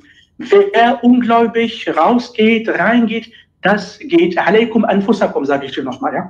Alaykum anfusakum. Noch ein Vers. Dieser Vers heißt, kümmert euch um eure eigenen Angelegenheiten. Lasst die anderen Menschen in Ruhe. Alaykum anfusakum. Wa anil hukmu illa lillah. Das sind ganz klare und deutliche Verse aus dem Koran, die die Sache uns klarstellen. Aber leider ist es so, dass mit der Zeit die Menschen haben den Islam politisch ausgelegt, um halt bestimmte Ziele zu erreichen. Ja? Und dementsprechend haben wir diesen Schlamassel, ja, sowas wie Islamischer Staat und so ein dummes Zeug, ja? die anfangen einfach die Menschen zu töten im Namen von Allah und Allah hat damit nichts zu tun. Ja? Allah sagt im Koran, Ar-Rahman, Khalaq al-Insan, Allamahu al-Bayan. Ar-Rahman, der Barmherzige, Khalaq al-Insan. Er erschuf den Menschen. Was hat er gemacht, nachdem er dich erschaffen hat? Hat er dir beigebracht, Kopftuch zu tragen oder zu beten? Allamahu al-Bayan. Er brachte ihm das klare, freie, deutliche Reden. Was, was das heißt? Al-Bayan. Das heißt, die totale Meinungsfreiheit. Das ist das Erste, was Allah den Menschen, allen Menschen beigebracht hat, nicht nur den Muslimen. Ja? Und dann kommen wir, bestimmte Muslime oder bestimmte Gelehrte, sogenannte Gelehrte, und verändern das und Bayan, Bayan ist doch Beweis oder sowas und nicht Freiheit. Ja, ja. ja mein Bruder, im, im arabischen, der arabischen Sprache, im Koran, gibt es etwas, das nennt sich At-Taraduf. Ja? At-Taraduf bedeutet, dass im Koran ein Wort nicht immer nur eine Meinung oder eine Bedeutung hat. Ja? Du hast mir jetzt eine Bedeutung genannt, ja? Ich habe zum Beispiel im Koran habe ich das Wort Untha. Ja? Untha bedeutet weiblich, bedeutet aber etwas anders. Oder ich habe das Wort äh, Waka. Waka bedeutet Mann, aber bedeutet noch viel mehr. Das nennt man At-Taraduf oder An-Nisa. An-Nisa im Koran bedeutet nicht nur Frauen. Ja, da gibt es viele Bedeutungen. Das nennt man At-Taraduf. Das heißt, im Koran darfst du dich nie auf ein Wort beziehen, sagen, das bedeutet das und das. Ja, ja, aber es kommt darauf an, was eben, wie die Gelehrten es erklären und was in Tafsir steht. Nein, nein, Wenn im Tafsir das so steht, dann. Schau mal, mein lieber Efan, Efan, schau mal, den Vers, du bist ja mashallah sehr gut gebildet. Ja, das merke ich, das gefällt mir, das respektiere ich auch sehr. Schau mal, mein Lieber. Äh, Im Koran findest du nie die Aufforderung, ihr sollt lesen, was die Gelehrten gesagt haben Im Koran findest du geschrieben, أَفَلَا يَتَدَبَّرُونَ الْقُرْآنَ أَمْ عَلَى قُلُوبٍ أَقْفَالُهَا Denken Sie nicht über den Koran nach oder sind Ihre Herzen mit Schlössern verschlossen worden? Erster Vers. Zweiter Vers. Und wir haben den Koran sehr leicht zum Lesen gemacht. Gibt es da niemand, der es lesen möchte? Du wirst nirgendwo im Koran die Aufforderung hören, ja, Muslime, ihr müsst immer gucken, was die Gelehrten sagen. Wenn du gestorben bist, da kann dir kein Imam Shafi'i und kein Albani, niemand helfen. Ja, also kann jeder den Koran, Koran und Sunna selbst, selbst interpretieren, wie er gerade das versteht und wie er das. Äh, kann jeder selbst interpretieren. Ja, man, also Gott, schau mal, ich sag dir, das ist deine Aussage, aber schau mal, ich sag dir, was Gott gesagt hat. Ja? Gott hat gesagt, Wir haben den Koran leicht gemacht um daraus Informationen zu holen. Ja, aber schau mal, du sagst jetzt, Koran ist leicht und andererseits, wo Arabisch musst du verstehen, perfekt. Dann verschiedene Wörter haben verschiedene Bedeutungen und so weiter. Welcher normale Durchschnittsmoslem, bitte, kann den Koran interpretieren oder verstehen? Das ist komplett unrealistisch. Warte mal, Elfan, ich erkläre dir. Schau mal, Elfan, du musst eine Sache wissen auf dieser Welt. Also ich bin, abgesehen davon, dass ich Imam bin, äh, bin ich, ich habe angewandte Physik studiert. Ja, ich bin angewandte Physik, habe studiert und ich habe eine Sache gelernt. Immer wenn ich vor einem Problem gestanden habe, dann gibt es immer zwei Ursachen dafür. Eine Ursache ist, äh, mir, mir fehlen Informationen, ja, oder ich habe falsche Informationen. Eins von beiden. Das, was du mir gesagt hast, kann jeder den Koran verstehen? Das stimmt, du hast recht, das kann nicht jeder. Aber der Koran, mein Lieber, ist in vier verschiedenen Kategorien aufgeteilt. Ja? Alle Verse im Koran sind eine von diesen vier verschiedenen Kategorien. Wir haben die erste Kategorie, das nennt man Al-Jaza'at. Al-Jaza'at, das sind die Verse, wo drin nachzulesen ist, welche Strafe wofür ist. Ja, das nennt man Al-Jaza'at. Okay, das geht, das geht zu weit, das wird jetzt zu lange dauern, dass du das alles erklärst. Ja, ich weiß, ja, ich, aber ich bestreite das aber nicht, das, was du sagst, aber ich sage nur, in, dieser, in diesen Sachen unterscheidest du dich von der großen Mehrheit der Muslime und der Gelehrten und so weiter, die genau das, was du sagst, ablehnen und die meisten Muslime sind nicht in der Lage, den Koran selbst zu interpretieren. Selbst die Araber, die meisten Araber, die können nicht mal, die können nicht mal, äh, die können nicht mal äh, Arabisch richtig und dann sollen die jetzt selbst Koran und so weiter. Ja doch, aber du erklärst zu lange dann mit Koranwissenschaft und so weiter. Aber Nein, nein, das ist ja was, weil dann, dann widerlege ich das, was du gesagt hast. Dann, was dann, dann verstehst du, worum es geht. Was ja, dann verstehst du, worum es geht wenn ich darf, das ist nämlich ein sehr, sehr wichtiger Punkt. Ich hoffe, dass die Zuhörer das trotzdem. Ja, ja, also erzähl, erzähl mal, hört dich. Ich, ich mache wirklich ganz kurz, weil diese Information ist wirklich sehr, sehr wichtig. Also für Muslime und Nicht-Muslime. Also der Koran, der Koran, ja, ist aufgeteilt in vier verschiedene Arten von Versen. Die erste Art habe ich dir gesagt, da sind Verse, wo drin steht, die, also die, die, also die Bestrafung die Belohnung. Diese Verse versteht jeder. Ein Kind, was sieben Jahre alt ist, versteht das sofort, Okay. ohne Probleme. Okay. Dann haben wir die zweite Kategorie. Das sind die, Verse, die uns sagen, was verboten und was, und was halal ist, was erlaubt ist. Diese Verse sind auch von jedem Kind zu verstehen, mit sieben Jahren. Okay. Ja, und dann haben wir eine dritte Kategorie, das nennt sich Al-Mu'amalat. Ja, das ist eine Sache, äh, die nicht essentiell ist, die kannst du verstehen, die fällt dir schwer. Und dann gibt es noch die vierte Kategorie, die nennen wir Al-Kunuz, die Schätze des Korans. Die verstehst du nur in Abhängigkeit von, dem, von der Entwicklung deines Bewusstseins. Ah, das heißt, diese ersten beiden Kategorien, worum es geht, Halal, Haram, Bestrafen, versteht jedes Kind. Und das muss jeder. Warum kommt es dann zu verstehen. so vielen Miss-. Warum kommt es dann Ja. zu so vielen Missverständnissen, wenn das jeder versteht? Ja, weil die meisten nicht den Koran lesen. Die meisten lesen nicht den Koran. Die meisten lesen den Koran nur im Fatana zusammen. Aber Allah sagt, du sollst Tadabbur machen, du sollst darüber nachdenken, über den Koran. Nicht lesen, lesen, lesen, Hasanat, Hasanat, Hasanat. Das findest du nirgends im Koran geschrieben steht. Steht, Afala yatadabbarun Koran. Denken Sie nicht okay. über Koran. Aber was hat das alles, was hat das alles jetzt damit zu tun? Verstehst du? Wir reden über, die, über Murtad und du sagst, ja, das steht nicht im Koran. Ja, aber es steht in Ja, der Sunna. deswegen haben wir darüber geredet, meine Eltern. Ich bedanke mich ganz herzlich, dass ich mitreden durfte. Vielen Dank und ja, Dankeschön. Okay, danke. Danke, Abdullahi. Alles Gute. Sehr, sehr gerne, mein Lieber. Alles Gute wünsche ich dir auch. Ja, dann tschüss. Ciao, ciao. Ja, gleich mache ich Kamera an. Die Dings Akku ist leer. Ja, also auf jeden Fall, ich habe jetzt nicht genau verstanden. Ich meine, es gibt eine genaue Reihenfolge, wie was zu verstehen ist. Nicht jeder kann einfach den Koran interpretieren, wie er will, abgesehen von den ganzen problematischen Inhalten im Koran, die, wenn du sie auch selbst so verstehst oder wenn Moslems jetzt, Muslime anfangen, den Koran so zu interpretieren und wie sie ihn gerade lesen, wie sie ihn gerade verstehen, äh, dann hätte das noch katastrophalere Folgen. Also es ist natürlich kommt es darauf an, natürlich kommt es darauf an, wie die islamischen Gelehrten, die islamischen Gelehrten es interpretiert haben und die haben es halt alle oder überwiegend genauso interpretiert. Und wenn ich etwas kritisiere, dann kritisiere ich das auch immer mit islamischen Quellen. Ja, ich sag nicht, ja, ich verstehe das so oder was weiß ich, sondern sondern eben mit islamischen Quellen. So, gleich geht's weiter. Ich tue jetzt nur die Kamera einrichten, dann hole ich noch jemanden rein.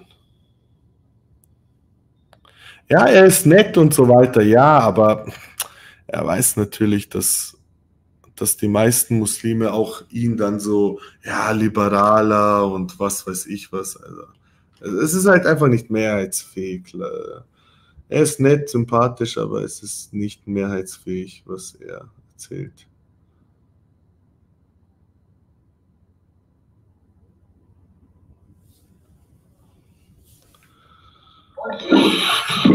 Oh, Eva, meine Freunde, Oh wie geht's dir? nein, nicht schon wieder Kilmendi Sujuk, Mann. Schon wieder Kilmendi Sujuk. Wie läuft's mit Kilmendi Sujuk Verkauf?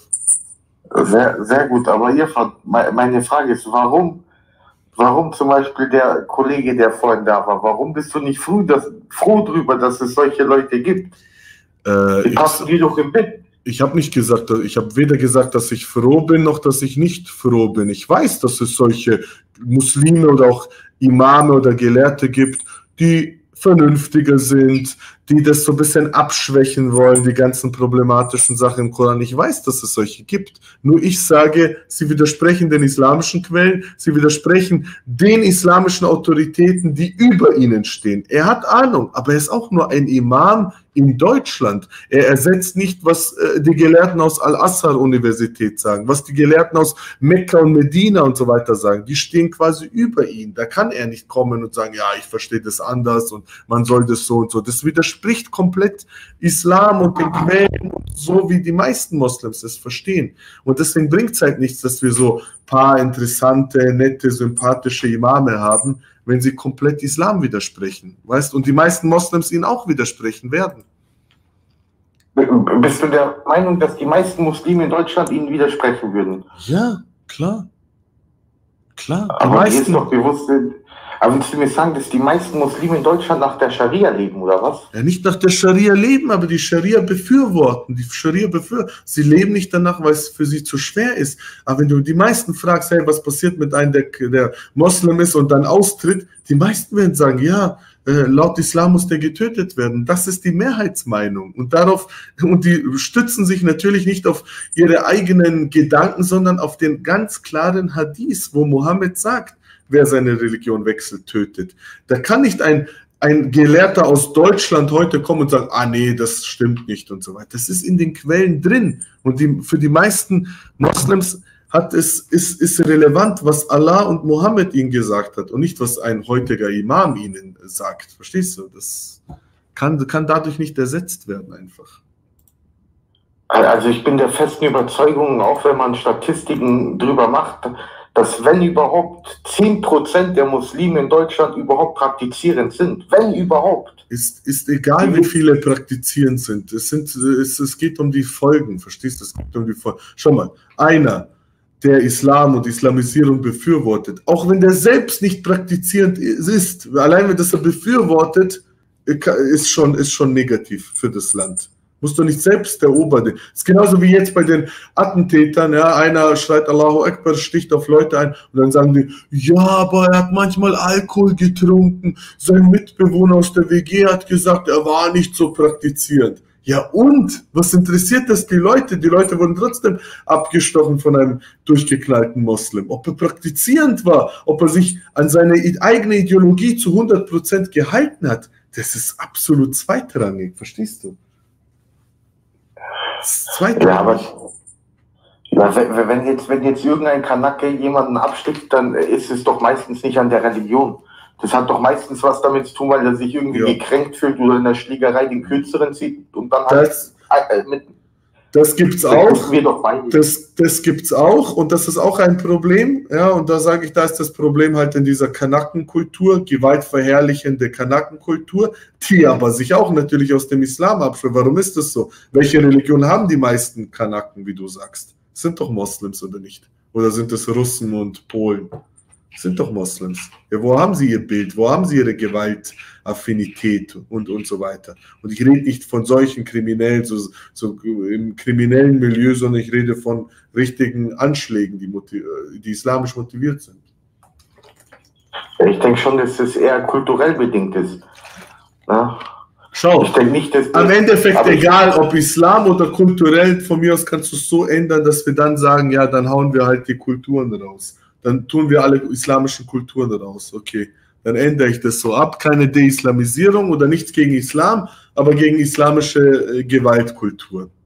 Kannst du von mir aus sagen. Islamische Gewaltkultur. Ja, islamische Gewaltkultur ist das.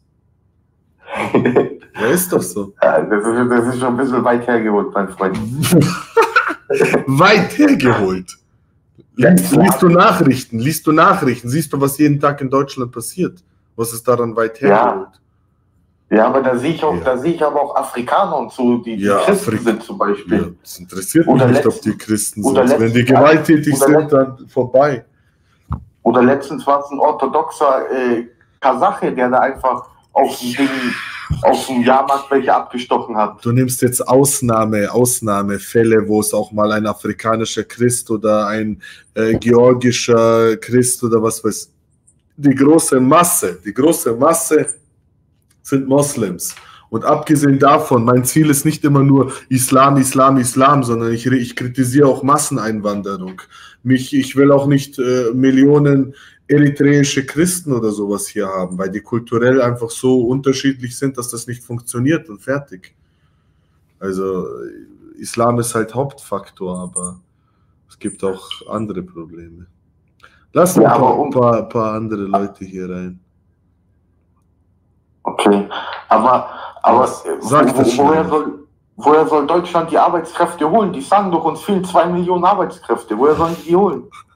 Bitte komm, bitte komm mir nicht mit Arbeitskräftemangel erst einmal. Aber wie viele Arbeitslose gibt es, wie viele deutsche Arbeit oder wie viele Arbeitslose gibt es schon im Land. Die kann man umschulen, die kann man besetzen und so weiter. Das, was fehlt, sind hochspezialisierte Fachkräfte äh, in gewissen Bereichen und die Asylanten, die herkommen, sind die letzten, die letzten, die überhaupt zu so etwas äh, die dafür geeignet sind. Weder sind sie qualifiziert dafür, noch sind sie geeignet. Und wir sehen seit, seit 2015 Fachkräfte, Fachkräfte, Fachkräfte. Millionen kommen ins Land. Millionen kommen ins Land und immer noch Fachkräfte, Fachkräfte. Ja, ich, wir haben doch schon Millionen reingeholt. Warum sind, warum wird, werden die Stellen nicht besetzt, wenn es darum geht? Das ist eine von vielen Lügen. Es ist eine von vielen Lügen, um die unkontrollierte muslimische Masseneinwanderung zu rechtfertigen. Es ist nichts anderes als eine riesige Lüge.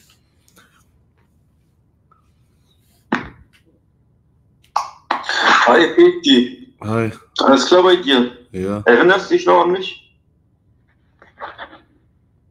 Hallo? Warum sollte ich mich an dich erinnern? Achso, hört man mich? Weil ich sehe gerade. Ja, man hört dich. Achso, okay, ja, wir hatten nur letztens diese Diskussion gehabt. Wegen da war der Elia ja mit dabei und da meinte er, ja, da ging es ja um äh, Geopolitik und so, weißt du noch? Ja, was genau? Wo ich gesagt habe, dass Soros mit, äh, mit da reinhängt, also dass er da was zu tun hat mit Amerika und Ach so. so, ja, ja, ja, ja, ich erinnere mich, ja, genau. Weißt du noch, ja, ja, da habt ihr mich einfach so rausgekickt, weil ihr meint, ich wäre Moslem oder so.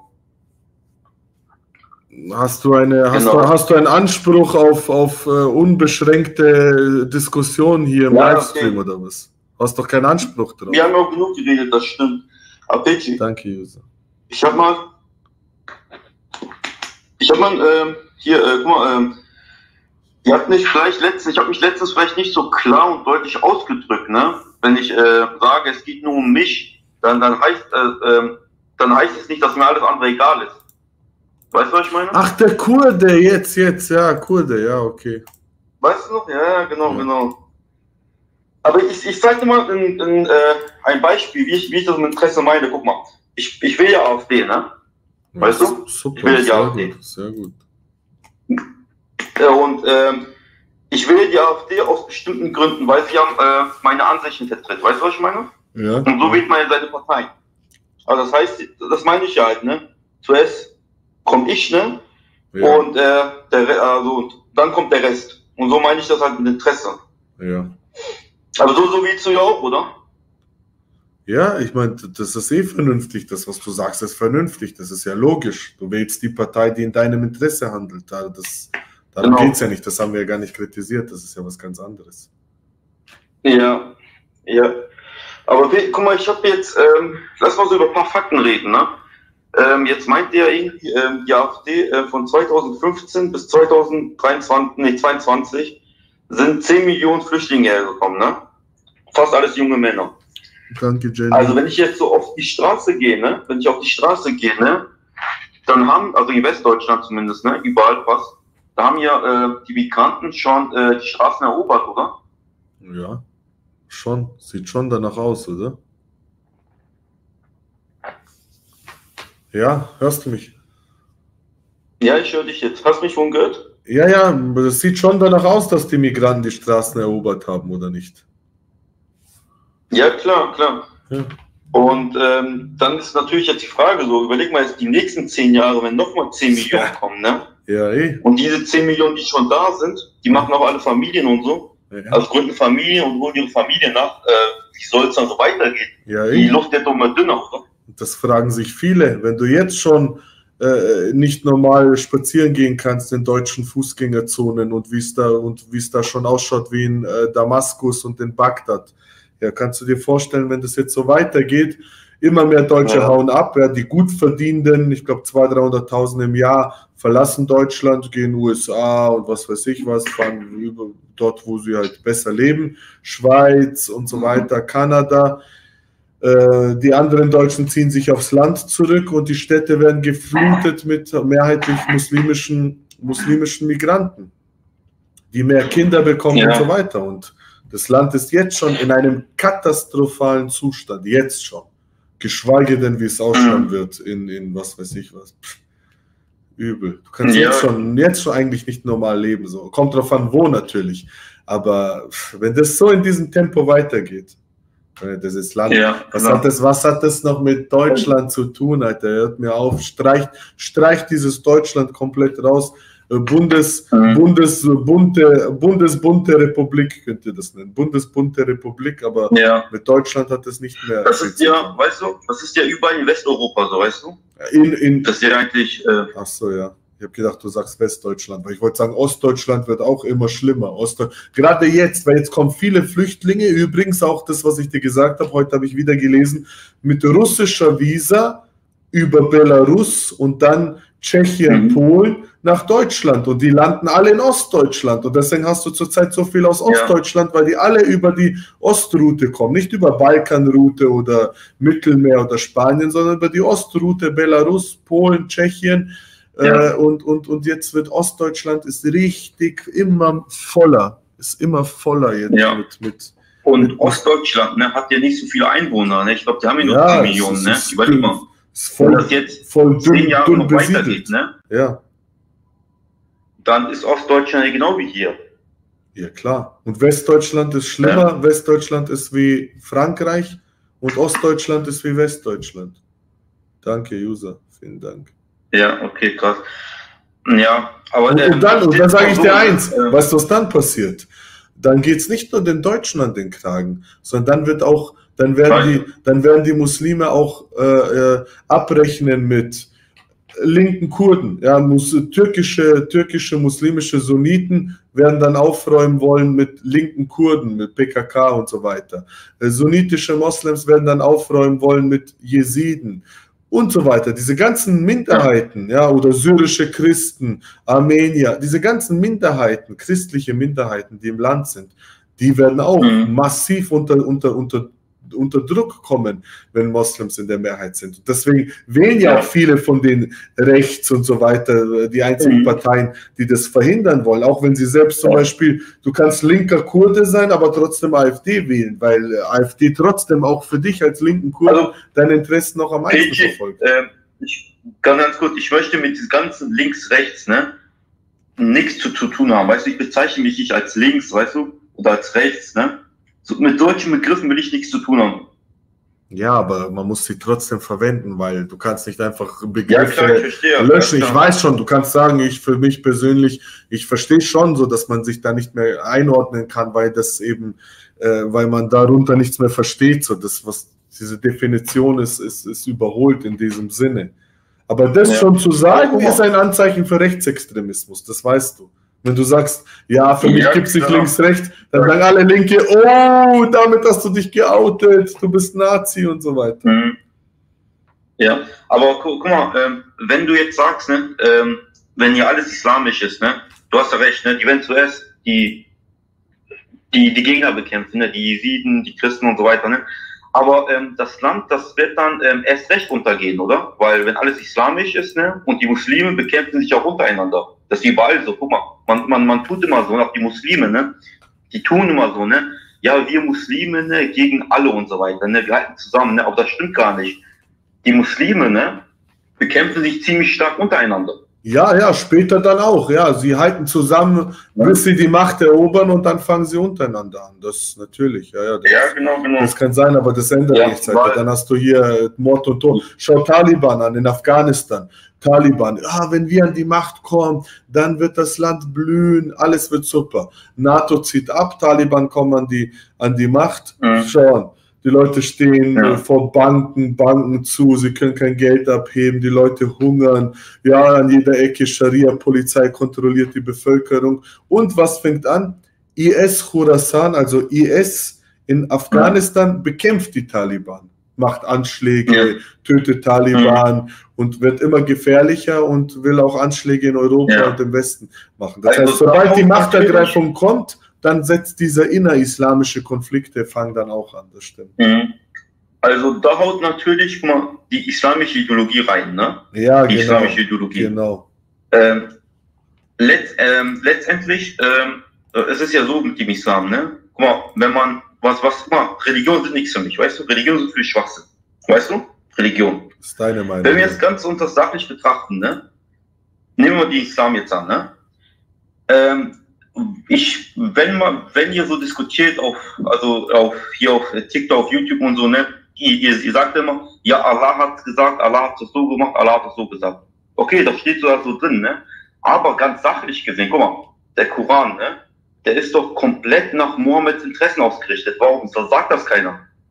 Das sagt man oft. Das habe ich oft schon erwähnt, dass zum Beispiel Mohammed, äh, alle Muslime dürfen nicht mehr als vier, nur vier Frauen, Mohammed ja. darf unbegrenzt Frauen. Äh, viele Verbote oder das mit, mit, seinem, äh, mit seinem Neffen, wo er seine Frau quasi ausgespannt hat und so weiter. Das mhm. erwähne ich öfter, dass Mohammed so Ausnahmegenehmigung ja. äh, für also, sich es, es hat ja mit Gott nichts zu tun. Ja, es ging aber, einfach nur darum, seine Interessen. Ja, so einfach ist es nicht. Das ist jetzt aus so deiner Perspektive, aus einer aufgeklärten Perspektive, aber äh, für Muslime, du musst auch schauen, wie die Gegenseite überlegt. Das und, ich, ja. und so weiter. Und das ist das Problem. Du kannst nicht nur sagen, das ist meine Sicht, das hat nichts mit Gott zu tun, das war alles nur Mohammed. Nee, nee. Aber sie glauben nicht dran. Nein, sie nee. glauben anders. Sie ja. machen das so. Genau, äh, was, was ich meine, ne? also, also, mal, mal, also ganz sachlich gesehen, wie gesagt, das hat mit Gott und so nichts zu tun, mit Allah, dies, das es ging ganz sachlich gesehen um Mohammeds Interessen. So ist der Koran ausgelegt. Das sage ich. Natürlich muss man auch sagen, ne, für die Muslime, die sehen das natürlich anders. Das muss man natürlich erwähnen. Das ist ja richtig. Aber ich finde, dass, weißt du, diese, äh, diese, äh, hier, äh, diese Komplexität, ne, die sollte man auf jeden Fall aussprechen, ne, wie das in der Realität ist, ne, und wie das natürlich mit dem Glauben ist. Ja, das mache ich doch ständig, Mann. Das mache ich doch ständig. Das muss man auf jeden Fall machen. Ja. Aber jetzt noch okay. eine andere Sache. Ne? Warte, ich kann nicht so lange. Ich, ich muss dir Fragen beantworten. Sag noch eine Sache. Komm. Also, von ein, ein, eine Sache noch. Aber ich finde schon, äh, weil du hast letztes Mal gemeint hast, die Mehrheit der Deutschen, ne, die wäre gegen sowas. Ne? Aber ich sehe aus meiner eigenen Erfahrung, ne, die Mehrheit der Deutschen veto linksgrün. Auch, äh, auch wenn es alle, ich, klar, viel, die sind viel manipuliert, ist richtig, ne? Aber irgendwann, ne, äh, kann man nicht mehr die Begründung von Manipulation nehmen, weil das ist so krass, was abgeht. Weißt du, was ich meine? Ja, ja, das kritisiere ich ja auch an den Deutschen, dass ich denke, egal Medienmanipulation, öffentlich-rechtliche, äh, man muss, ich weiß nicht, wie, wie, wie behindert man im Kopf sein muss, um sich noch manipulieren zu lassen. Das ist natürlich auch die Kritik von mir an Deutschen oder auch von den Deutschen, die es begriffen haben, an den anderen Deutschen, dass sie sagen, hey, seid ihr gestört im Kopf? Was wählt ihr für Parteien? Was wählt ihr für Politik? Ja. Wie, wie, schlimm soll das noch im Land werden, äh, äh, bis ihr mal aufwacht? Das ist, ja, da gebe ich dir recht. Also, ja. vielleicht wollen die es ja doch, oder? Wir wollen die meisten. Ja, natürlich gibt es ein, ein, einen, nicht Großteil, aber einen großen Teil in der deutschen Bevölkerung, wo ich sage, das ist so, du kannst es so betrachten wie, wie, äh, äh wie, äh, wie sagt man, Selbstmord. Ein, ein, ein Teil eines Volkes, welches sich selbst quasi vernichten will, ja. sich selbst auslöschen will. Wir sind so schlimm, wir sind für das alles, für das Schlimmste verantwortlich. Wir haben, kein, wir haben keine Existenzberechtigung mehr. Uns sollte es nicht mehr geben. Wir sind so schlimm, wir haben alles, mhm. wir sind am Schuld am Ersten, am Zweiten Weltkrieg, an allem. Uns sollte es nicht mehr geben. Das sagen sie ja selbst offen. Das ja, sagen klar. sie selbst offen. Ja. Ja, schwierige Aufgabe auf jeden Fall. Ja, ja. Äh, du wolltest jetzt Fragen beantworten, alles klar, ja. ne? Hey, danke dir, gell? Wir hören uns. Okay, gut. gerne. Mach's gut, ne? Ciao. ciao, ciao. Das ist kein Senf auf meinem Hemd. Das ist das Logo. Das ist kein Senf. Was für Senf? Als ob ich mit schmutzigem Shirt in den Livestream gehe. Für wie asozial hält ihr mich? Zum Hemd und nicht Senf, Mann. Jürgen Lusensky, wieso hast du Kollege in dein Diagramm direkt in der Mitte angeordnet? Grüße. Boah, Kollege, in dem Diagramm, warum ich ihn in der Mitte? Ich habe ihn nicht ganz in der Mitte, glaube ich. Ich wollte ihn mehr so in Richtung, in Richtung, in Richtung, äh, boah, jetzt habe ich die Kategorien, meine eigenen, meine eigenen erfundenen Kategorien habe ich vergessen.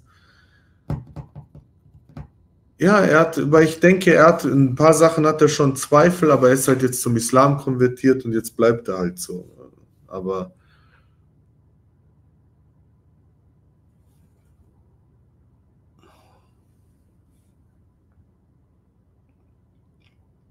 Echter Berliner. Komm rein, echter Berliner. Komm rein, wenn du dich traust. Komm. Komm rein, wenn du Zerfetzung willst.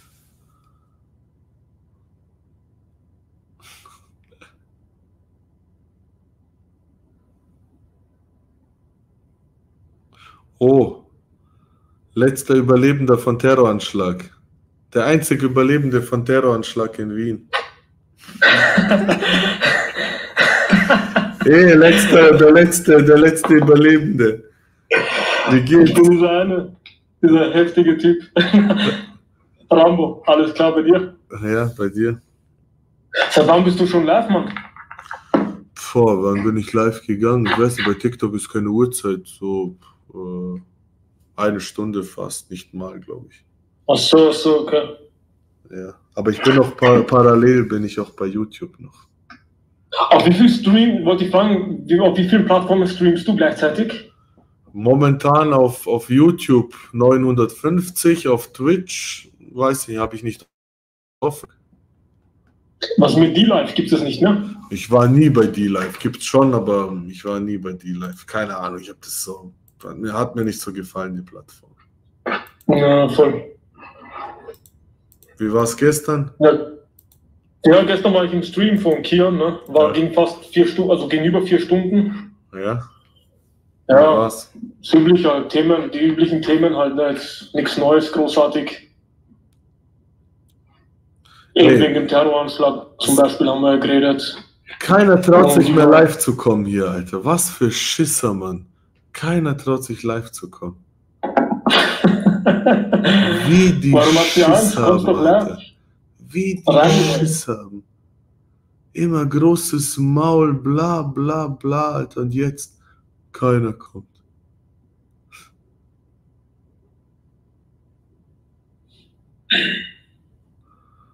Ja, da ist ja noch ein anderer, sehe ich gerade. Okay. Also, also lief gut Ja. gestern, ne? ja, normal ist das Smalltalk, übliches Gerede halt über die Themen, was es ist. Genau. Bist du auf TikTok manchmal live? Ja, ich bin eh live auf TikTok, aber jetzt nicht wegen dem Thema jetzt, ne, was du machst. Und natürlich spreche ich das auch hin und wieder an, wenn ich gefragt werde. Aber die meisten, die bei mir dann reinkommen, das sind Leute, die halt die, diese lustigen Videos halt bei mir feiern. Ne? Wie viele Leute hast du im Live ungefähr? Nicht viele, echt. Vielleicht zehn oder so, ein paar Mal. Ja, wirklich nicht viele. Aber ein Video ist viral gegangen, gell? Ja, mehrere Videos sind viral gegangen. Insgesamt, meine ganzen Videos insgesamt haben, glaube ich, über drei, insgesamt über drei Millionen Aufrufe. Aber TikTok, äh, TikTok Ja, TikTok ja, ist so, keine Ahnung, Alter. Du kannst, Der macht, was er will. ich sehe manchmal so welche Video 2 Millionen viral gegangen und der hat 500 Abonnenten. Denke ich mir, was bringt es, dass du jetzt Mhm. viral gegangen bist, wenn du, wenn du keine Stammzuhörerschaft oder Zuschauer hast? Ich sag dir ehrlich, da ist YouTube hat eine verlässlichere Reichweite Ja. YouTube ist tausend, ja, in der Hinsicht YouTube, ich hab, weiß immer ungefähr, wie viele Leute und fertig. Und TikTok ist so, keine Ahnung, so Ja. hier, da, dort. Ja, sicher, da stimmt die Relation nicht. Ich sehe manche, die haben eine Million Follower und dann haben die ein, ein Video, was nicht einmal 100.000 Aufrufe erreicht. Und dann das Ja, nächste Video, was die hochladen, fake, geht wieder Alter. voll durch die Decke. Ja, so, ja, keine Ahnung, Alter, es ist komisch, komisch, TikTok. Ja, voll. Hier eine Frage, Irfan Terrist der Islamistenjagd. Wie sieht's eigentlich mit dem morgigen Boxkampf der Assis aus? Gibt es da eine Chance, bei dir reinzugucken? Vielen Dank nochmal für alles und Grüße aus der Schweiz. Ich esse jetzt meine Raclette. Vielen Dank. Ähm, ich bin morgen unterwegs, deswegen ich werde nicht live auf den Kampf reagieren. Aber ich schaue ihn mir nachher an und dann schaue ich. Äh, und dann reagiere ich Was? drauf. Was für ein Kampf? Bösemann gegen Manuelsen morgen. Ja, bitte. Was glaubst du, wer gewinnt? Oder was ist das? Sie machen dich, die machen dich so, sich so peinlich damit. Was ist das? Der eine, alte Zwerg, nur so, so, so. Der andere 150 Kilo, Alter. Blödsinn. Weil nach das? 20 Sekunden kann er nicht mehr atmen, weil er keine Kondition hat. Nee, das ist Ja, egal, Witz- die machen damit aber Kohle, was? Die machen ein bisschen Witzkampf. Kohle damit, denken sich auch egal. Ja, ich habe gesagt, äh, Gewinner, Sieger gegen mich kann gar kein Problem. Ey, was glaubst du, was für Security da sein musste, wenn tatsächlich ich da kämpfen würde jetzt gegen Manuelsen Bösemann? Nur Ich glaube, das kommt gar nicht Moslems, zustande, Mann. nur glaub Kanaken dort. Die bräuchten 500 Sicherheitskräfte, damit ich da nicht gelyncht werde. Ja, auf jeden Fall, das geht, glaube ich, gar nicht hinhauen. Stell dir vor, die kommen ja immer so mit 100 Fans und was weiß ich was und dann hau ich, den, hau ich einen K.O. oder sowas. Junge, die würden, den, die würden den Boxring stürmen, das wäre Eskalation vom Feinsten. Ich weiß nicht, wo das war. Ich glaube, Sinan die gegen Böse Mann, glaube ich, glaube ich, war das. Da war mehr Action unter diesen Zusehern. Ne? Die haben sich viel mehr geprügelt als die Assis, Mann, Alter. So Assi-Kanacken, die da war immer dasselbe. Überall, wo sich zehn Assi-Kanacken versammeln, dort hast du Schlägereien, dort hast du äh, rumgeklaue, dort hast du den ganzen Scheiß, Alter. Und dann die Assi-Kanacken, die zuhören, ihr wisst, dass das so ist, Mann. Ihr wisst es. Überall, wo ihr hinkommt, habt ihr nur Scheiße im Kopf und nur Scheiße bauen, Scheiße machen, schlagen, bedrohen, bla bla bla. Ja, ich muss aber schon dazu sagen, danach haben sich auch wirklich viele eben ähm, ja, Ausländer sich davon distanziert und das auch öffentlich verurteilt und sich dafür geschämt. Ja, ich rede nicht von Ausländern allgemein, ich rede speziell von diesen Assi-Kanacken, die so, ja, sich so, so verhalten, verstehst du? Und davon gibt es einfach zu viele, Mann zu viele. Ja, schon, das stimmt. Das deswegen haben die Leute auch keinen Bock, deswegen wollen solche Leute auch nicht solche in Diskus haben oder sonst was, weil überall, wo sie auftauchen, sie können nicht friedlich sein, genießen oder locker bleiben, sondern sie müssen gleich den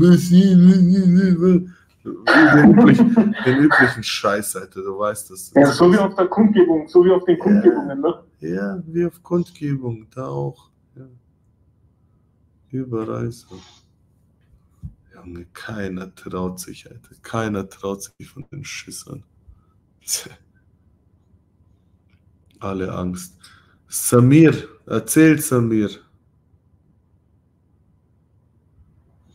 Hallo.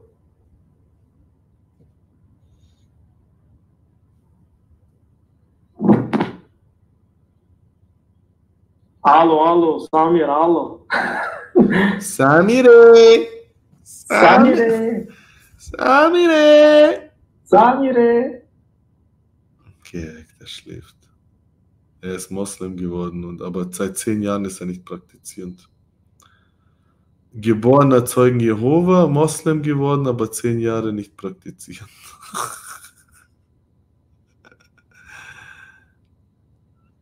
Wie diese Meal. Ist ein Problem. Alles gut. Hallo Violetta. Hallo, Hi, Irfan. Hi, Roman. Hi, Irfan. Guten Abend und Shalom. Gottes Frieden sei mit uns. Amen. Wie fandest du den Stream?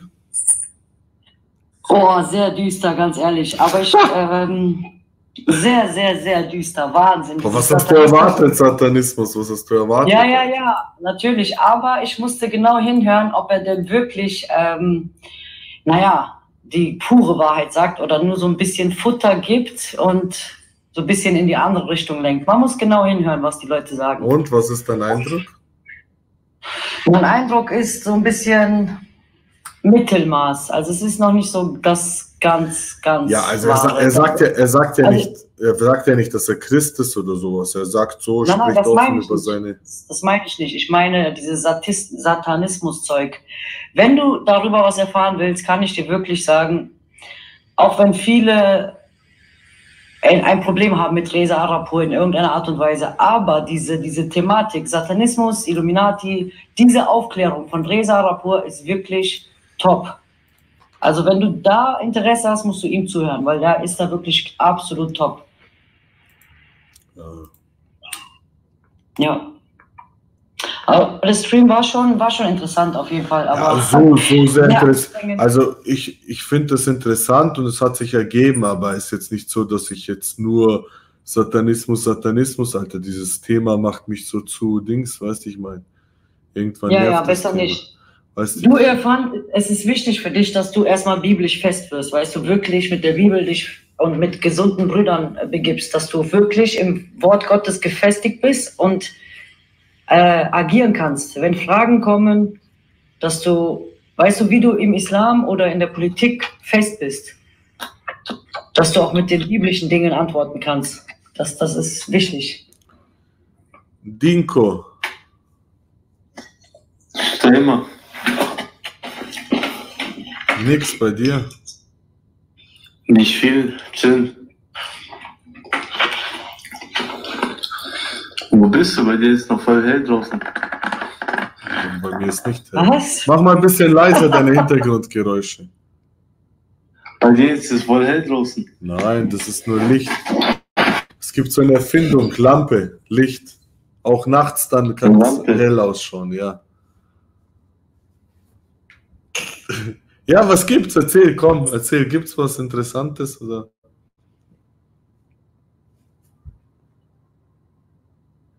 Hm. Naja. Ja, egal. Egal, schmeiß mal raus. Ja, TikTok ist langweilig jetzt schon. Wenn keiner sich traut zu diskutieren, ist langweilig. Wo sind denn all die Burschis? Schiss. Na, alles gut. Ja, bei dir? Gut. Ich hätte noch mal eine Frage, Irfan. Ja. Ähm, also, du bist wie, wiedergeborener Christ, richtig? Also, du hast dich getauft. Ähm, Christ, ja, Christ, weiter. Meine Frage, inwiefern hältst du das vereinbar mit deiner Tätigkeit für die FPÖ und AfD etc. etc.? Würde ich mal wirklich verstehen. Inwiefern, inwiefern, inwiefern widerspricht sich das? Du musst das erklären. Ich weiß nicht, was, inwiefern das jetzt äh, äh, dem Glauben widersprechen würde, für eine rechte Partei oder sowas tätig zu sein. Ähm, ich sag mal so, Chauvinismus, Nationalismus und all diese Sachen. Äh, ich sehe da jetzt keine Schnittmengen mit dem christlichen Glauben. Überhaupt nicht. Nein, du musst jetzt mal die, die, die, die du musst erst ja. einmal, was heißt weltliche Sache? Du musst erst mal den, die Widersprüche Natürlich. aufzeigen und sagen, hier glauben, das, was die AfD oder FPÖ macht, das verstößt gegen den Glauben. Ja, das musst du erst mal zeigen. Du sagst Nationalismus. Es gibt in den Parteien gibt es liberale, rechte Nationalisten. Was? Was? Dass sich Menschen mit bestimmten, also dass Menschen mit einem bestimmten Hintergrund irgendwie, wie soll ich sagen, bevorzugen gegenüber anderen Menschen. Beispielsweise, dass ich sage, ja, wir Europäer sind dies und jenes, ja, und äh, andere Leute sind dies und das, ja, und das sehe ich bei der FPÖ sehr oft. Wohnt ja in Österreich, darum sage ich jetzt einfach mal FPÖ. Ja, insbesondere mit diesen Identitären, ja. Also das, das, das schon auf einer Ebene mit NPD. okay. Okay, ist auf keiner Ebene mit NPD. Und ich kann mich zum Beispiel jetzt an die Kundgebung mit Martin Sellner, weil du Identitäre erwähnst. Er hat oft gesagt, und er sagt sogar öfter als ich, wir haben nichts gegen andere Kulturen. Wir werten andere Kulturen nicht ab. Nur wir wollen sie nicht hier haben. Kulturen, die nicht hierher passen, wollen wir nicht hier haben. In ihren Ländern können sie ihre Kultur leben, machen, stolz sein und so weiter. Gar kein Problem. Danke, Sani aber es, gehört nicht hierhin. Und schau, das ist halt immer der Denkfehler. Ihr begreift es immer so, oder viele begreifen es immer so als Abwertung oder als, äh, wie sagt man, Entmenschlichung. Wenn ich sage, jemand oder äh, es sollen gewisse Völker nicht massenweise hier reinkommen, dann heißt das nicht, dass ich sie entmenschliche oder sowas, sondern ich sage einfach nur, wir wollen sie hier nicht haben. Und ich sehe da überhaupt kein Widerspruch zum Glauben. Und das ist halt auch diese, diese falsche Vorstellung durch die heutigen Kirchen, ja, die mitmachen bei äh, LGBTQ, bei Massenmigration und so weiter, die das ganze politische äh, alles mitmachen, dass die Leute halt dann denken so, ach so, ach so muss der Glaube sein. Der Glaube muss sein, dass ich illegale muslimische Asylanten reinhole. Christentum muss sein, dass ich meinen eigenen Schlechter zu ja, mir nach Hause hole und so weiter. Irfan, darauf beziehe ich mich gar nicht. Ich, ich lehne auch diese Sachen mit LGBTQ, insbesondere von diesen Amtskirchen ab und äh, ich will auch keine Massenmigration oder sowas. Ja. Darauf beziehe ich mich doch gar nicht. Aber wo ist der Widerspruch? Persönlich, dass es gewisse Grenzen gibt, dass man natürlich nicht alle Welt aufnehmen kann. Ich glaube, das ist auch nicht der Anspruch von äh, den meisten Menschen. Aber es geht darum, dass man bestimmte Thematiken auf eine sachliche Ebene äh, thematisiert, ja. ja wo bin dass ich man nicht nicht versucht, den Ressentiment zu, zu schüren, weißt du? Wie ja? schür, wie schür ich, wie nicht schür ich ist, Ja, insbesondere als Schau mal, das ist alles schön und gut, aber du musst bitte, wo schüre ich Ressentiments? Wo tue ich, was weiß ich was? Das trifft nicht zu. Verstehst du? Ich sehe nicht, dass das bei mir zutrifft. Guck mal, guck mal beispielsweise, beispielsweise auf den Kundgebungen. Ja? Man kann ja ein bestimmtes Thema ansprechen. Man kann ja den politischen Islam oder den Islam äh, ansprechen, kritisieren. Aber ich merke schon, oder ich merke schon, dass du sehr, soll ich sagen, äh, sehr mit den Emotionen der Menschen spielst, ja. Ähm, Inwiefern?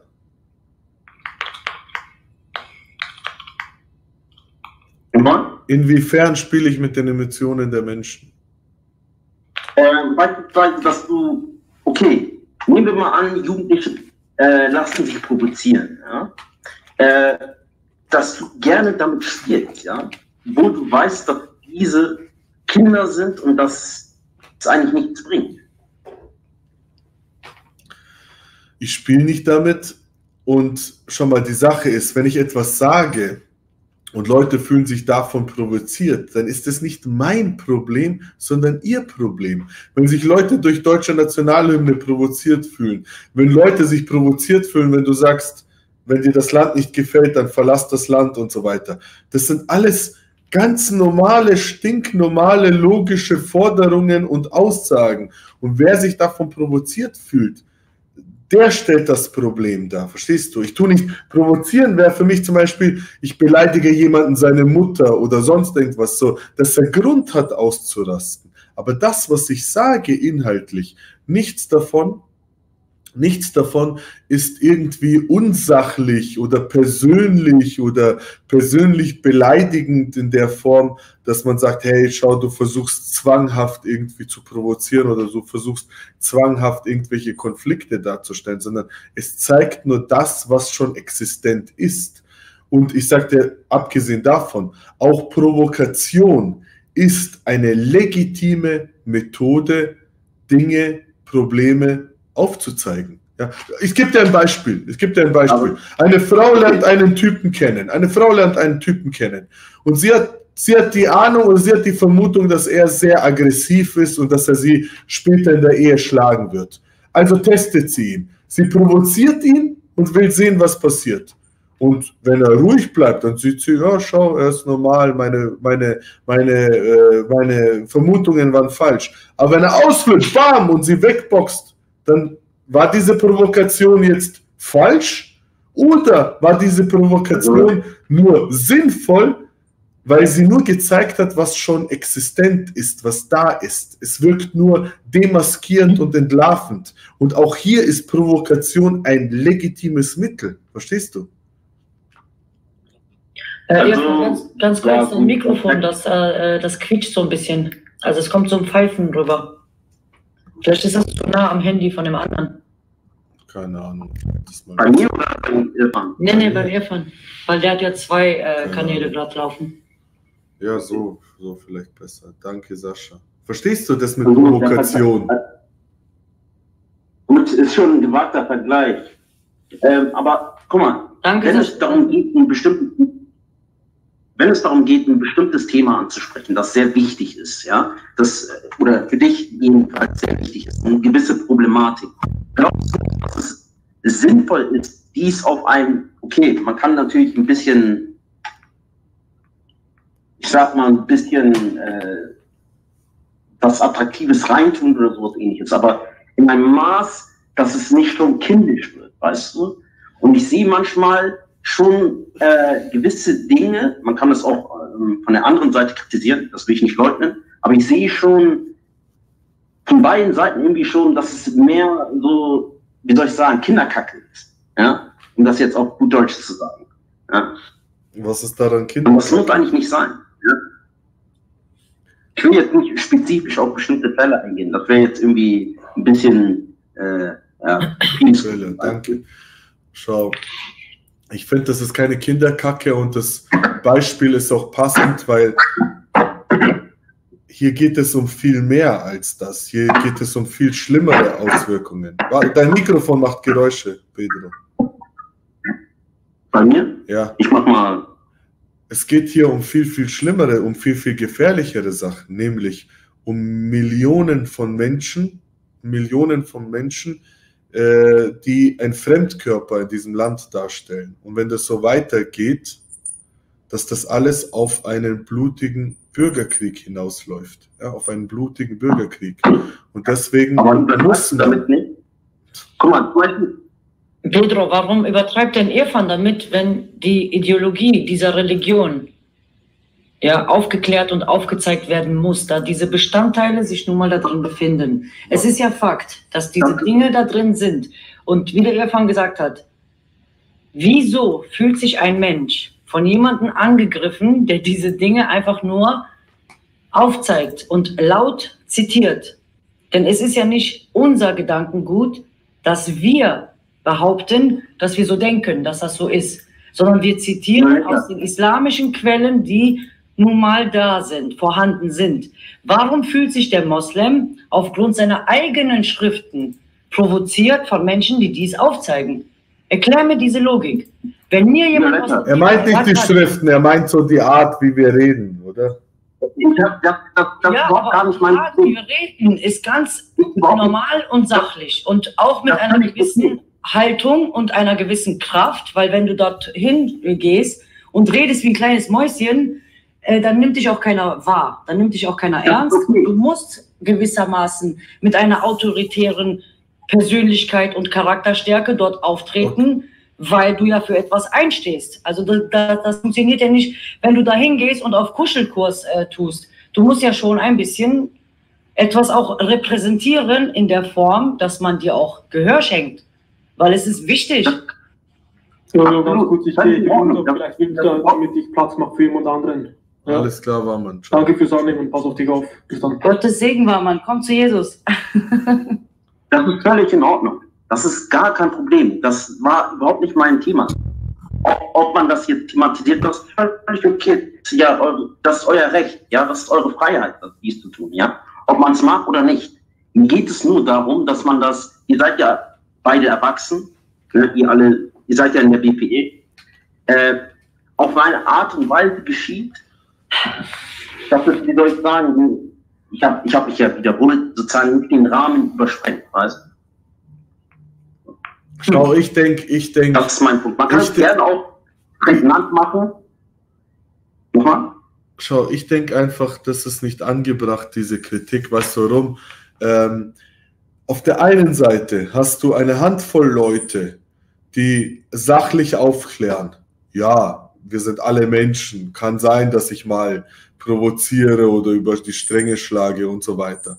Und auf der anderen Seite hast du fast immer einen wütenden Mob, die mit Umbringen drohen, die Dinge werfen, die angreifen, körperlich werden und so weiter. Und in dieser Situation kommt deine Kritik, ja, aber ihr über, provoziert bisschen zu viel. Das war so wie, keine Ahnung, also das war so wie, zwei Leute stehen sich gegenüber, der eine haut mit Baseballschläger auf ihn ein, schlägt ihn zusammen und, und einmal schafft der andere ihn mal eine, eine, eine, eine zu klatschen und dann kritisiert man den, der klatscht. Verstehst du? Es, diese Kritik in dieser Situation, in dieser, ist vollkommen unverhältnismäßig und vollkommen fehl am Platz einfach. Vollkommen, vollkommen fehl am Platz weil äh, die massive Gewalt und Aggression und Gefahr, die von der anderen Seite ausgeht, einfach zu groß ist. Ich sag, Alter, ich sag, selbst wenn ich, selbst wenn ich den Koran dort zer äh, zerreißen würde, wäre das noch meiner Meinung nach, wäre das noch im Rahmen. Verstehst du?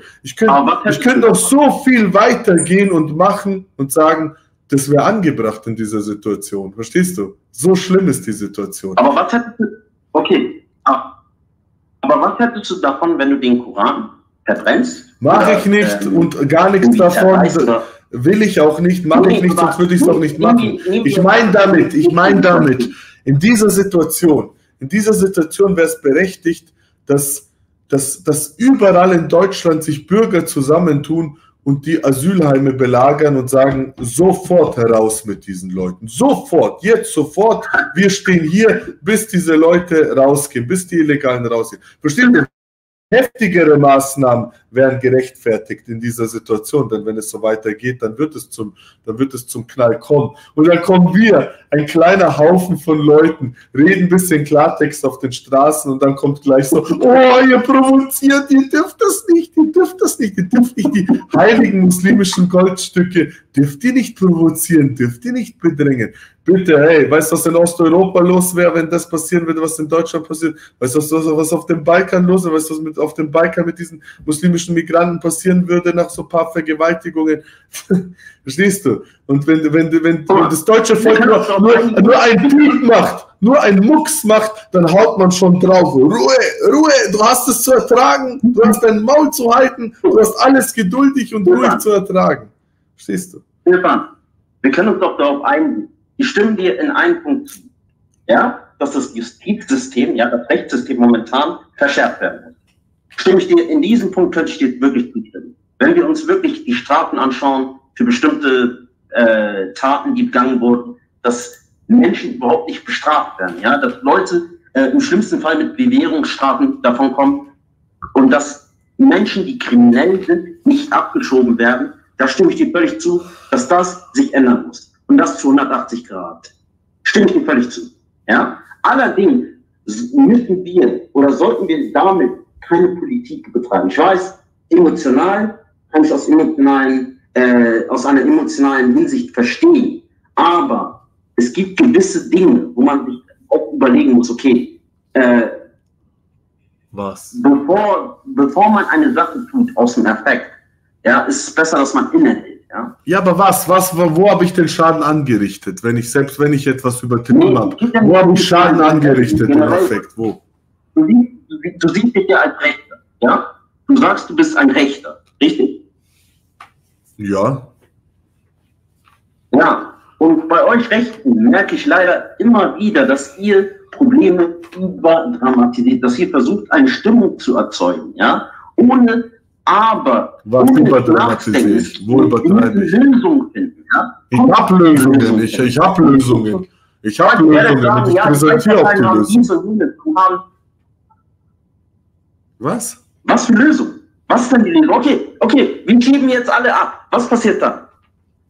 Ja, wir schieben jetzt alle, alle äh, Warte, Asylanten ab. Ja, alle, alle, alle Leute, die irgendwie einen subsidiären Schutz haben, schieben wir jetzt alle irgendwie nach Afghanistan, nach Syrien oder äh, Irak, wo auch immer ab. Was dann?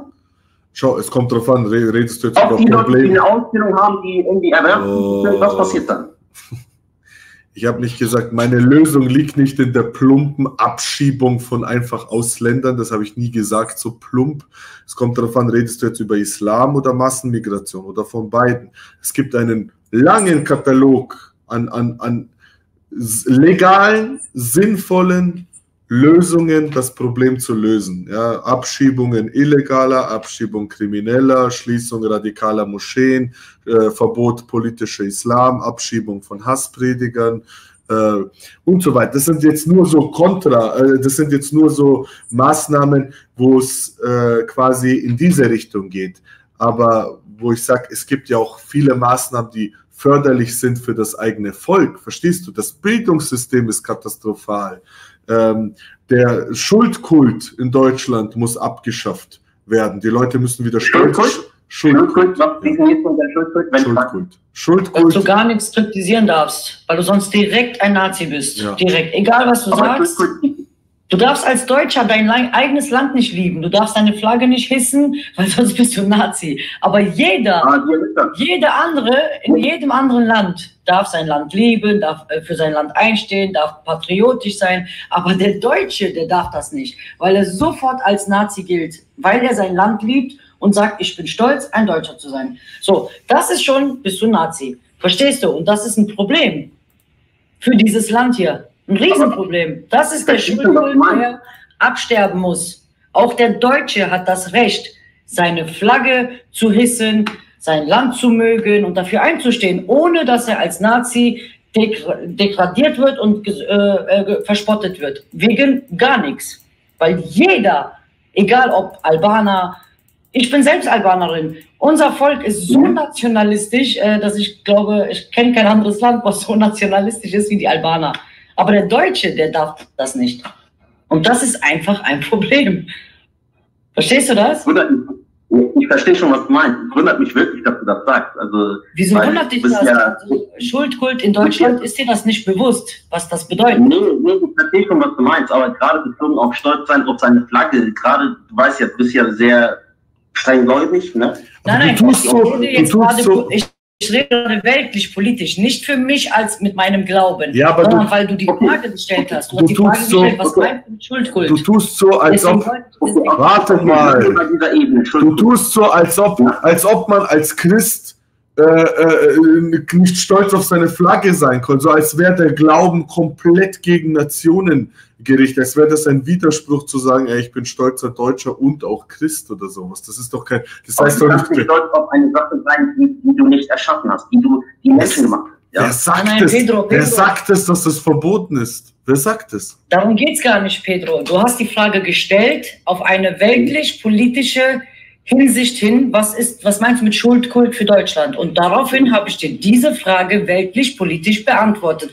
Das hat mit meinem Glauben, dass ich an Jesus Christus, an Gott glaube und ich ein Himmelsbürger bin, ja, mhm. und mein Zuhause bei Gott dem Vater ist, das hat damit überhaupt gar nichts zu tun, sondern ich habe auf deine weltlich gestellte Frage weltlich geantwortet. Alles gut, ist in Ordnung, kein Thema, kein Problem. Okay. Ähm, ja, aber, aber bezüglich des Schuldkults, äh, müssen wir doch klar sein, dass wir als Deutschland eine gewisse Verantwortung haben. Das ist doch okay. Dienst Ja, aber Verantwortung sagen, ist das ja, eine und Schuldkult ist das andere. Das sind zwei verschiedene Sachen. Was heißt für dich Verantwortung? Was heißt für dich eine besondere Verantwortung? Was?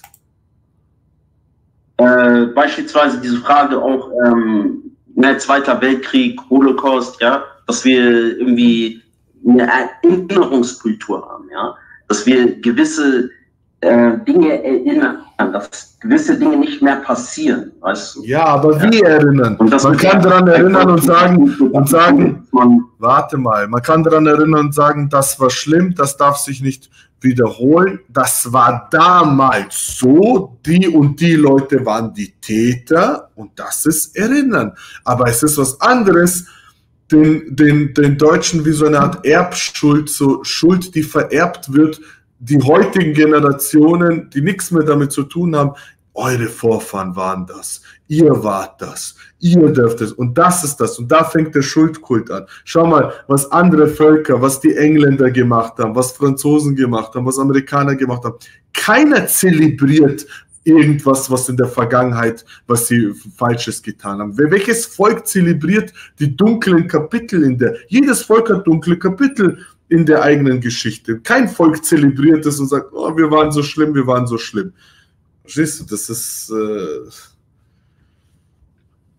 ja, aber ich kann auch nicht so ganz folgen, was dein Punkt ist, Pedro, wenn ich ganz ehrlich bin. Ich weiß nicht, worauf du hinaus willst, was genau so dein Ausgangspunkt ist.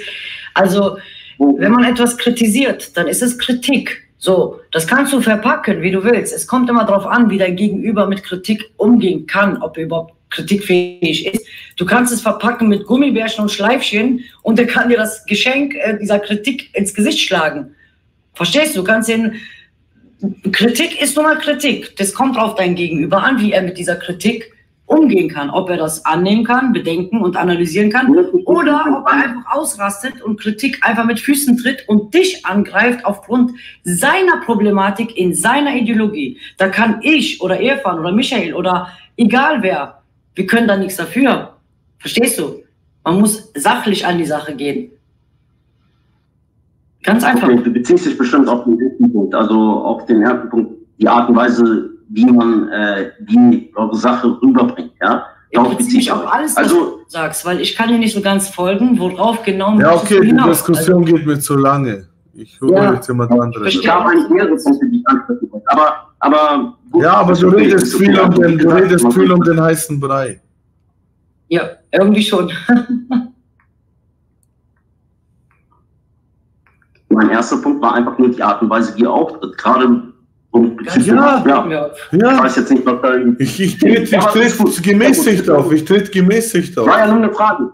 Das ist gar nichts, wie ich, ja. wenn ich, wie ich auftreten würde, wenn ich, wie ich auftreten würde, wenn ich, wenn ich, wenn es nach mir ginge, wie ich auftreten würde, mein Freund. Das ist gar nichts, Mann. Ja. Und selbst Ich das ist auch- auch schon zu hart für die Leute. Junge. Ja, also ich finde auch, das ist ganz, ganz normal und äh, sachlich äh, her hervorgebrachte äh, Schriften des Islams, die man zitiert, Danke, Pedro. Ciao. Verstehe ich nicht. Ja, was Aber heißt okay. sachlich? Man muss doch nicht immer sachlich sein. Manchmal kann man auch provokant sein. Manchmal, wer sagt, dass man immer. Ja, es ist halt einfach Kritik, Irfan. Das ist Kritik an einer berechtigten Sache, wie dem politischen Islam, der halt auch die Muslime selbst, die hier leben, bedroht. Was soll man da, wie soll man das sonst machen? Ganz einfach. Guten Abend, hallo. Guten Abend. Äh, Irfan, Ja. äh, ich bin nochmal von gestern. Ich habe vielleicht ein bisschen komisch reagiert. Wer, So, nimmst du mich wer von gestern? Was für gestern? Gestern, was Bitte? war gestern? Was war gestern? Was War das nicht gestern oder war gestern? Ja, dafür wollte ich mich nochmal entschuldigen. Für was? Ich habe da ein bisschen, dass ich da, weil du dachtest, dass ich dir gedroht habe, aber ich habe da niemanden gedroht. Hey, an dem Abend haben mir 20 Leute gedroht. Wer warst du von den 20? Das weiß ich nicht. Na, hier, mein Gesicht siehst du doch, ich bin doch live. Ah, aus Berlin. Aha. Warum jetzt auf einmal ja, entschuldigen? hab, genau. So, aber wir vergessen die Sache. Deswegen bin ich auch reingekommen und bin ich bei dir auch entschuldigt gerade. So, nimmst dich persönlich, weil ich nehme von niemandem den Leben, das ist nicht mein Recht. Nur was ich äh, sagen wollte, warum ich so reagiert habe, ist, wenn ihr immer gegen den Islam hetzt, okay, wenn ihr immer gegen den Islam hetzt, gegen den, was früher passiert ist, weil die Leute halt einen Krieg geführt haben, weil die das mussten, um sich zu ernähren, um die Familie zu retten oder keine Ahnung was. Das ist das Gleiche so. Es kann auch zu den zwei Deutschen gehen und sagen, ey, du hast eine Million Juden vergast. Verstehst du, was ich meine? So. Und, und du, warum, meine? Was und warum siehst du das als deine Pflicht, dann jemanden zu bedrohen, der, der ist, der, der kritisiert? Aber wie habe ich dich dann bedroht? Kannst du das sagen? Weil ich weiß selber Du nicht, hast dass ich gesagt, bedroht du hast habe. gesagt, du wirst mich, du wirst mich, du wirst mich schlagen wie mein Vater oder irgendwie sowas hast du gesagt. Nee, nee, nee, nee, nee, nee. Ich, Doch, nur, ich habe nur zu dir gesagt, ob ich dir, ob ich dir mein Gesicht zeigen soll oder nicht, wenn ich dich beleidige. Ja, und Aber danach nicht, hast du dass gesagt, schlage ich schlag dich wie dein. Vater oder sonst was. Da habe ich gesagt, ja, komm Das her. Habe ich gesagt, du gesagt, aus beleidigt. Berlin und so weiter. Genau. Alles klar, ich bin hier drin, habe mich bei dir entschuldigt. Ja. Ihr wisst, was ge- vorge- vorgestern passiert ist. Darum geht's mir nicht. Mir ging es gerade nur darum, weil ihr die ganze Zeit auf uns Muslimen hackt, gegen uns hetzt und sowas alles. Woher kommst du? Was bist du? Bist du Albaner oder was bist du? Ich bin Albaner, ich wollte auch später nochmal zu Viola ein bisschen dazukommen. Violetta. Aber mir geht. Sorry. Alles klar. Ja, gut, angenommen. Ja. Okay, aber, aber das kannst du mir nur sagen, warum du so gegen den Islam bist, obwohl du selber Muslim bist. Nur damit ich das verstehe. Ich bin kein Moslem. Ich war mal Moslem. Genau. Aber warum bist du jetzt so gegen, gegen uns, also gegen die Religion? Boah, schau, das ist, das ist jetzt große Frage, so was. Das wird jetzt lange dauern. Kennst du Ja, Kundgebungen oder Videos oder also. hast du noch nie was von mir gehört oder gesehen oder sowas? Okay, ich mache, ich gebe dir vielleicht, vielleicht verstehst du, vielleicht verstehst du dieses Beispiel. Äh, ich bin so sehr dagegen, ähm, weil die meisten Moslems genauso wie du ticken.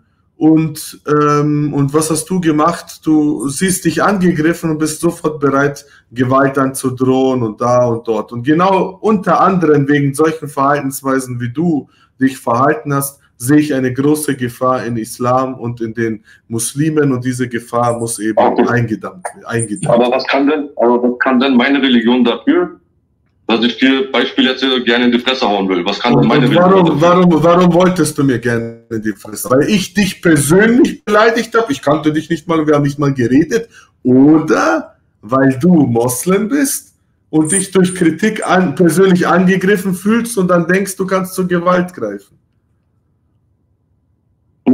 Na, schau mal, du gehst ja auf die Menschen generell zu. Du gehst jetzt nicht auf die Religion, sondern, sondern du versuchst uns anzugreifen. Ich Nee, sag Islam stimmt und, nicht. und, Es und geht rein um die. Ideologie des Islams. Es geht nicht um den einzelnen Menschen. Weil er kennt dich ja überhaupt gar nicht. Er hat Ich nicht mal ein Gesicht von dir Nein, gesehen. nein, nein, Es nein, geht nein, um die nein. Schriften. Er, wie kann er dich beleidigen, ohne dass er überhaupt weiß, wer du überhaupt bist? Das ist wachsinniges Denken, sag mal ganz ehrlich. Wie kann ich einen Menschen beleidigen, den ich überhaupt nicht kenne? Erster Punkt.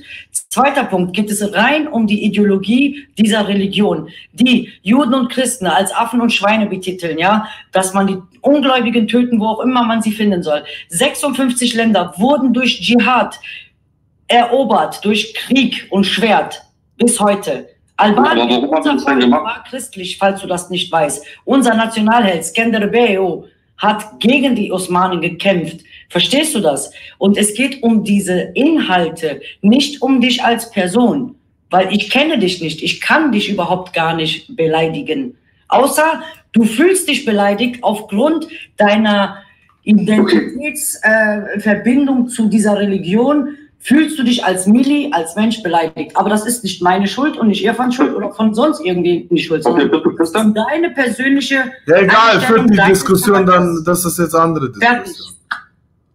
Okay, darf ich nur kurz was sagen? Ja, Viola, Violetta, bist du Christin? Ich bin Ex-Muslim und jetzt Christin, ja. Okay. Beispiel, weil ich, ich mag es nicht über Religion schlecht zu reden, ob es jetzt Christus oder keine Ahnung was, ist mir völlig egal, Gott ist Gott. Wenn ich jetzt so sage, die Christen Schweine, wird euch nicht angesprochen?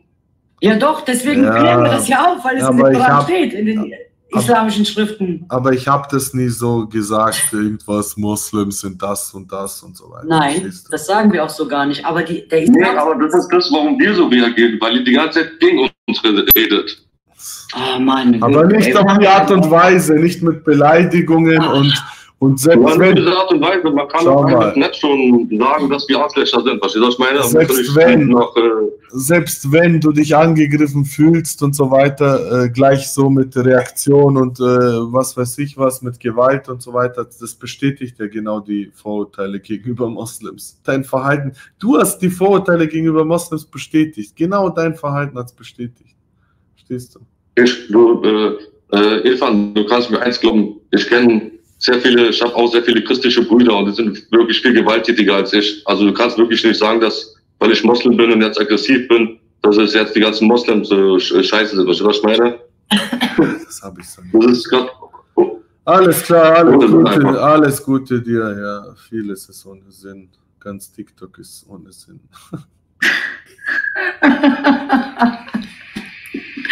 ja, Tiki-Toki.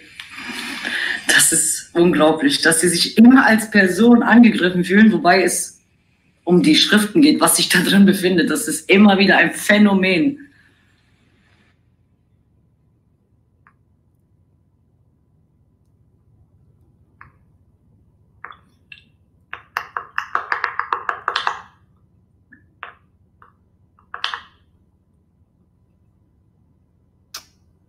Hallo.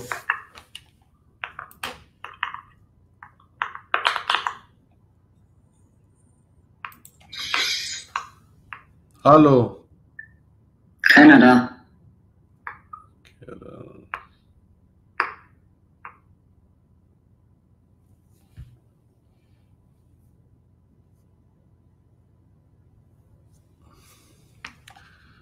Hier noch ein paar Fragen.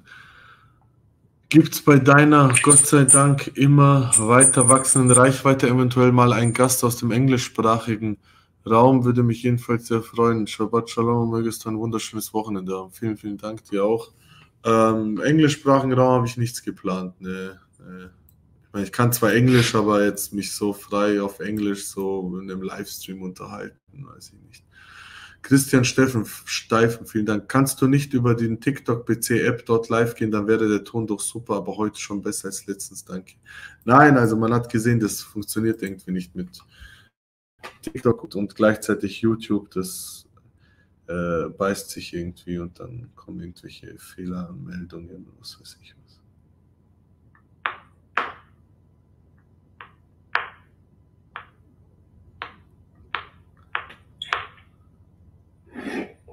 Was sind das für Geräusche? Guten Abend. Guten Abend. Und die Herrschaften.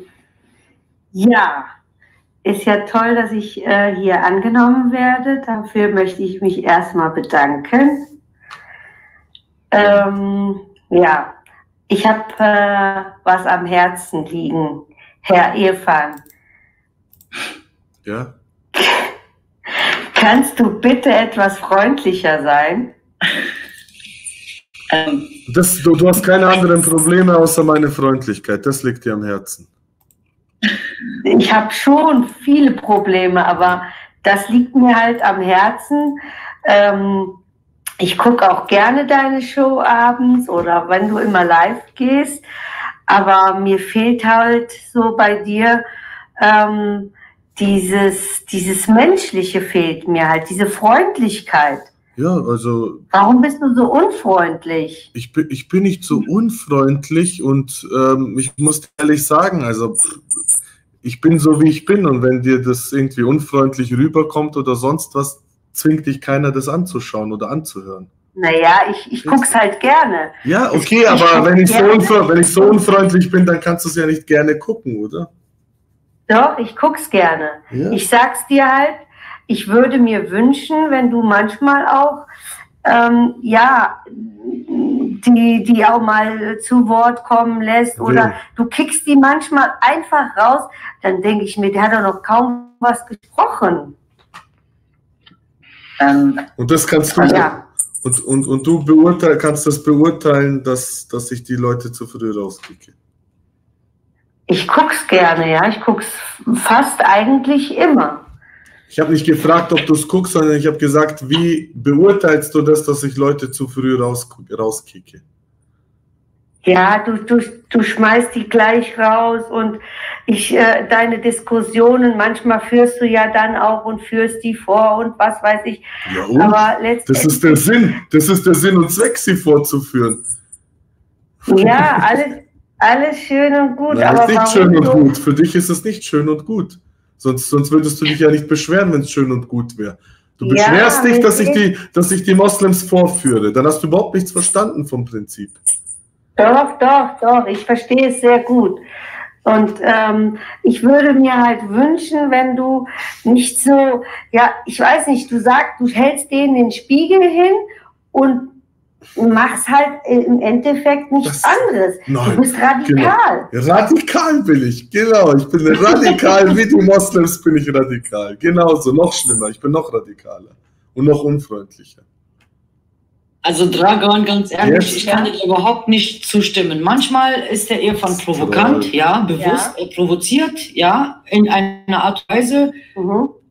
dass der gegen, äh, also der, der dann zuhört. Äh, Egal, Violetta, du musst das nicht erklären. Ich habe alles erklärt, fertig, da braucht es keine Erklärung. Nein, aber das ist nicht Unfreundlichkeit. Ja, das ist, das ist doch egal, was sie denkt oder sagt oder sonst irgendwas. Wir haben auch unter uns haben wir so Gutmenschen, die sich so ein bisschen dran stören an der harten Art. Die wollen halt so, dass wir sagen, oh lieber Ahmed, warte, ich erkläre dir nochmal und so weiter. Ist nicht, ist nicht meine Art, wenn dir das nicht gefällt. Wie gesagt, keiner zwingt dich und ich nehme Kritik an, aber diese Kritik ist für mich nicht nachvollziehbar. Das sind persönliche, persönliche Geschmäcker einfach. Genau, das ist das halt, weißt du? Und das äh, kann man, man kann nicht jedem Menschen angepasst äh, gefallen, weil wir sind auch ja, nicht hier, um der Welt zu gefallen, sondern wir sind da, aber, um aber eine gewisse mir, Botschaft nach draußen zu tragen. Ja, ich bin mehr so mit meiner Message unterwegs, dass ich den Herrn Jesus Christus halt verkündige und bezeuge und auch diese Dinge aufkläre und auch manchmal Aber sagt ihr denn jetzt, sagt ihr das Gleiche, alles was nicht Christ ist, ist ungläubig und kommt in die Hölle, oder? Also, ich glaube, die, wollte, glaub, die wollte bei Radio Deutschland 1 anrufen. Das ist eher so Radio Deutschland 1 Zuhörerin. Ich weiß nicht. Also die Bibel sagt ganz klar, wer in seinen Sünden stirbt, Gott ist heilig. Wer in seinen Sünden stirbt, der geht Aber leider verloren. Alle ein Gott? Ja, das bitte, ist richtig. bitte, keine, Gott, keine solche Diskussionen hier mit. Äh, Nein, Evan, so ich wollte dir das nur ganz kurz erklären. Also, wir haben alle einen Gott, das stimmt. Die weiß ja. das schon alles. Sie will nur provokante Fragen und einmal in ihrem Leben Aufmerksamkeit. Also, du hast die Aufmerksamkeit bekommen, deine Kritik ist angekommen, ist abgelehnt, ich bleibe weiterhin unfreundlich. Schönen Abend, danke dir, viel Spaß. Ciao, ciao. So, so muss man okay. mit den Leuten violent. So. Ja, naja. Man kann auch nicht jedem Menschen gefallen, ne? Das ist auch gar nicht die Intention, die wir hier verfolgen. Wen interessiert Gefallen oder sonst was? Genau, das richtig. ist doch keine Das Dating, ist das hier Dating-App oder was? Nein, eben nicht. Hi, hi, endlich, danke bin ich, endlich bin ich drin, danke erstmal. Ähm, ja, vorhin sind so viele Themen gefallen und ich wollte halt immer wieder mal ähm, missreden. Ähm, ich stelle mich jetzt erstmal auf Stumm, um zu gucken, wo das Gespräch hinführt, damit ich mich wieder ähm, ja, dran beteiligen kann, weil ich will jetzt nicht irgendein Thema aufmachen von vorhin. Ähm, es kommt immer wieder mal was, wo ich dann was zu sagen habe. Ich würde gerne äh, mich ein bisschen mit euch austauschen. Ist das in Ordnung, Gefallen? Weiß ich noch nicht, schauen wir mal. Ja, das, das sehen wir dann. Das sehen wir dann. Andi XXX, vielen Dank. Warum wissen diese stolzen Muslime fast nichts über ihre eigene Religion? Selbst ich weiß mittlerweile mehr als die meisten von denen. Ja, komm, Ömer, beantworte uns das. Warum wissen die stolzen Muslime so wenig über ihre Religion? Ähm, wer sind die stolzen Muslime? Ja, die, die stolz drauf Ich bin kein stolzer Muslim. Ach so, okay. Ich, ich kann nicht im Namen der stolzen Muslime reden.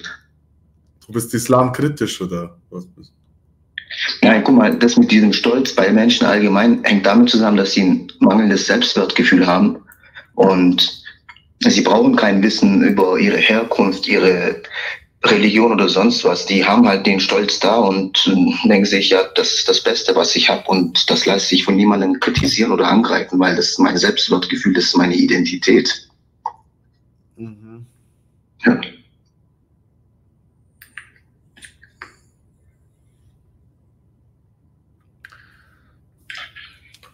Dr. Dr. Psycho. Grüß dich, Irfan. Grüß dich. Hallo. Hi, hi, Ähm, als erstes möchte ich mich für eure Arbeit bedanken. Ähm, ich habe fast alle eure Kundgebungen äh, verfolgt ähm, im Livestream und ich, ich habe nie, nie eine Hetze von euch erlebt. Nie. Ihr geht respektvoll um, ihr klärt auf. Die Hetze kommt immer von der anderen Seite, also von den, von den anderen. Und auch hier beobachte ich das. Hier kommen die Leute rein, ganz freundlich, ganz freundlich erstmal, und dann hauen sie dir auf die Fresse. Ja. Also, am, nächsten Tag, am nächsten Tag entschuldigen sie sich, wie dieser eine hier. Genau. Er hat zu mir gesagt, ich schlag dich, wie dein Vater dich geschlagen hat. Komm her, lass treffen. ja. Bla bla bla. Und jetzt, ja, Entschuldigung und so. Ich weiß. Und ich beobachte das ja in vielen, in vielen Livestreams hier, mit welcher Aggression Ja. äh, viele, viele, nicht alle, viele Ja, Moslems hier Zu viele. äh, auf, auf jemanden einhauen, der nur anderer Meinung ist oder der den Koran kritisiert, das darf man ja aus meiner Sicht. Noch, Ähm, noch. Und da ja. bin ich immer wieder erstaunt. Und da, und da würde ich schon, als, als wenn ich keine Ahnung hätte davon, da würde ich schon gleich sagen, zu der Religion möchte ich, möchte ich gar nicht gehören. Dr. Psycho, ich bin aber auch aus demselben Grund. Also ich bin auch da, um irgendjemand ähm, auf die Fresse zu hauen, aber halt, ähm, ich weiß nicht, wie du das meinst, aber argumentativ, weißt du, man tauscht sich aus, ich habe eine Meinung, deswegen bin ich hier und Nein, ich meine ja gar nicht dich. Dankeschön. so. Ich meine nicht dich. Ja, überhaupt nicht. Ich kenne dich Ach so, gar nicht. äh, ganz kurz. Dieser Albaner, der sich gerade bei dir entschuldigt hat, äh, beleidigt mich jetzt im Chat auf Albanisch äh, mit den schlimmsten Wörtern, die es gibt. Also, Genau. Ja, da sehen wir, wie ernst gemeint war. Das nicht. Und dann war heute, dann war heute ja hier jemand da, der den, der den, der den Joker verteidigt hat, ja, und ich habe den Joker gehört in einem Livestream, wie er wirklich wörtlich gesagt hat, man müsste alle Christen umbringen. Und er ist er ist das, ich ich kenne den Joker und das glaube ich nicht, dass der so etwas sagt. Ich habe es nicht gehört, aber das glaube ich nicht. Ich kenne den Joker, das kann nicht stimmen. Ich habe es gehört. Wartet kurz. Äh, Hallo, warum beleidigst du Violetta? Weil es immer, äh, wenn, wenn es zum Thema kommt, dann schmeißt ihr mich schon mal raus. Ihr seid dumme Leute, ja, ich bin da ganz ehrlich. musst du mich beleidigen und meine Mutter. Ja, na klar, weil du die ganze Zeit nur Scheiße laberst, du Bin hast von gar nichts Ahnung. hier oder ist der eher von der Host? Was habe ich damit zu tun, wie Ich hab dich- Weil du die ganze Zeit Scheiße laberst. Ich hab dich rausgeschmissen. Psycho. Ich hab dich genau? rausgeschmissen. Und jetzt? Irfan Alles. immer, nicht dafür. immer wenn ich anfange, die Wahrheit zu legen, dann schmeißt mich dieser Irfan raus und beleidigt TikTok und keine Ahnung was, man. Diese Filme kannst du keine, die TikTok. keine Ahnung wo hinstecken. Willst du morgen, willst du morgen, Ich schwöre auf Koran, ihr seid. willst du morgen, Ja? willst du morgen wiederkommen und beleidigen und dich entschuldigen für heutige Beleidigung? Nee, nee, ich, ich habe mich nur bei dir entschuldigt, weil ich hab, äh, weil du dachtest, dass ich dich bedroht habe. Ey Junge, du kannst mich nicht bedrohen, Mann. Du kannst mich nicht bedrohen, Alter. Du 1,50 großer Zwerg, Alter. Wo willst du mich bedrohen? Du, du Hunde, so lass dich doch treffen, dann zeige ich dir, wer ich bin. Komm, komm, komm, komm, jetzt Koran, ich komme sofort rüber zu dir. Komm her, ja, komm rüber, komm rüber. Kommst du mit Familie oder alleine? Kommst du alleine oder mit Familie? Nee, nee, für dich, für dich mach ich, ich sogar mal einen kleinen Cousin bringe ich dir, wenn du willst, du kleiner Idiot. Okay. Aber Midi, schämst du dich nicht als erwachsener Mann, eine Frau zu beleidigen in diesem Ton? Hast du keine Erziehung genossen? Weil du schon die ganze Zeit Scheiße gelabert hast, man. Du hast keine Ahnung von dem Islam, du hast keine Ahnung von dem Christentum. hast Du keine hast Ahnung von Islam. Du hast Ahnung von Islam. Ja. Genau. Du betest, Also du betest das doch nicht mal, sicher, Du betest doch 100% nicht das reicht, mich, reicht mir aus.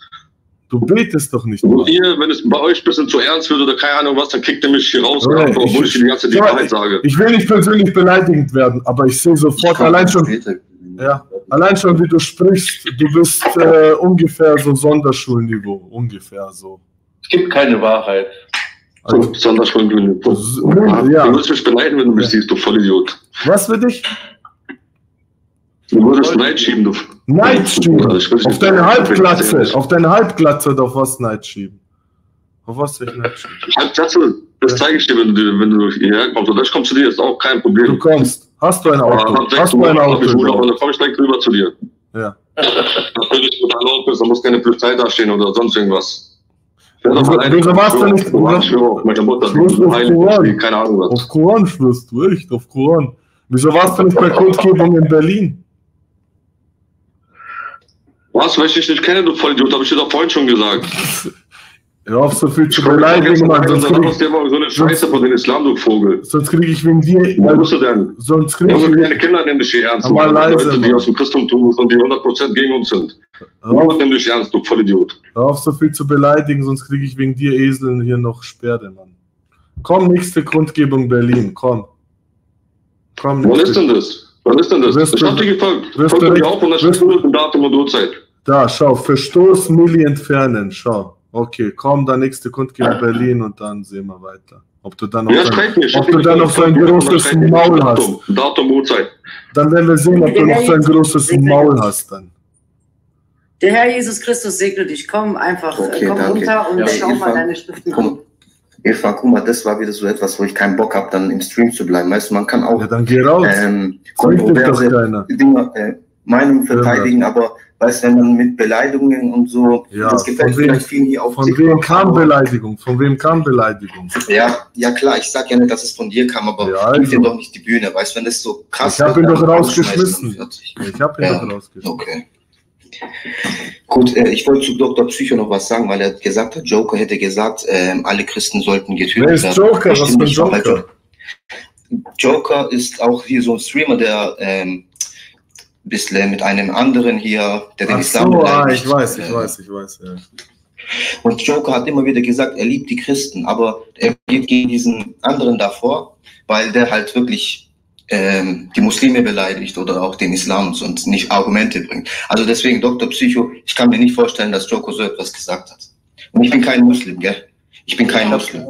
Meinst du, meinst du Ami Arapur, dass er den meint, dass er äh, keine Argumente bringen würde? Das ist nicht wahr. Das stimmt einfach nicht. Amir arbeitet nur mit Quellenangaben, eins zu eins. Äh, auf YouTube hat er einen Bildschirm, einen riesen Fernseher, wo er alle Quellen, die er gerade zeigt, benennt oder darüber spricht. Er blendet die Quellen ein, ja, die kann jeder nachprüfen. Ja. Also das ist Quatsch, dass der irgendwie nicht mit Argumenten arbeitet. Das stimmt einfach nicht. Das ist gelogen.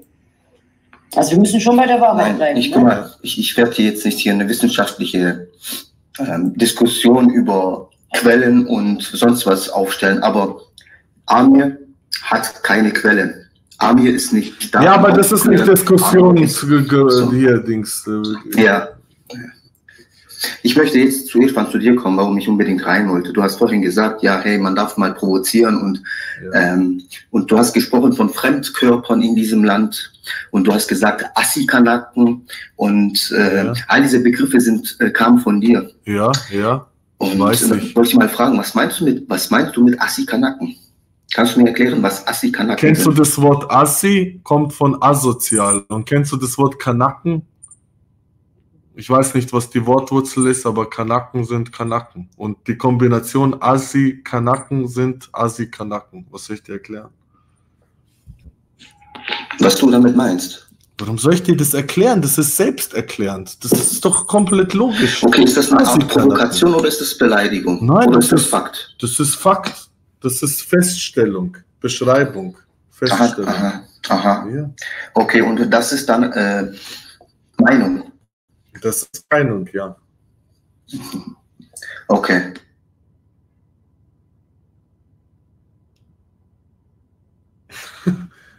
Und du fühlst dich jetzt davon provoziert, oder was? Nein, ich fühle mich nicht provoziert, nur damit der Chat auch weiß, mit wem sie hier zu tun haben.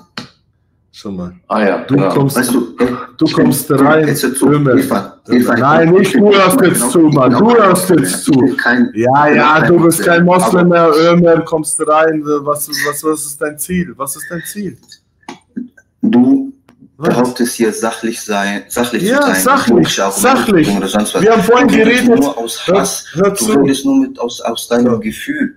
Schau, wie du dich jetzt, schau, wie du dich jetzt entlarvst. Du hast dich so eingenistet. Hi, ich bin der Ömer. Ich bin ganz zivilisiert und liberal. Ich will Genau. stumm bleiben. Hier, ich schalte nicht stumm. Ich höre nur zu. Hallo, was meinst du mit Afrikaner? Du hast dich reingeschlichen, wie so eine Schlange hast du dich reingeschlichen. Und jetzt zeigst du, du bist nicht Ömer, kein Moslem, sondern du bist Ömer, richtiger Moslem. Ich habe vorhin geredet von Boxkämpfe und äh, äh, Kanaken, die sich schlagen und habe gesagt, ja, solche Asi-Kanaken stellen ein Problem dar. Und jetzt, und jetzt, Mann, schneid es auch, Ja, mach einen Ausschnitt, verbreitet es überall, wen juckt es, Mann? Glaubst du, ich hab Schuss oder was? Nein, nein, Irfan, jetzt bleib doch mal cool, Mann. Bleib doch mal cool, Alter.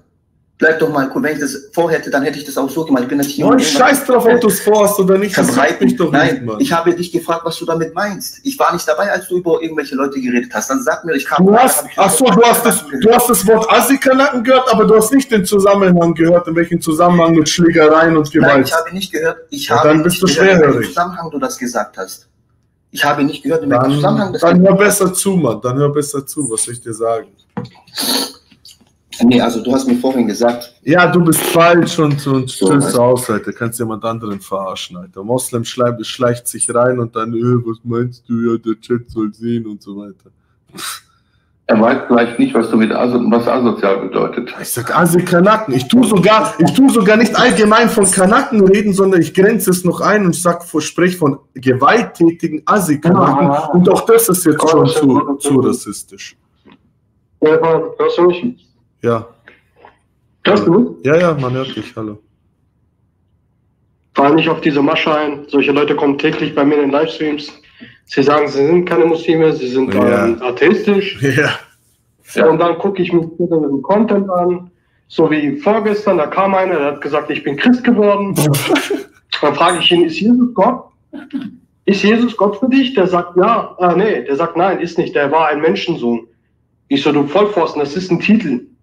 Ja, und Jesus hat ja auch im Verborgenen immer gehandelt, hat immer gesagt, sag das nicht den Leuten, dass ich so die Ma- Allmacht habe von Gott. Also er hat uns von vorne bis hinten verarscht. Ich habe ihm alle 50 Verse gezeigt, die eindeutig beweisen, dass er Gott ist. Dann habe ich einen beauftragt, geh mal auf seinen Kanal und äh, guck mal bitte, ob er wirklich ein äh, Christ ist. Wir haben festgestellt, dass er nur Moslems folgt. Der, die lügen, Also, Die geben sich aus als das und als hier und als dort. Äh, sie, sie lügen, damit es dann glaubhafter rüberkommt. Deswegen habe ich einen YouTube-Kanal erstellt, um auch das den Leuten zu zeigen, was die da betreiben. Wie sie mit den Werken spielen und sagen, nein, das ist äh, naiv, das ist abrogiert. Komischerweise gibt es das nicht in der Bibel, dass wir sagen, es ist abrogiert, es ist naiv, es ist schwach. Also sie versuchen immer, die Leute zu verarschen, um sie in den Islam zu verführen. Ja. Mit dieser Tatjana. Ja, aber Irfan, dieser Sonnenschein wollte unbedingt mal hoch. Da heißt Ja, der kann ruhig. Der ist auch Christ, den kenne ich. Ich komme gleich wieder. Ihr könnt schon mal weiter. Alles klar. Einen schönen guten Abend. Ich bin endlich drin. Yay. Ja. Entschuldigung, Sonnenschein, ich wollte vorher erwähnen, aber da war, hast du ja mitbekommen. Da kam man nicht so gut zu Wort. Hallo Violetta, wie geht's dir?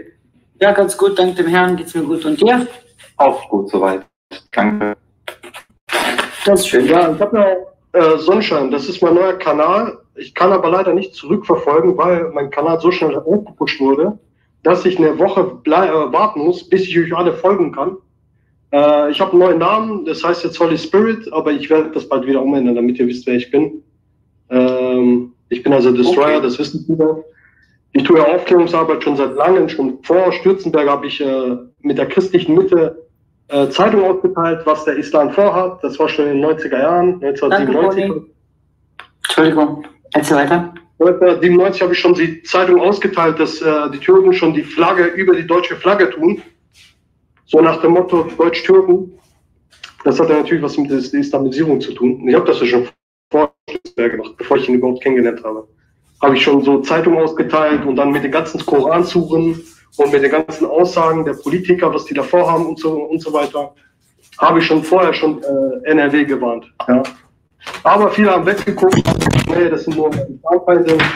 Du siehst, Spitzenberger macht ja auch die Erfahrung, dass sie sagen, der ist einfach ein Islamhasser, obwohl der ganze Hass vom Islam kommt, ja, mit den ganzen Suchen äh, bestätigt sogar, dass der ganze Hass aus dem Islam kommt. Und dann betiteln sie andere als hasserfüllte äh, Islamhasser. Stefan, was was sagen, Stefan ist da. Ja. Hallo Irfan, grüß dich. Hi, grüß dich. Ich wollte noch mal ganz kurz, ähm, ich glaube vor zwei oder drei Tagen war das gewesen, da ist hier ein Miami Arvin irgendwie, irgendwie in deinen Ja. Stream gekommen. Ja. Hat da so eine ganz lustige, so einen ganz lustigen Trick versucht, nämlich diesen Trick, ja, so nach dem Motto, der Heinz und Franz, die würden dich ja sowieso nie, nie als Deutschen akzeptieren und so. Also da kann ich wirklich nur sagen, das ist ein absoluter Witz, ja. Uns Deutschen geht es bestimmt nicht darum, welcher Ethnie jemand angehört oder aus welchem Land jemand kommt. Es geht einzig und allein um die Identifikation mit unserem Land. Das ist alles. Also braucht ihr euch gar nicht, jeder, der jetzt hier drin ist mit einem Migrationshintergrund, ihr braucht gar nicht glauben, dass wir Deutschen so denken. Ja, guten Morgen. Nein, wir, sind- wir sind keine Nazis. Wir sind alle Deutsch. Und Österreichisch und Austria. Wir sprechen eine Sprache. Und glauben an Jesus Christus. Amen. Ganz kurz an Irfan, kennst du? Das ist schlimm, ne? Das ist Wahnsinn. In jeden Lobby, wo man re- reingeht, ne? Ganz schlimm. Also der Islam will stärker werden. Wird aber nicht schaffen, weil wir glauben. Niki, ganz kurz, ich äh, will was äh, mehr äh, Irfan sagen. Irfan, kennst du das Buch äh, Allahs Täuschung? Sagt dir das was? Von Christian Prince, oder? Sagt mir gar nichts. Ja, deswegen sage ich euch, kauft euch das. Das ist das beste Buch äh, mit dem Tafsir. Also das ist mit dem Tafsir schon mit erläutert. Ja. Deswegen, wenn ich da äh, rauszitiere, wie der Joker, der sagt, äh, Koransure 3, Vers 28, sei nicht so zu verstehen, das ist ja mit dem Tafsir noch mit dabei. Und der Vollbocken hat Google benutzt und hat gesagt, guck, dein Buch stimmt gar nicht, das ist gelogen. Da habe ich mich gar nicht daran erinnert, dass eigentlich der Tafsir ist ja mit dabei, die Erläuterung. Du musst ja auch noch die Erläuterung zum Vers noch mit rausschlagen. Was sagen die Gelehrten und so weiter? Und das ist ja in drei Fällen darfst du ja lügen, ne? Du darfst zum Beispiel die schlimmen Dinge über den Islam, äh, kannst du ruhig schönreden, dass das keiner weiß. Dann gibt es die Koransure, dass sogar Muslime über Muslime lügen dürfen. Also zum Beispiel ein Muslim fragt, hey, stimmt der Vers? Ist das so wirklich zu verstehen? Kann der Moslem sagen, nein, die Kuffar lügen, guck mal, das ist abrogiert, also um, um den Islam noch beizubehalten. Lügen sie sich noch gegenseitig an. Hallo. Hallo. Warum Sozialamt? Nichts geben Sozialamt Weihnachtsgeld. Oder Urlaubsgeld geben Sozialamt. Kann man nehmen Kredit von Arbeitsamt, warum nicht geben? Da kennst du dich besser aus. Ich von Respekt für deine Nerven, ich, ich verstehe nicht. Was hast du hier noch? Was, was suchst du noch hier auf TikTok? Was für, was für Dschihad willst du noch auf TikTok machen? ey?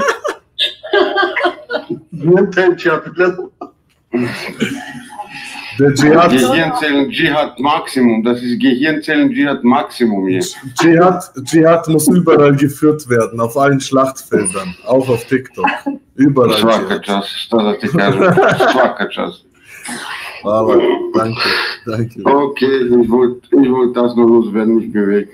Danke dir. Ciao, ciao. Tschüss. Tschüss, Bruder. Äh, Irfan, ich hoffe, du guckst dir die Debatte an von äh, Hakika, Haki versus äh, Klaus. Das war pure Comedy. Haki ist gar nicht darauf eingegangen, auf die Argumente, ne? Gar nicht, null. Der Klaus hat ihn total auseinandergenommen. Mit den ganzen Bibelfakten und den. Haben die, ich, kann ihn, ich, ich, kann ihn nicht mal vers- ich kann ihn nicht mal verstehen, Alter. Ich verstehe ihn nicht, wenn er redet. So wie er redet, Alter. Das, Ich verstehe ihn auch nicht. Ey, du kannst uns mit dem sagen, mit seinen drei geglätteten Härchen da. Lass mich ausreden. Der ist komplett krank, Alter. Der ist gestört, Alter. Ich habe ihn kaputt gelacht. Irgendwann war es mir zu lächerlich, dann bin ich rausgegangen. Und Hakika TV ist auch durchgedreht, ne? Der hat die ganzen Leute rausgekickt. Waren. Ja, eine Frage, Jason. Eine 1500 gekickt. Kurz. Ja, der der hat auch keine Geduld, der Hakika. Hallo. Äh, seid ihr eigentlich noch da? Warte, lass mich kurz, lass mich kurz eine Frage äh, vorlesen. Hallo Irfan, wie lange traust du dir zu, TikTok psychisch verkraften zu können? Würdest du dich auch bereit erklären, mit Medikamenten zu hantieren? Du wirst, zu, die wirst du zweifels ohne irgendwann brauchen. Nein, natürlich nicht. Alter. Wenn es so weit kommt, dass ich die brauche, dann höre ich auf. Bislang brauche ich die noch nicht. Okay, mein Bruder, ich gehe raus. Alles klar. Ja, danke dir. Danke Bleibt dir. stabil, lasst mich provozieren, das wollen die Muslime, Ja. damit sie Videomaterial haben und sagen, guck mal, der ist schon psychisch und so weiter. Du weißt, was ich meine. Ja. Aber bleib wie du bist, Standpunkt. Danke. Lass dir nichts einreden, die ganzen Frauen, die kommen und sagen, Stefan, du bist mir zu aggressiv, das sagen sie zu mir auch in meinen Livestreams. Ja. Du Danke kannst ja gleich den ganzen Stream zumachen, wenn du nach allen Leuten ausgehst. Also, Ja. Gottes Willen, Bruder. Danke dir. Danke dir. Ciao, Dir auch. Dir auch. Ciao, Ciao. ciao. Ja, Alter, wie, also wenn sich, da wie sich keine kein, Anfragen mehr sind, wie sich keiner traut, Alter. Wie sich keiner traut von denen. Hast du keine Anfrage von irgendwem? Doch, kann ich mir nicht vorstellen, oder? Ja, von irgendwelchen, aber Ist doch egal. nein, ich nehme nicht von jedem an.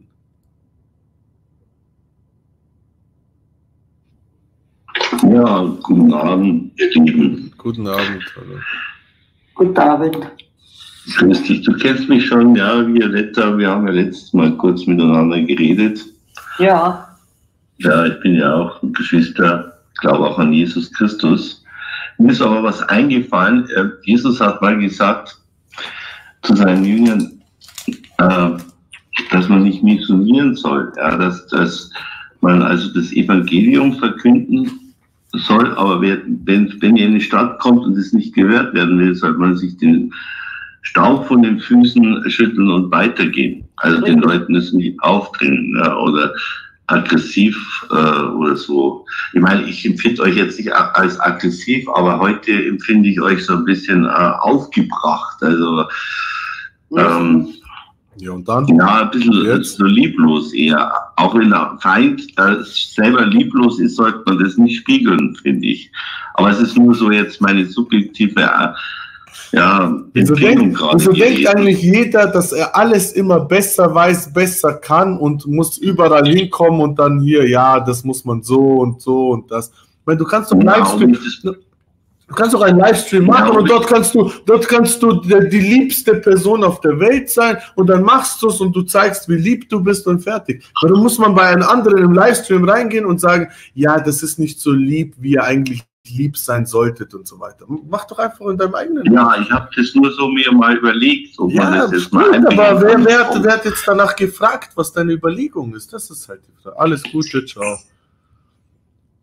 Ja, Irfan ist ja nicht so schlimm. Wenn der Nein, aber Alter, jeder die ganze Zeit kommt rein, hey, du bist so unfreundlich, hey, ihr müsst lieber sein, hey, ihr müsst das, hey, ihr müsst das.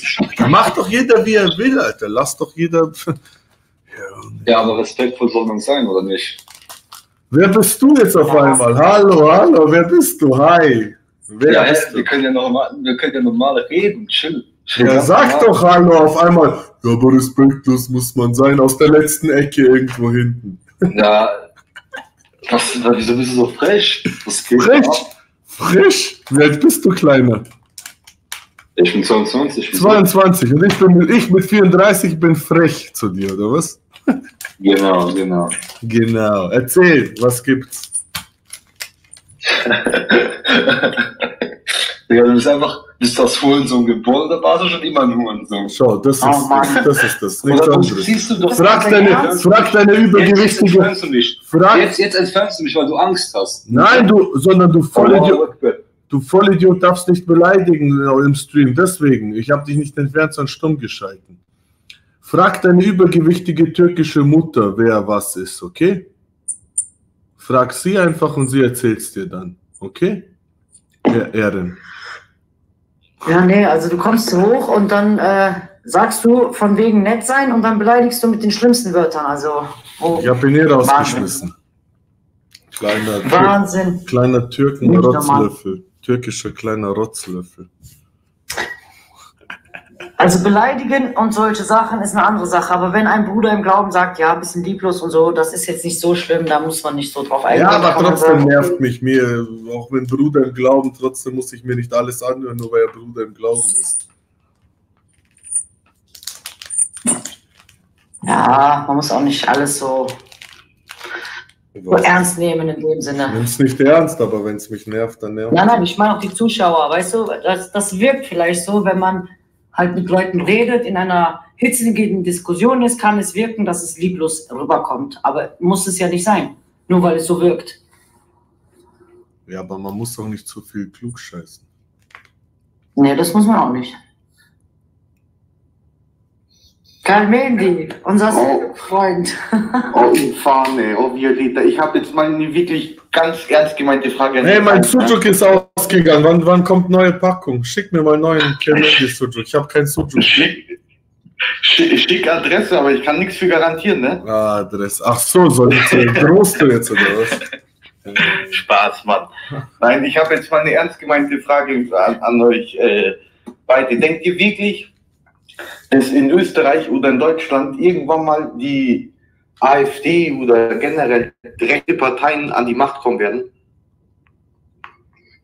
Das weiß ich nicht, aber Hoffentlich. ehrlich gesagt, weltlich gesehen, ist mir das fast egal, wer an die Macht kommt, weil für mich zählt, wer die Macht ist. Und das ist Jesus Christus, der Herr. Und er wird zurückkommen und diese Welt richten. Von daher solltest Okay, du und all deine Glaubensgeschwister, gerade du als Albaner, zu deinen Wurzeln kehren, die christlich waren. Mann, die Wurzeln sind heidnisch, aber lass das mal. Nein, nein, nein, sind sie nicht. Doch, doch, Nein, nein, nein. doch, doch, die Lyrier sind älter als Jesus.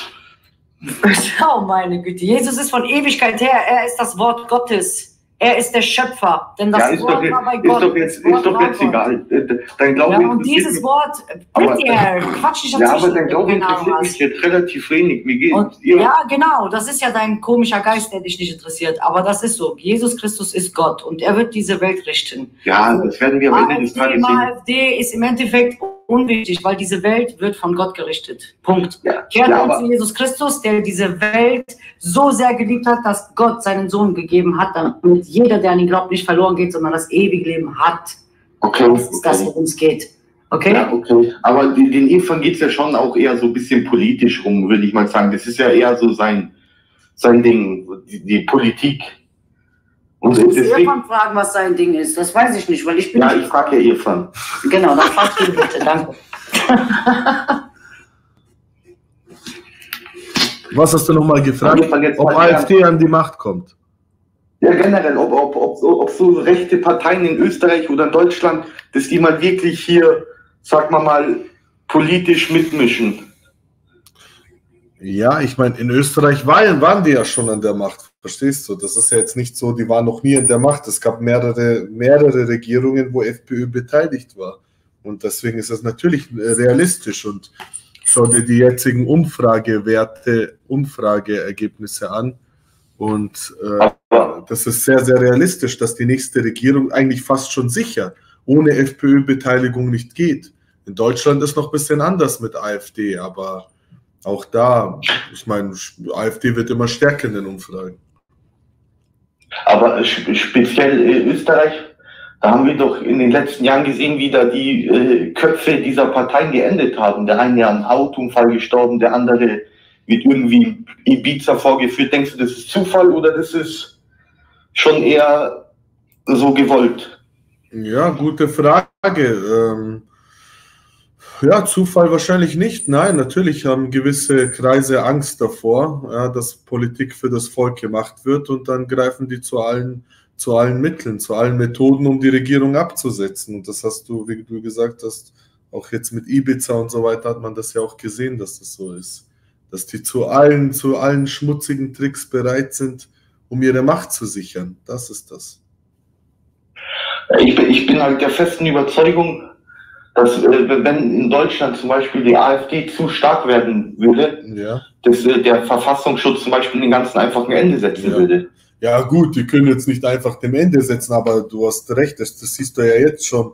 Je stärker AfD wird, sobald die ein bisschen stärker werden, ja, Verfassungsschutzbeobachtung, sie erklären sie zu Rechtsextremisten, jetzt haben sie die AfD-Jugend, die junge Alternative als gesichert rechtsextrem eingestuft und so weiter. Ja, also sobald, sobald die zu stark werden, dann äh, lassen sie sie eben spüren, so ihre äh, äh, quasi die staatliche Repression und dann nutzen sie eben Verfassungsschutz und, und Behörden und so weiter, um, um, um die Oppositionspartei zu schwächen, weil sie Angst davor haben.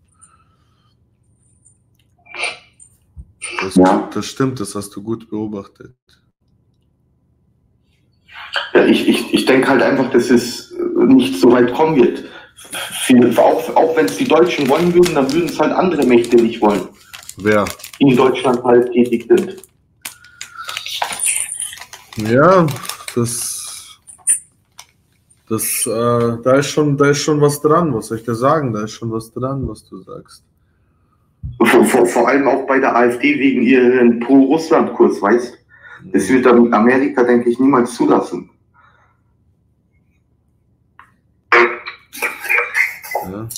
Ja, Clemendi. Hi, Evan. Hi, Violetta. Hi, Ähm, guten Abend. ähm, vor allem Clemendi, weißt du, das Problem ist ja, und das lässt sich ja schon seit langem beobachten, die AfD wird aus eigener Kraft, denke ich, nie über 50 Prozent kommen, dass sie die alleinige ähm, Mehrheit bekommt, die absolute Mehrheit. Und alle anderen Parteien mauern geschlossen gegen die AfD. Man sieht ja selber, wie das läuft. Teilweise werden Anträge von der AfD einfach komplett abgelehnt, einfach nur weil sie von der AfD sind und später bringen andere Parteien genau die gleichen Inhalte auf den Tisch und dann werden die durchgewunken. Ne? Es wird einfach gemauert und das ist halt leider ein- eine ziemlich ähm, schwierige Sache. Solange die zusammenhalten, ähm, wird das nicht funktionieren. Und ich glaube auch, wenn jemand wie beispielsweise Sarah Wagenknecht eine eigene Partei gründen sollte, werden auch ziemlich viele ähm, potenzielle AfD-Wähler zu dieser Partei überlaufen und dann sind die Chancen sowieso gegen null. Das, Sehe ah, das glaube ich nicht. Erstens, wo will Wagenknecht eine eigene Partei und, und das kann ich mir nicht vorstellen, dass da massenweise. Ja, ich hoffe, dass sie das nicht macht. Weil das würde der AfD auch echt nicht gut tun. Ich meine, die, die, die Wagenknecht an sich finde ich jetzt nicht so grundsätzlich verkehrt, außer dass sie halt eine absolute Kommunistin ist. Und das würde in dieses Land einfach nicht reinpassen. Wir sind ein Industriestaat, da funktioniert das nicht. Ich kenne kein Land, wo Kommunismus äh, jemals äh, funktioniert hätte. Und das ist genau das gleiche wie im Islam. Ne? Das ist, da wird immer gesagt, das war kein, das war nicht der Islam, das war kein richtiger Islam, der hat den Islam nicht verstanden, wenn es irgendwo Stress gibt. Genauso läuft das mit Kommunismus auch. Wenn es irgendwo nicht funktioniert hat, dann heißt es immer, das war kein richtiger Kommunismus. Das ist immer so. Da lassen sich so viele Parallelen ziehen und das ist total lächerlich. Ja, und das mit den Parteien, was du sagst, mit, mit Regierungsbildung, äh, ähm, das kommt immer drauf an. Ja, in, in Österreich haben sie auch gesagt, ja, mit der FPÖ machen wir nichts, machen wir nichts. Aber wenn es dann um ihre eigene Macht geht und es nicht anders geht, ja, zum Beispiel für die CDU, CSU, dann wird natürlich die CSU, äh, CDU äh, auch mit der AfD koalieren. Jetzt können sie sich erlauben, jetzt sagen sie nie mit der AfD, nie mit der AfD. Aber wenn die Situation kommt, dass sie es machen müssen, um ihre eigene Macht zu sichern, dann werden sie es natürlich machen. Klar. Ja, ich, ich glaube auch, dass die CDU die einzige Partei überhaupt wäre, die dafür überhaupt in Frage kommt. Also bei allen anderen traue ich das nicht zu. Also auch der FDP nicht, obwohl die ja eh ein kleines Licht ist. Und die kann man von mir aus auch, die können auch irgendwo in der Versenkung verschwinden, die, die FDP. Das ist die letzte Lappenpartei. Ja, dabei muss man aber auch sagen, dass der Söder eigentlich schon ganz gut gegen die AfD hier in Bayern schießt, ne? Ja, ja, das ist richtig viel, richtig stark. Alle, alle schießen gegen die AfD. Ja, aber der vor allem. Ja klar, weil es, weil, der, weil, es, weil es die größte Gefahr ist für, für CSU. Die größte Gefahr für CSU. Ist es auch. Assalamu Ich bin schon mal runter, ich höre euch zu. Alles klar. Ich äh, Ja. wollte mich verabschieden, ich höre euch im Chat weiter zu und wünsche euch allen Gottes Segen. Alles klar. Alles klar. Amen. Ciao. Ach, Pfeil, Jetzt mal mein Auftritt. Darf ich? Was? Ich brauche nur die Genehmigung. Darf ich, Eva? Für was denn? Was Ja, denn? gib einfach nur die Genehmigung. Was denn? Was für ein Ja, Auftritt? aber- Was? Er sagt gleich, Anzeige ist raus oder er hat heute afrikanisch gegessen. Nein, nein, nein. Assalamu rahmatu barakatuh. Wie geht's dir, Eva? Du, du kannst nicht mal, du kannst nicht mal den islamischen äh, Gruß gescheit äh, aussagen. Was war Ich das? bin doch Jeside, Bruder. Du weißt doch, wer ich bin. Ach so, hä? Ach so, jetzt sehe ich erst den Namen. Ach so, ja, ja, ja, Faisal, ach so, ja, ja. Möge Allah dich recht sein, Bruder. Mein Gott, wer das, das für ein Moslem kann nicht mal Salam Aleikum richtig. Wie geht's dir? gut, gut. Hast du die Videos gekriegt, ja, ne? Ja, ich habe die Videos gekriegt. Ähm, das eine habe ich nicht ganz gecheckt, da mit äh, Überwachungskamera. Was, was sieht man da? Da sieht man doch gar nichts. Äh, ich will dir die Minuten zeigen. Der, der macht ISIS-Rufe. Das ist der, der mich und mein Vater mit Cuttermesser angegriffen hat. Das ist, der macht so. ISIS-Rufe vor der Polizei. Die haben nichts gemacht. Achso, ich habe das, ich hab das einfach so ein bisschen überflogen und habe gesehen, hey, da passiert doch gar nichts auf der Aufnahme. Nee, nee, ich werde dir nachher die Minuten zeigen, welche Minute du dir ranhören musst. Okay. Wo er den Ruf macht. Das gibt noch ein anderes Video, das muss ich noch suchen. Der jagt den Polizisten, der Polizist rennt von ihm weg. Der rennt von ihm weg. Ohne Scheiß. Ohne Scheiß. Ein 16-jähriger Syrer Polizist rennt von ihm weg. Aber das ist doch gar nichts. Äh, Das Video habe ich in einer Gruppe gepostet mit den Rappern, die alle ISIS-Leute alles Gute wünschen. Hast ja, das, habe ich gesehen. Ja, ja, das habe ich gesehen. Das habe ich gesehen. Ja, Krank, oder? ja ich habe es noch nicht ganz angehört, aber ein paar Ausschnitte kannte ich schon. Ja. Immer schön wieder dich zu sehen, ehrlich. Und Pony kotzt du dich auch. Ja, ich dich aber nicht, weiß ich habe dich heute schon zweimal angezeigt. Ja, ich glaube ich, glaube ich dir. Ich mag dich aber nicht gerne. Ich, ich, mag dich, aber ich würde es nicht zugeben. Oh Mann, Alter, nichts los heute auf TikTok, Alter. Die haben alle Schiss Wo ist dein reinzukommen. Hater? Was? Wo sind deine Hater? Ja, die, die, da waren schon ganz viele drin Die heute. trauen sich, was viele, das ist nix, die trauen sich nicht mehr. Alter. Das war zu schlimm letztes Mal. Ich habe sie so demoralisiert. Das Ich hab sie so demoralisiert und vorgeführt, dass die, dass die traumatisiert sind jetzt. Ey, ich muss euch mal eine geile Geschichte erzählen jetzt, ohne Spaß. Das ist- alles Real Talk. Ich habe das sogar schriftlich. Ich habe einen Streit mit einem Türken Grauen Wolf. Der beleidigt mich die ganze Zeit, weil ich ja mit der AfD sympathisiere. Dann habe ich irgendwann mal seine, seine Community aufgeklärt und gesagt, Leute, er ist, er ist Linksextremist. Ne? Sagt er, ja, bin ich, stolz drauf. Aber wie bringst du das in Verbindung, dass du Grauer Wolf bist? Weil das sind ja richtige Rechtsextremisten. Ja, und dann meine, meine private Dings, meine, das geht dich gar nichts an, nur politische Einstellung. So, why, why, why? Dann hat er mich wirklich wie ein Kranker sechs Monate gestalkt, überall beschimpft, beleidigt. Jetzt, jetzt kommt der Hammer. Und irgendwann habe ich gesagt, traust du dir das mir ins Gesicht zu sagen? Irfan, ich schwör's dir, Polizei kommt zu mir nach Hause. Gefährderansprache. Er hat dich, er hat dich nicht angezeigt. Um. Oh Bitte? Er hat dich angezeigt. Ja, pass auf, pass auf. Er, er wollte, ich, ich wollte ihn und seine Familie angeblich umbringen. Dann kommt der Polizist zu mir nach Hause.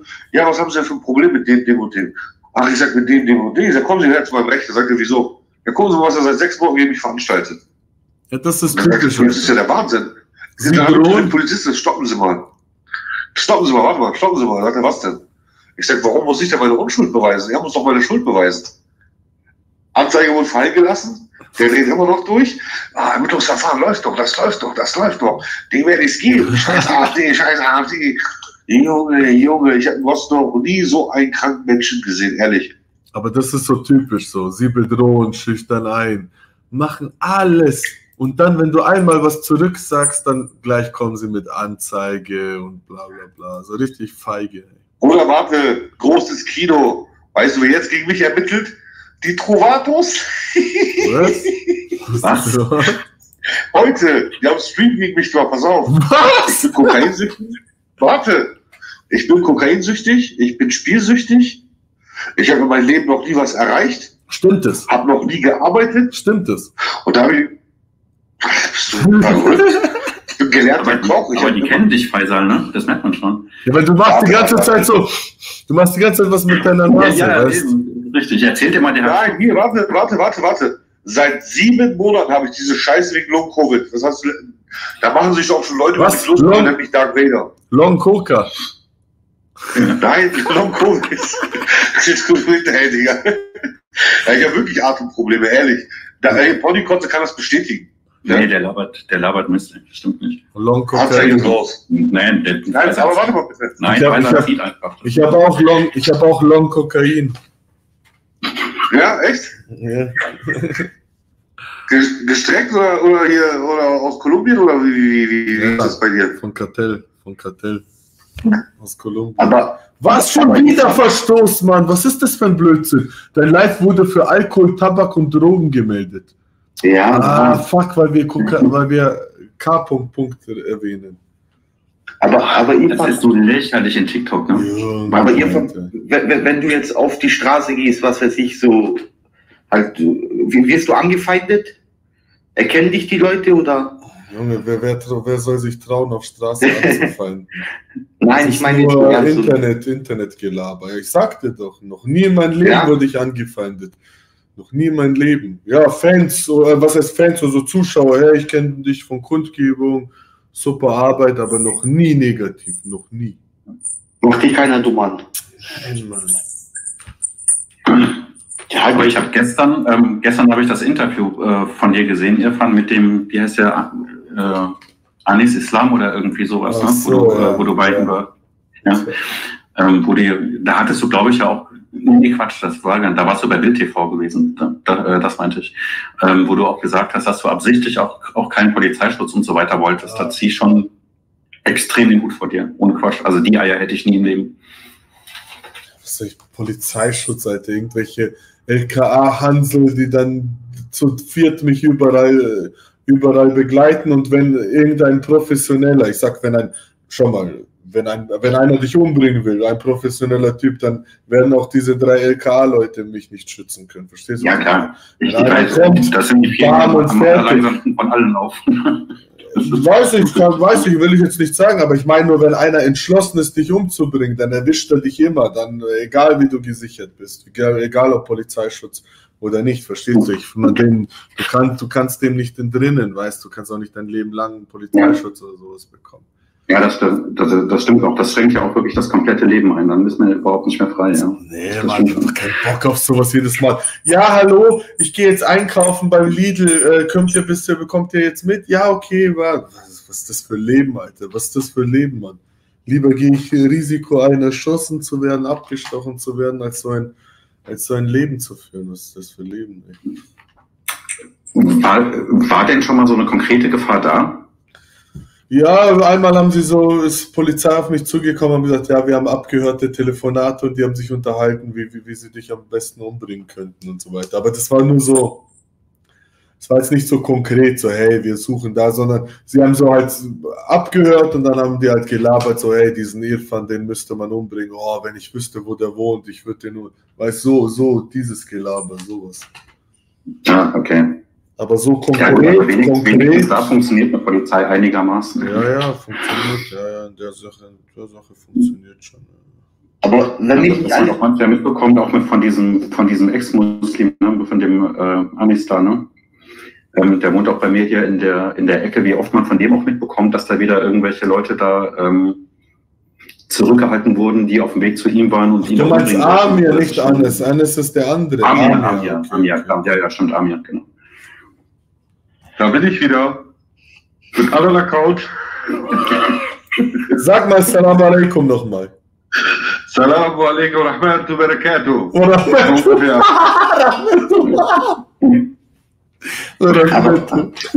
Aber ihr fand ich glaube Hey, du bist doch Jeside, oder? Ja, Bruder, warte, einen Versuch noch. Assalamu, nein. Assalamu alaikum wa barakatuh. Ich habe so ein, interessa- ich hab so ein interessantes Ich habe so ein interessantes das hat selbst Buch. für mich als deutsche Kartoffel komisch angehört, ohne Witz. Schau mal, was ich lese. So ein interessantes Buch. Die besonderen traditionellen Regeln der Partnerwahl der Jesiden und deren Auswirkungen auf die Integration. Echt interessant. Ich küsse dein Herz. Ich küsse dein Herz. Richtig sympathischer Typ, ehrlich. Weil du das auch erwähnt hast in deiner Kundgebung, habe ich dich das allererste Mal verfolgt, wo du das erwähnt hast. Und das tun sehr wenige.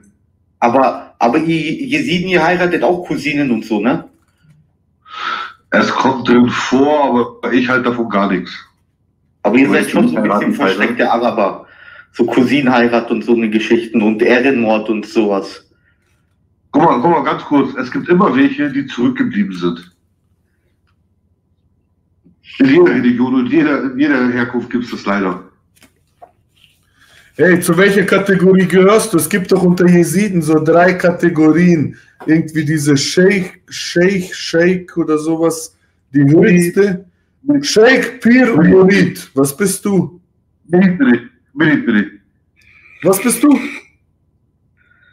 Milit. Ach so, das, äh, okay. Kurdische Bedeutung, Arab-Mitglied. Die Wünschenden, die zu Gott beten. Der Murid liegt an seinem Todestag in den Händen. Okay. Ja, das ist schon interessant. Hier wird auf, du findest ja auf Deutsch fast nichts über Jesiden. Und der erklärt das so, wie, woher ihre Religion kommt, wie das aufgebaut ist und so weiter. Also ist echt schon interessant, so wenn man, um die Jesiden zu verstehen und sowas. Ja, du hast es an deiner Kundgebung öfters, des Öfteren auch angesprochen. Respekt. Ja, ja. Seitdem verfolge ich dich auch. Wie du, ver du verfolgst Irfan. Klar, sonst hätte ich doch nicht zwei Accounts, sonst wäre ich doch jetzt nicht Ach, hier dich haben die da letztens, dich hat die Polizei da letztens. Oh, je, ach so. Jetzt war das locker.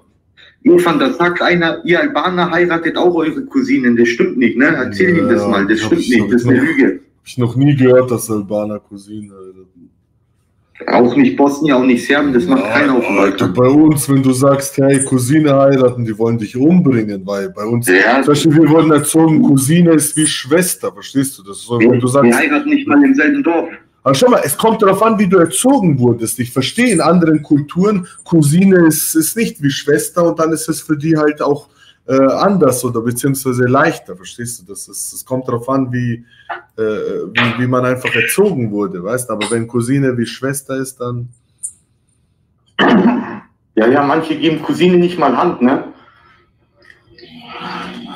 Bei Türken ist es aber auch so, glaube ich. Bei den Türken ist es, glaube ich, auch so. Ich meine wohl. Mhm. Ja, aber im Islam darfst du, im Islam, so in der, ähm, im Islam darfst du doch nicht wo ich in der. Zukunft echt mal gespannt bin, was, was, die, äh, was die Masseneinwanderung und so auch angeht, wie dann so diese kleinen Gruppen, wie zum Beispiel eben Jesiden oder so, wie die das verkraften werden. Ja, schlecht. Wenn wir hier, ja, ich glaube, das wird noch richtig krachen dann. Es wo- wurden schon Jesiden umgebracht von, von, von Moslems. Viele, viele. Äh, das war ja mit einer in Stuttgart, die hat auch sich beschwert und hat gesagt, mein Peiniger ist hier, der meine ganze Familie umgebracht hat. Wie kann er sich hier frei bewegen? Und dann hieß es vom deutschen Staat so, ja, wir können es ja nicht nachweisen. Dann ist das Mädchen abgehauen, wieder in den Irak abgehauen. Dann sind die Behörden, haben sie dann wiedergeholt. Bevor sie gekommen ist, und das ist jetzt keine Propaganda, hat der einen Anschlag gemacht. Wir haben, wir haben 2014 den Terrorismus importiert. Das ist keine Lüge, das ist die Wahrheit. Weil die müssen wir so sehen. Ne? Das ist wirklich jetzt keine Propaganda, das ist die Realität. Die Jesiden wurden angegriffen. Die Jesiden wurden umgebracht. Und was haben wir ins Land geholt? Ja, denk doch mal nach. Was haben wir ins Land Täter, geholt? die Alles Täter. dieses Leute. Ja. Richtig, die Täter. Glaub mir, hab das schon 2014 weißt du, wie oft, wie oft, wenn Abschiebungen, wenn abgeschoben wird, die schieben irgendwie Christen ab oder so, die schieben so, so Minderheiten ab und, und, und die Sunniten lassen sie. Die Sunniten, oh, keine Chance, die können wir nicht abschieben. Aber irgendwelche arabischen Christen schaffen die abzuschieben oder georgische, orthodoxe oder was weiß ich was. Sie schieben alles ab, nur nicht die Täter. Verstehst du? Das ist Wahnsinn. Ich kann dir eine Geschichte erzählen, das ist, jetzt lässt du dich gleich erschrecken und das ist Real Talk jetzt, ne? Pass auf, ich habe ja damals als Rapper, ich mache seit wirklich zwei Jahren keine Musik mehr, ich habe Manuelsen gedisst und ich wurde angezeigt von einem Islamverband. Ich habe auch Manuelsen Von einem Islamverband. Warte, Bruder, ich wurde von einem Islamverband angezeigt und jetzt, du musst mal äh, googeln. Deutschland hat mehr Islamverbände als ganz Europa zusammen. Boah. Nein, weiß ich nicht. Frankreich hat auch sau viele enge Doch, Google, Google mal, bitte, Google mal. Google mal, bitte. Du wirst, du wirst vom Glauben wegfallen. Aber warum Manuelsen? Der ist doch auf eurer Seite, auf so kurdisch-jesidische Seite. Der Mann, der Schauspieler immer, Mann. Warte, danke schön, Eva. Deswegen war doch mit Desodox Frau zusammen, oder was? Also erzähl mir bitte nichts. Der tut immer, äh, kein nichts gegen den Süden, nichts gegen Nukus, nichts gegen Albaner, nichts gegen das. Das ist ein Opportunist, Alter. Der passt sich bei jedem an und labert. la- Da redet er Türkisch, dann redet er Kurdisch, dann redet er da, Alter. Der weiß selbst nicht, was er ist, Alter. Er Der, der, er hat hat 20, der, der hat 20 Identitäten in sich selbst, der weiß nicht, was er ist, Mann. Wenn er, wenn er, wenn er Dings ist, wenn er, wenn er Kurden so mag, warum ist er mit Desodox Frau verheiratet gewesen? Der ist doch nach Irak gerannt, Kurden umgebracht. Also ich bitte dich. Ja gut, seine Frau kann jetzt weniger was dafür, ne? Ja, trotzdem. Warte mal, wie Desodox Frau, was nochmal? Der war doch mit Desodox Frau verheiratet. Nadja, das ist doch Desodox Ex-Frau. Ja, ja, stimmt schon. Aber die, die, ja, okay, aber die, war- die war eigentlich so eine, ist eigentlich eine ziemlich moderne Frau. Die trägt kein Kopftuch, kein nix. Ja, so, die, Ja, aber trotzdem war sie ja drüben, ne? Die war ja auch drüben. Ja, ja. Ist es die, wo sie sie mal gefilmt haben? zwei da? Kindern. Die, die, die, die, die willst du der Öffentlichkeit nicht sehen. Die willst du nicht sehen. Die hat sich so abgeschottet. Ich finde es eh so abartig, wie sie so die Frauen so rumreichen. Der hat mit der zwei Kinder, der nimmt die mal, der ist mal mit ihr ein Jahr ver- Was ist das, Alter? Wie im Bordell, Alter. Sie reichen die Frauen vom besten Freund, dann bekommt sie der Cousin, dann bekommt sie der. Was ist das, Alter? Ist das, das, ist das Da dieser, der Familie, Bruder. ist, das der, ist, das ein, ist das der Begriff von Ehre, was die haben, oder was? Was ist das für abartig, Alter? Die würden sich untereinander noch nicht mal ihr Auto Ey, wenn, ich, wenn ich mit einer Frau zusammen bin, mit einer Frau zusammen bin zum Beispiel und die macht Schluss und dann äh, mit deinem Bruder oder mit deinem Dings, Alter, ich will nicht drüber nachdenken, was ich machen würde. oder mit deinem besten Freund oder sowas. Was, was, wo gibt's sowas, Alter? Ja, das ist, das ist, ist so. Ja. Und das sind die, die Schade, über keine und sowas reden. Was? Ich habe gesagt, schade, dass keine Hater von dir da sind. Ich hätte die islamisiert. Die trauen sich nicht. Ich habe die so, so demoralisiert, Alter. Die sind alle psychisch am Ende, Mann. Die, die, haben, die haben gesagt, oh, jetzt haben wir endlich noch einen verrückteren Psycho als, als wir gefunden. Also vor, vorgestern gab es wirklich mehr Zerfetzung. Boah, vorgestern war Ja. Junge. Hallo. State of the irgendwas. Kaffeepause. Ich würde mal wünschen, so ein Arafat gehen, aber das würde ich ja am liebsten wünschen. Da Einer hat bin mir angeboten, irgendwas mit Arafat. Das ist kein Problem, wenn er will, kann er jederzeit gehe ich mit Arafat online. Aber er ist nicht so auf Eskalation. Ich glaube, mit ihr er ist einer der wenigen eher, mit dem man normal reden kann. Ja, aber ich habe Aufnahmen von ihm, wie er über Jesin redet, der ist schon ganz, ganz hinterhältig. Ja, ja, aber dann hat er zurückgerudert. Dann hat er zurückgerudert danach. Ja, ja. Weil Jesiden sind schon Macht in Deutschland. Einen schönen guten Morgen. Guten Morgen. Ja, von mir Guten Morgen. Erstmal Irfan, liebe Grüße aus dem schönen Bayern. Wir hatten in München mit dem Stutzi äh, letztes Jahr September was zu tun. Liebe Grüße, freut mich. Und wie geht's dir? Gut, dir? Ja, muss. Arbeit, Arbeit, Arbeit. Ja. Jetzt haben Ah. wir jetzt Was Wochen, Wochenende ein bisschen entspannen, ne? Ja, nur heute, aber am Sonntag wieder arbeiten. Sonntag? Ähm, Wo arbeitest du ja. sonntags? Mann? Ja, Tankstelle. Tankstelle. Shit. Besser als nix. Naja, es geht. Ähm, Irfan, um was geht's denn bei dir im Live? Ich habe kein Thema bei TikTok. Wer hat Thema bei TikTok, bitte? wer hat, wer hat bei, bei dieser Plattform ist nur Laber Laber, also bei dieser Plattform gibt es Ja, wir, können, wir können ja Thumbdance machen. Oh, warte, warte. Wir haben fast 100 Zuschauer. Leute, äh, ich habe eine Bitte an euch. Ich mache ja eigentlich nie Betrug oder so, ne? aber hier geht es um Spendenaufruf. Es geht um verhungerte Sumo-Ringer. Hinterfragt mich, spendet einfach auf mein Konto. Dankeschön. Ach, Pfeiler, du hast so einen Synapsenfehler, Alter. Ey. Nachdem sie bei mir gespendet haben, können sie bei dir spenden. Genau, also spendet erstmal alle für den Irrfahren und der, äh, und der Rest, also diese 10, 15 Cent, die können dann gerne an Pfizer gehen. Ich bin, ich bin verarmter Islamaufklärer. Ihr wisst, dass ich ein verarmter Islamaufklärer bin. Mit am ersten Tag am ersten Tag Konto, du kriegst mal mit Profi. Ich schwör's dir, du kriegst mal mit Profi. Mashallah, danke, Brudi. Ey, aber ich habe auch mal 100 Euro Hemden da.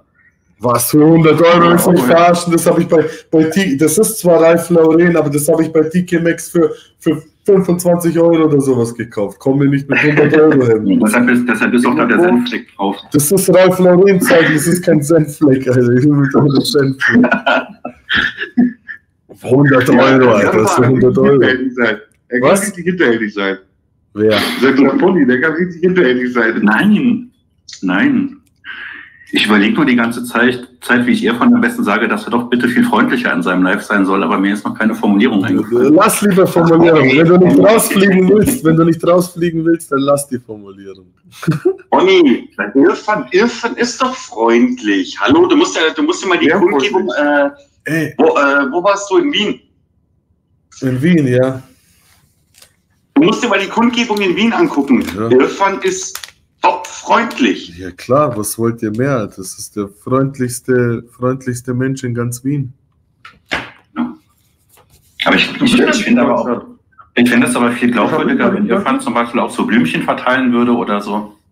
Schau mal. Nee, Irfan kann machen, was er will. Also, Ich bin- und wie gesagt, Ich bin so, wie ich bin. Ich sage nicht, dass es super ist. Ich sage nicht, dass es nur positiv ist. Es ist verschiedene Mal, man kann sagen, ja, du bist das, du bist das. Aber ich will nicht mich verstellen. Ich kann jetzt auch freundlich tun oder mich verstellen. Ich bin so, wie ich bin. Ich mein, manchen gefällt es, manchen nicht. auch, weißt du, wenn, wenn, wenn du so ein, so ein total lieber und netter und so zurückhaltend wärst und so bin wohlwollend so. formulieren äh, würdest, du hättest überhaupt keine Reichweite. Du würdest total untergehen. Deshalb, du bist halt so ein Unikat, so wie du das machst, weil du kein Blatt vom Mund nimmst. Deshalb ist das genau richtig. Ich mache das, Genau. ich mach das nicht künstlich, um Reichweite zu bekommen, Ja, ich glaub ich bin so. Und alle Leute, die mich privat kennen, wissen das auch so, dass ich so bin. Deswegen kann ich halt so nichts anfangen mit, ja, du musst das und du musst hier und du musst dort. Du kannst auch nicht jemanden, der, der irgendwie voll lieb ist, einreden, hey, du musst aggressiver auftreten. Er, er kann das vorspielen, er kann das künsteln, aber er kann nicht so sein, verstehst du? Das ist, ich meine, ich finde, ich sag nie jemandem, hey, du bist zu das oder du bist zu das, sondern sei so, wie du bist Ja. und, und fertig. Und vor allem, vor allem ist ja auch wirklich dein Life. Es ist doch deine Sache, wie du das machst. Was, was soll das da reinzukommen und dir irgendwelche Verhaltensregeln davor zu schreiben? Ja. Was soll denn sowas? Und dann, und, Ja, und, und, und sie denken, manche denken, irgendwelche Katzenvideos angucken auf, auf, auf TikTok. Ey, also, Ja. Und manche denken jetzt, okay, ich bin Christ geworden, ich bin Christ und jetzt müssen sie das nur so religiös verpacken und dann können sie alles sagen, machen und ich muss das annehmen, weil ja, so und so. Was hat das damit zu tun? Weißt du? Ähm, Jetzt äh, nimm das nicht falsch auf, aber ich habe zu meinem Vater damals äh, in München auch gesagt, Irrfan ist wie eine Hämorrhoide. Er reizt Arschlöcher und das kannst du sehr positiv aufnehmen. Danke, danke für dieses schöne liebe Kompliment. Der ist nicht schlecht. Sehr geil. Ja, wie gesagt, also ich war ähm, bei der Kundgebung von Michi, ähm, wo Irfan auch dabei war in München, wo auch diese Jungengruppe dieses Banner ähm, an der Kirche aufgehangen hat. Ah, die. Kundgebung, ah, die war super. Die Kundgebung war echt gut. Ja, genau, genau. Und, äh, und da habe ich dich ja auch erst das erste Mal live kennengelernt und ich muss echt sagen, Irfan, ich liebe es einfach, dass du auf positive Weise die Wahrheit so aus der Gegenseite rauskitzelst, Ja.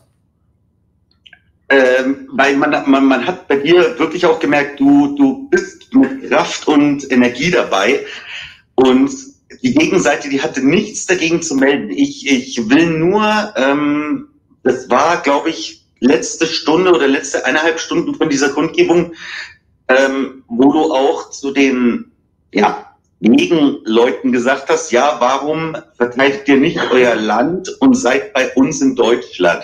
Und ich habe das so gefeiert. Ach, diese Afghanen, ja, ja, die Uzbeken, Ja, die genau. sind gekommen, so ganz, Genau. Warte, warte. ganz stolz. Da muss ich was loswerden.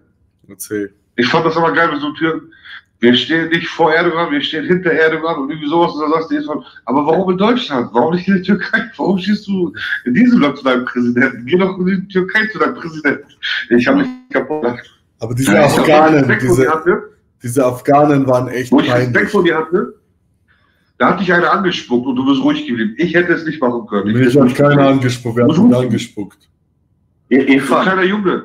Nicht der Schnuppenberger. Nein, nein, mich hat sicher Nee. keiner direkt angespuckt. Für Stürzenberger vielleicht, mich hat keiner angespuckt. Irfan, warte mal. Ich, ich habe ich hab letztens äh, so einen Albaner aus äh, England, ne, der war auf TikTok, dann hat er erzählt, äh, sein Vater in England, ne, der war Moslem, dann hat er seine Religion gewechselt und ist Christ geworden. Und er meinte nur aus dem Grund, damit die Pakistaner ihn auf der Arbeit nicht mehr Bruder nennen. und, und ich dir, genau so schätze ich dich ein. Du willst einfach nur nicht mit den ganzen anderen in einen Topf gesteckt werden. Das ist nicht der einzige Grund. Es gibt schon noch andere Gründe, aber ich, ich, ich verstehe, ich, das ist ein, ein, Bruder, ein Bruder im Geiste. So. Ich verstehe seine, seine, die Logik dahinter. Ähm, ähm, Kelmendi, Kelmendi, ich kenne das bei mir in der Arbeit an der Tankstelle auch. Ich habe äh, teilweise Kultkraft, ähm, auch unsere Fachkräfte. Da gibt's einen, der kommt jedes Mal rein und sagt so, hey, mein Bruder. Ich denke mir immer so, sag ich jetzt was oder sage ich nichts? Das ist, nee, äh, wie gesagt, also ich habe ich hab meine einige, äh, einige äh, eigene Meinung dazu. Und ich muss sagen, Irfan, mach weiter so. Ähm, du bringst wirklich Feuer in dieses Thema. Und du bist wirklich einer, also Michi ist auch wirklich verdammt gut, aber du bist einer, der geht auf die Barrikaden. Und das ist das, was wir brauchen. Danke, danke dir. Danke dir. Wohnst du gar nicht in Deutschland, Eva? Was? Wohnst du gar nicht in Deutschland? Ich wohne jetzt in Wien. Der Irrfan ist ein Österreicher. Oh, cool. Vor Wieder Zentralfriedhof, da liegt Falco. Ich weiß gar nicht, dass der ist der hier beerdigt. Der ist doch in Dominikanischer Republik gestorben. Ich weiß gar nicht, wo der beerdigt Nein, ich war da schon hier. Wieder Zentralfriedhof. Da ist auch ein ist. Grabstein. Du bist extra wegen Falcos Grab hierher gekommen. Ja, klar, das ist mein Vorbild. Echt? Wirklich, ist mein Vorbild. Ohne Scheiß. Ja, er war eh ein, ein Genie, war eh genial, Falco. Dankeschön. Der hat seine Zeit vorausgelebt. Danke. Also der war, der war genauso ein Genie wie Mohammed. Auf eine andere Art. Auf positive Art, nicht auf so destruktive. Ich kann einen Unterschied nennen, wenn ihr das gerne hören wollt. Der kommt von mir, das ist mein Zitat. Der Unterschied zwischen Jesus ist, Jesus hat sich für die Sünden der Menschen geopfert. Mohammed hat die Menschen für ihre Sünden geopfert. Autsch. Und komm, ist Real Talk. Das heißt ja nicht, dass das nicht wahr ist. Nee, nee, ich sage ja nur Autsch, ironisch. Alles klar. Ja, guck mal, du kommst aus Bayern, ich komme aus Norddeutschland, weißt du, da haben wir ganz anderen Akzent, fre- freilich. Ja, Mai. Ja, aber da fällt mir ein Video ein, Kilmendi. Äh, ich habe so ein Video, letztens habe ich es im Livestream sogar gezeigt. So ein Albaner sitzt da, so raucht Zigarette, erzählt so und dann beschwert er sich so, dass, dass alle Moslems jetzt immer Salam Aleikum grüßen. Weißt du, früher war ja nicht, das war ja nicht Standard, so wer hat Salam Aleikum gesagt. Und dann macht er so voll lustige Albaner, sagt so, sagt er, ich gehe dahin, Bulgare, Salam Aleikum, ich gehe hierhin, Pakistaner, Salam Aleikum, ich gehe dahin, Kurde, Salam Aleikum, überall Salam Aleikum, sagt er, jede Kakerlake, Salam Aleikum, lasst uns lieber auf Deutsch grüßen. Aber das ist doch jetzt in Deutsch mit drin. Salam alaikum. Salam alaikum und jeder darf reinkommen.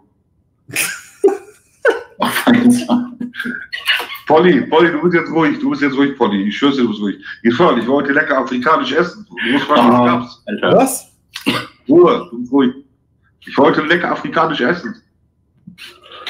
Und jetzt? Was ist, was ist los? Du musst fragen, was gab's? Was gab's? Was gab's? Gazelle. Nichts. ich habe gedacht, gegrillte, gegrillte Gazelle oder sowas. gegrillte Gazelle. Ey, aber einmal einer, Ey, warte mal. einmal einer sagt, wollte mich einladen, der sagt, lass uns in Stuttgart afrikanische Restaurant gehen. Sag ich, ja, was essen die so? Was gibt's da? Dann kommt er so, ja, Gazelle, was noch?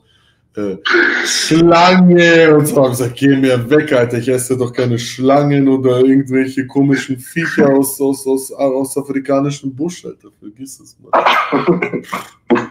Weißt du, Und das ist extrem scharf, deren Essen ist extrem scharf.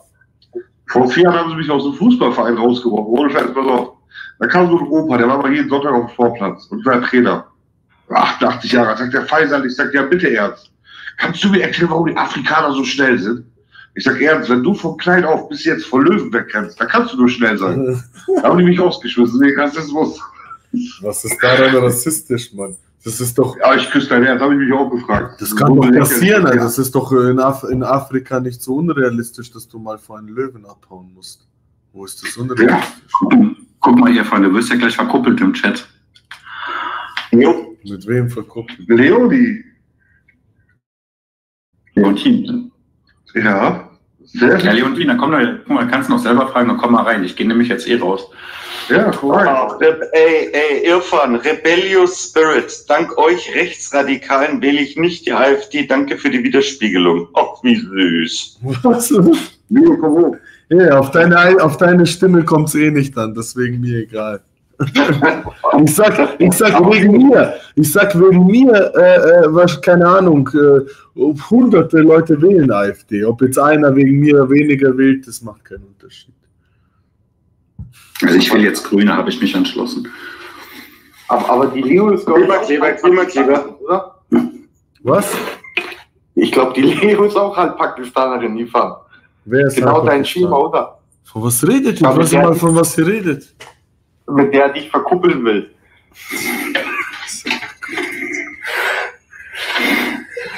Oh, hier schaut einer braune gesockt. Wo ist eigentlich deine Moody's?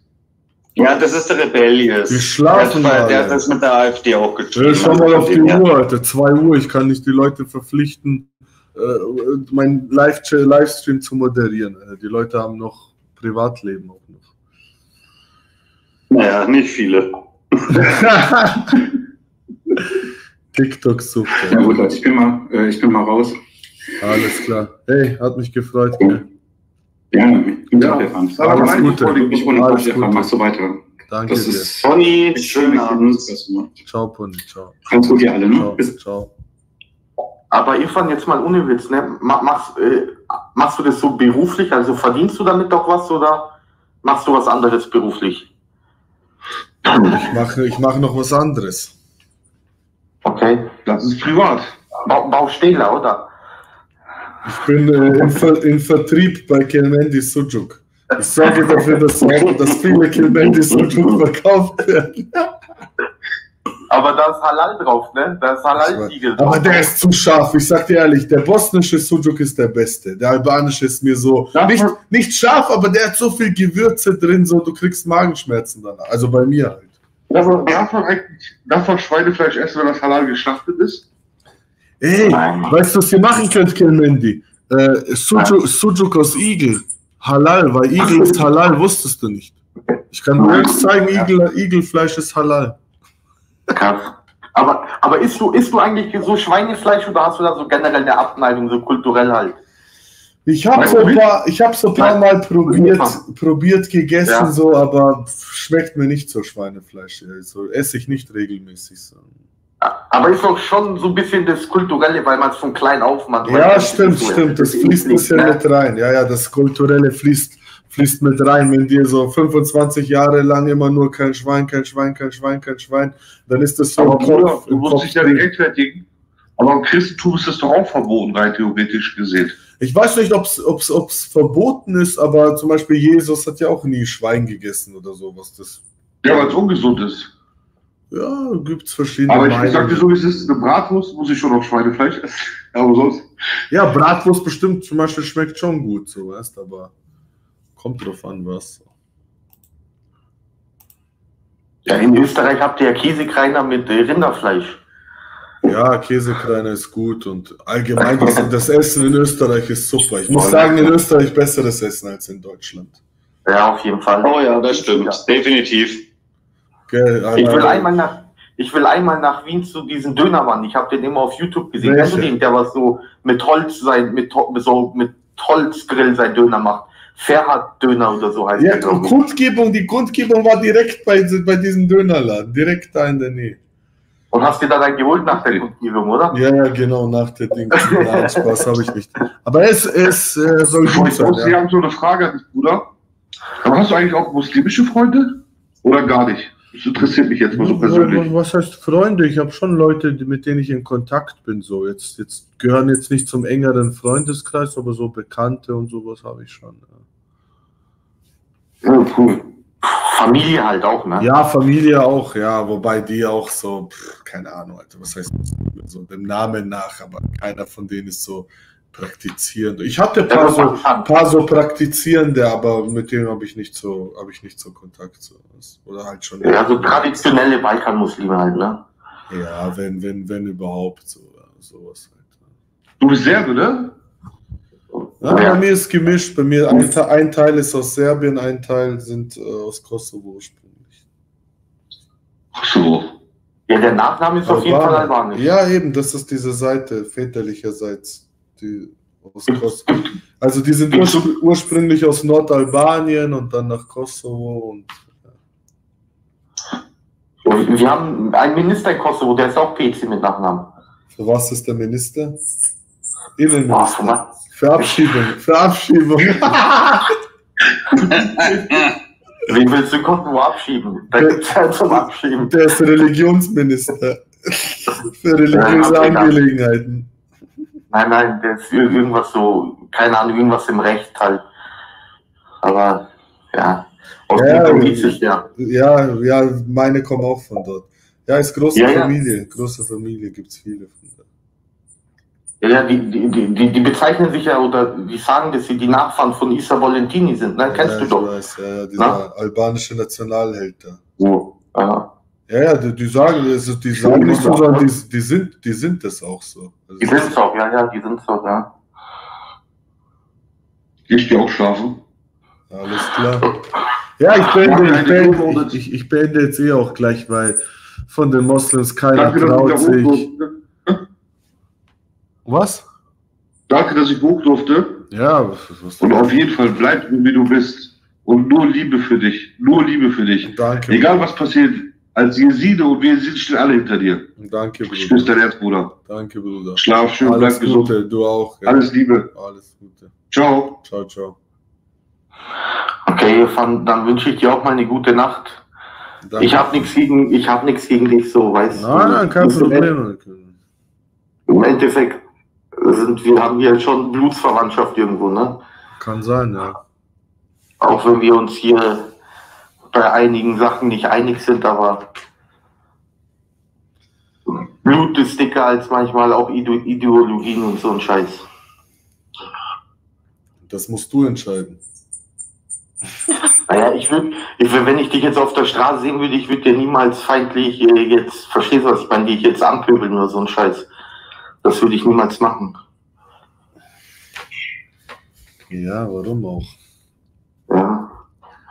Weil, schau mal, es gibt ja genug albanische Christen. Verstehst du, das sind auch meine Brüder. So, das, das ist scheißegal, der Glaube im Endeffekt. Es gibt Albaner, die werden Buddhisten, so sind das keine Ja, Albaner mehr. aber die, Aggression geht ja nicht von den albanischen Christen gegenüber den Moslems aus. Weiß kein Christ, kein albanischer Christ sagt, hey, warum seid ihr Moslems, werdet Christen, sondern da ist ja mehr Druck von den albanischen Moslems gegenüber den Christen, verstehst du?